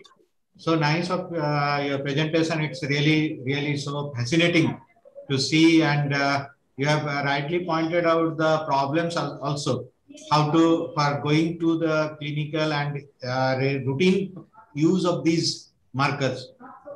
It's uh, really useful. And uh, thank you, thank you very much. And let others if they would like to comment, anyone. Dr. Eric, a very wonderful presentation. Thank very you. interesting and informative uh, talk. Uh, the protein biomarkers, I think they can replace the CT in the coming years. And uh, these protein biomarkers, their serial sampling can help uh, in the identification, in the better monitoring of these patients, and also for uh, knowing the treatment efficacy. So uh, I think it's very insightful talk from your side. Thank you, Dr. Eric. Thank you for the comments. Thank you, Dr. Eric, for a wonderful talk. Uh, if I could understand uh, correctly, then I have a small query because generally, you know, whenever we are doing uh, traumatic brain injury or any sort of brain injuries, generally we are looking for GFAP, that is the most so-called standard marker. But so this S100B seems to be, I mean, something very new and uh, which you have done. So I was just wondering what happens to GFAP if you're doing in initial days as compared to S100B. You did say that there was a change in S100B uh, in the initial few days and then maybe later on there is a secondary peak wherein you can, I mean, detect the injury. So uh, what happens to GFAP, which I thought was, I mean, more commonly people talk about it and uh, as a marker for astrocyte. So if you can comment on that. Thank you for the question. You're absolutely right. In the terms of preclinical uh, research, GFAP is the gold standard marker for astrocytes and astrocytic glial reactivity. The thing is that uh, due to actually um, the, the diagnostic industry, uh, S100B has become more commonly used in the clinic there are no good assays for GFAP, which is why it hasn't been used clinically as much. Abbott has started now, like about 10 years ago, starting developing uh, good clinical assays for this. There is a point of care device that was just recently put to use in Miami in the US. There are a few studies now that, that, that came out. But I think it will replace it. And if you look at the sort of kinetics or the dynamics of GFAP, it basically follows the ones that I show that I've shown you for S100B. There are a couple of studies that have serially sampled GFAP in traumatic brain injury patients, and you do see these secondary increases if there is a secondary injury, and you do see these more detrimental trajectories of increasing levels if you have a patient that is uh, progressions of their brain hemorrhages. Uh, may, may I ask a question, please? Oh, sorry. Sorry, you go first, please.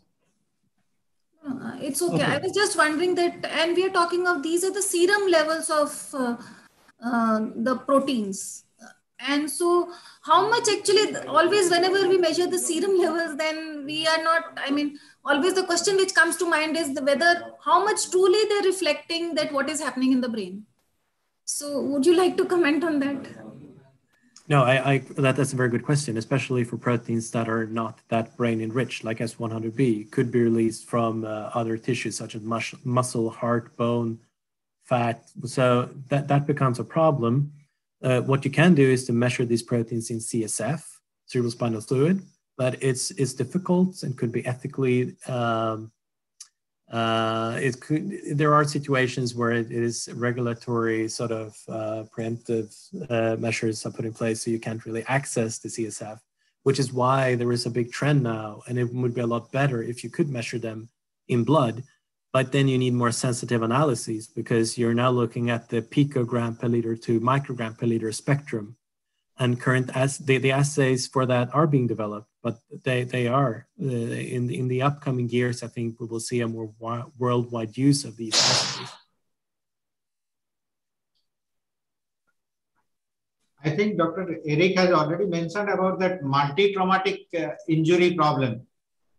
So uh, that that point could be could be one issue here. Uh, professor aslam wanted to ask something. Yes. Yeah, please, sir. Please, sir. No, this is this is Islam from Islamabad, Pakistan. Uh, I wonder whether different protein markers could possibly be used for trauma to different parts of the brain, or you take protein mark biomarkers for the injury to the brain as a whole? That is a that is a very good question. It's actually something that we're looking into now, uh, and we're sort of mapping the whole brain and yeah. looking at different le lesion locations because obviously you would believe that an area rich in sort of astrocytes or axons would have a mm-hmm. different release pattern of biomarkers in blood than an area enriched of neurons, such as gray matter. Yeah. Yeah. And I, I, I do the, the reason we haven't in the current literature, there are no studies that have actually shown this in an adequate way. There are studies that do show that neurofilament light is, uh, which is present in axons, is a bit more co is common in axonal injuries, and they've correlated this to different MRI sequences that sort of maps the axons. Right. But there are no, uh, but that, that was like a pilot study of 10 patients. So, but there are no good studies that actually show this. But what, what we have shown is that there is, with increasing lesion severity, right. you do see more uh, biomarker being released. Right. And there are these different scores for this like the Rotterdam CT score, the Helsinki CT score, and the Stockholm CT score, which Right. all correlated to these uh, to escalating levels of protein biomarkers. Right. Thank you. Thank you very much. Thank you for the question. You're welcome.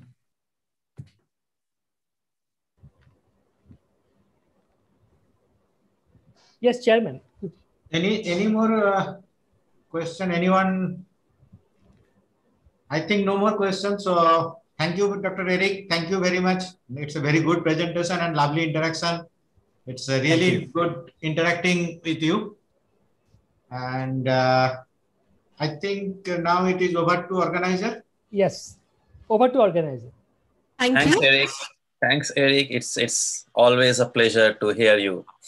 Yeah, Thank yeah, yes, yes. Thanks I for think, inviting I me. think, I think, Dr. lines like Dr. music. Aftab, yeah, Dr. Aftab, you say a few words before we leave it. Yes, say a few Uh, words. no, it's it's it's always a pleasure to hear Eric and Adel. Uh, their science is like music, like it flows, like so. It's it's always a pleasure. It's wonderful uh, to see you. Thank you very much. Thank Dr. you, Aftab. Aftab. Thank you very much. Hmm. Over to, over to organizer. Thank you. Thank you for, to all the speakers and especially to all the chairpersons, Professor Suman, Professor Sohail, Professor Minakshi, and Professor Prasoon for chairing this session.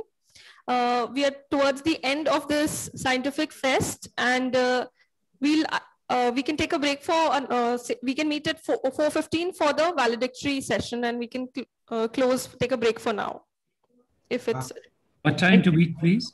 4.15 Before, 4:15. before, before closing the session, I would like to thank the organizer for giving me this opportunity and uh, it's really nice to nice to have this beautiful session with Dr. Lim, Dr. Thelin, Eric, and uh, Dr. Helmy. It's a really really enjoyable one. Thank you, Dr. Alam, uh, for organizing this. It's really good fest, and I think the scientific fest, what it ends now, it's really the Yes. uh, we say everything good when it ends good. Yes.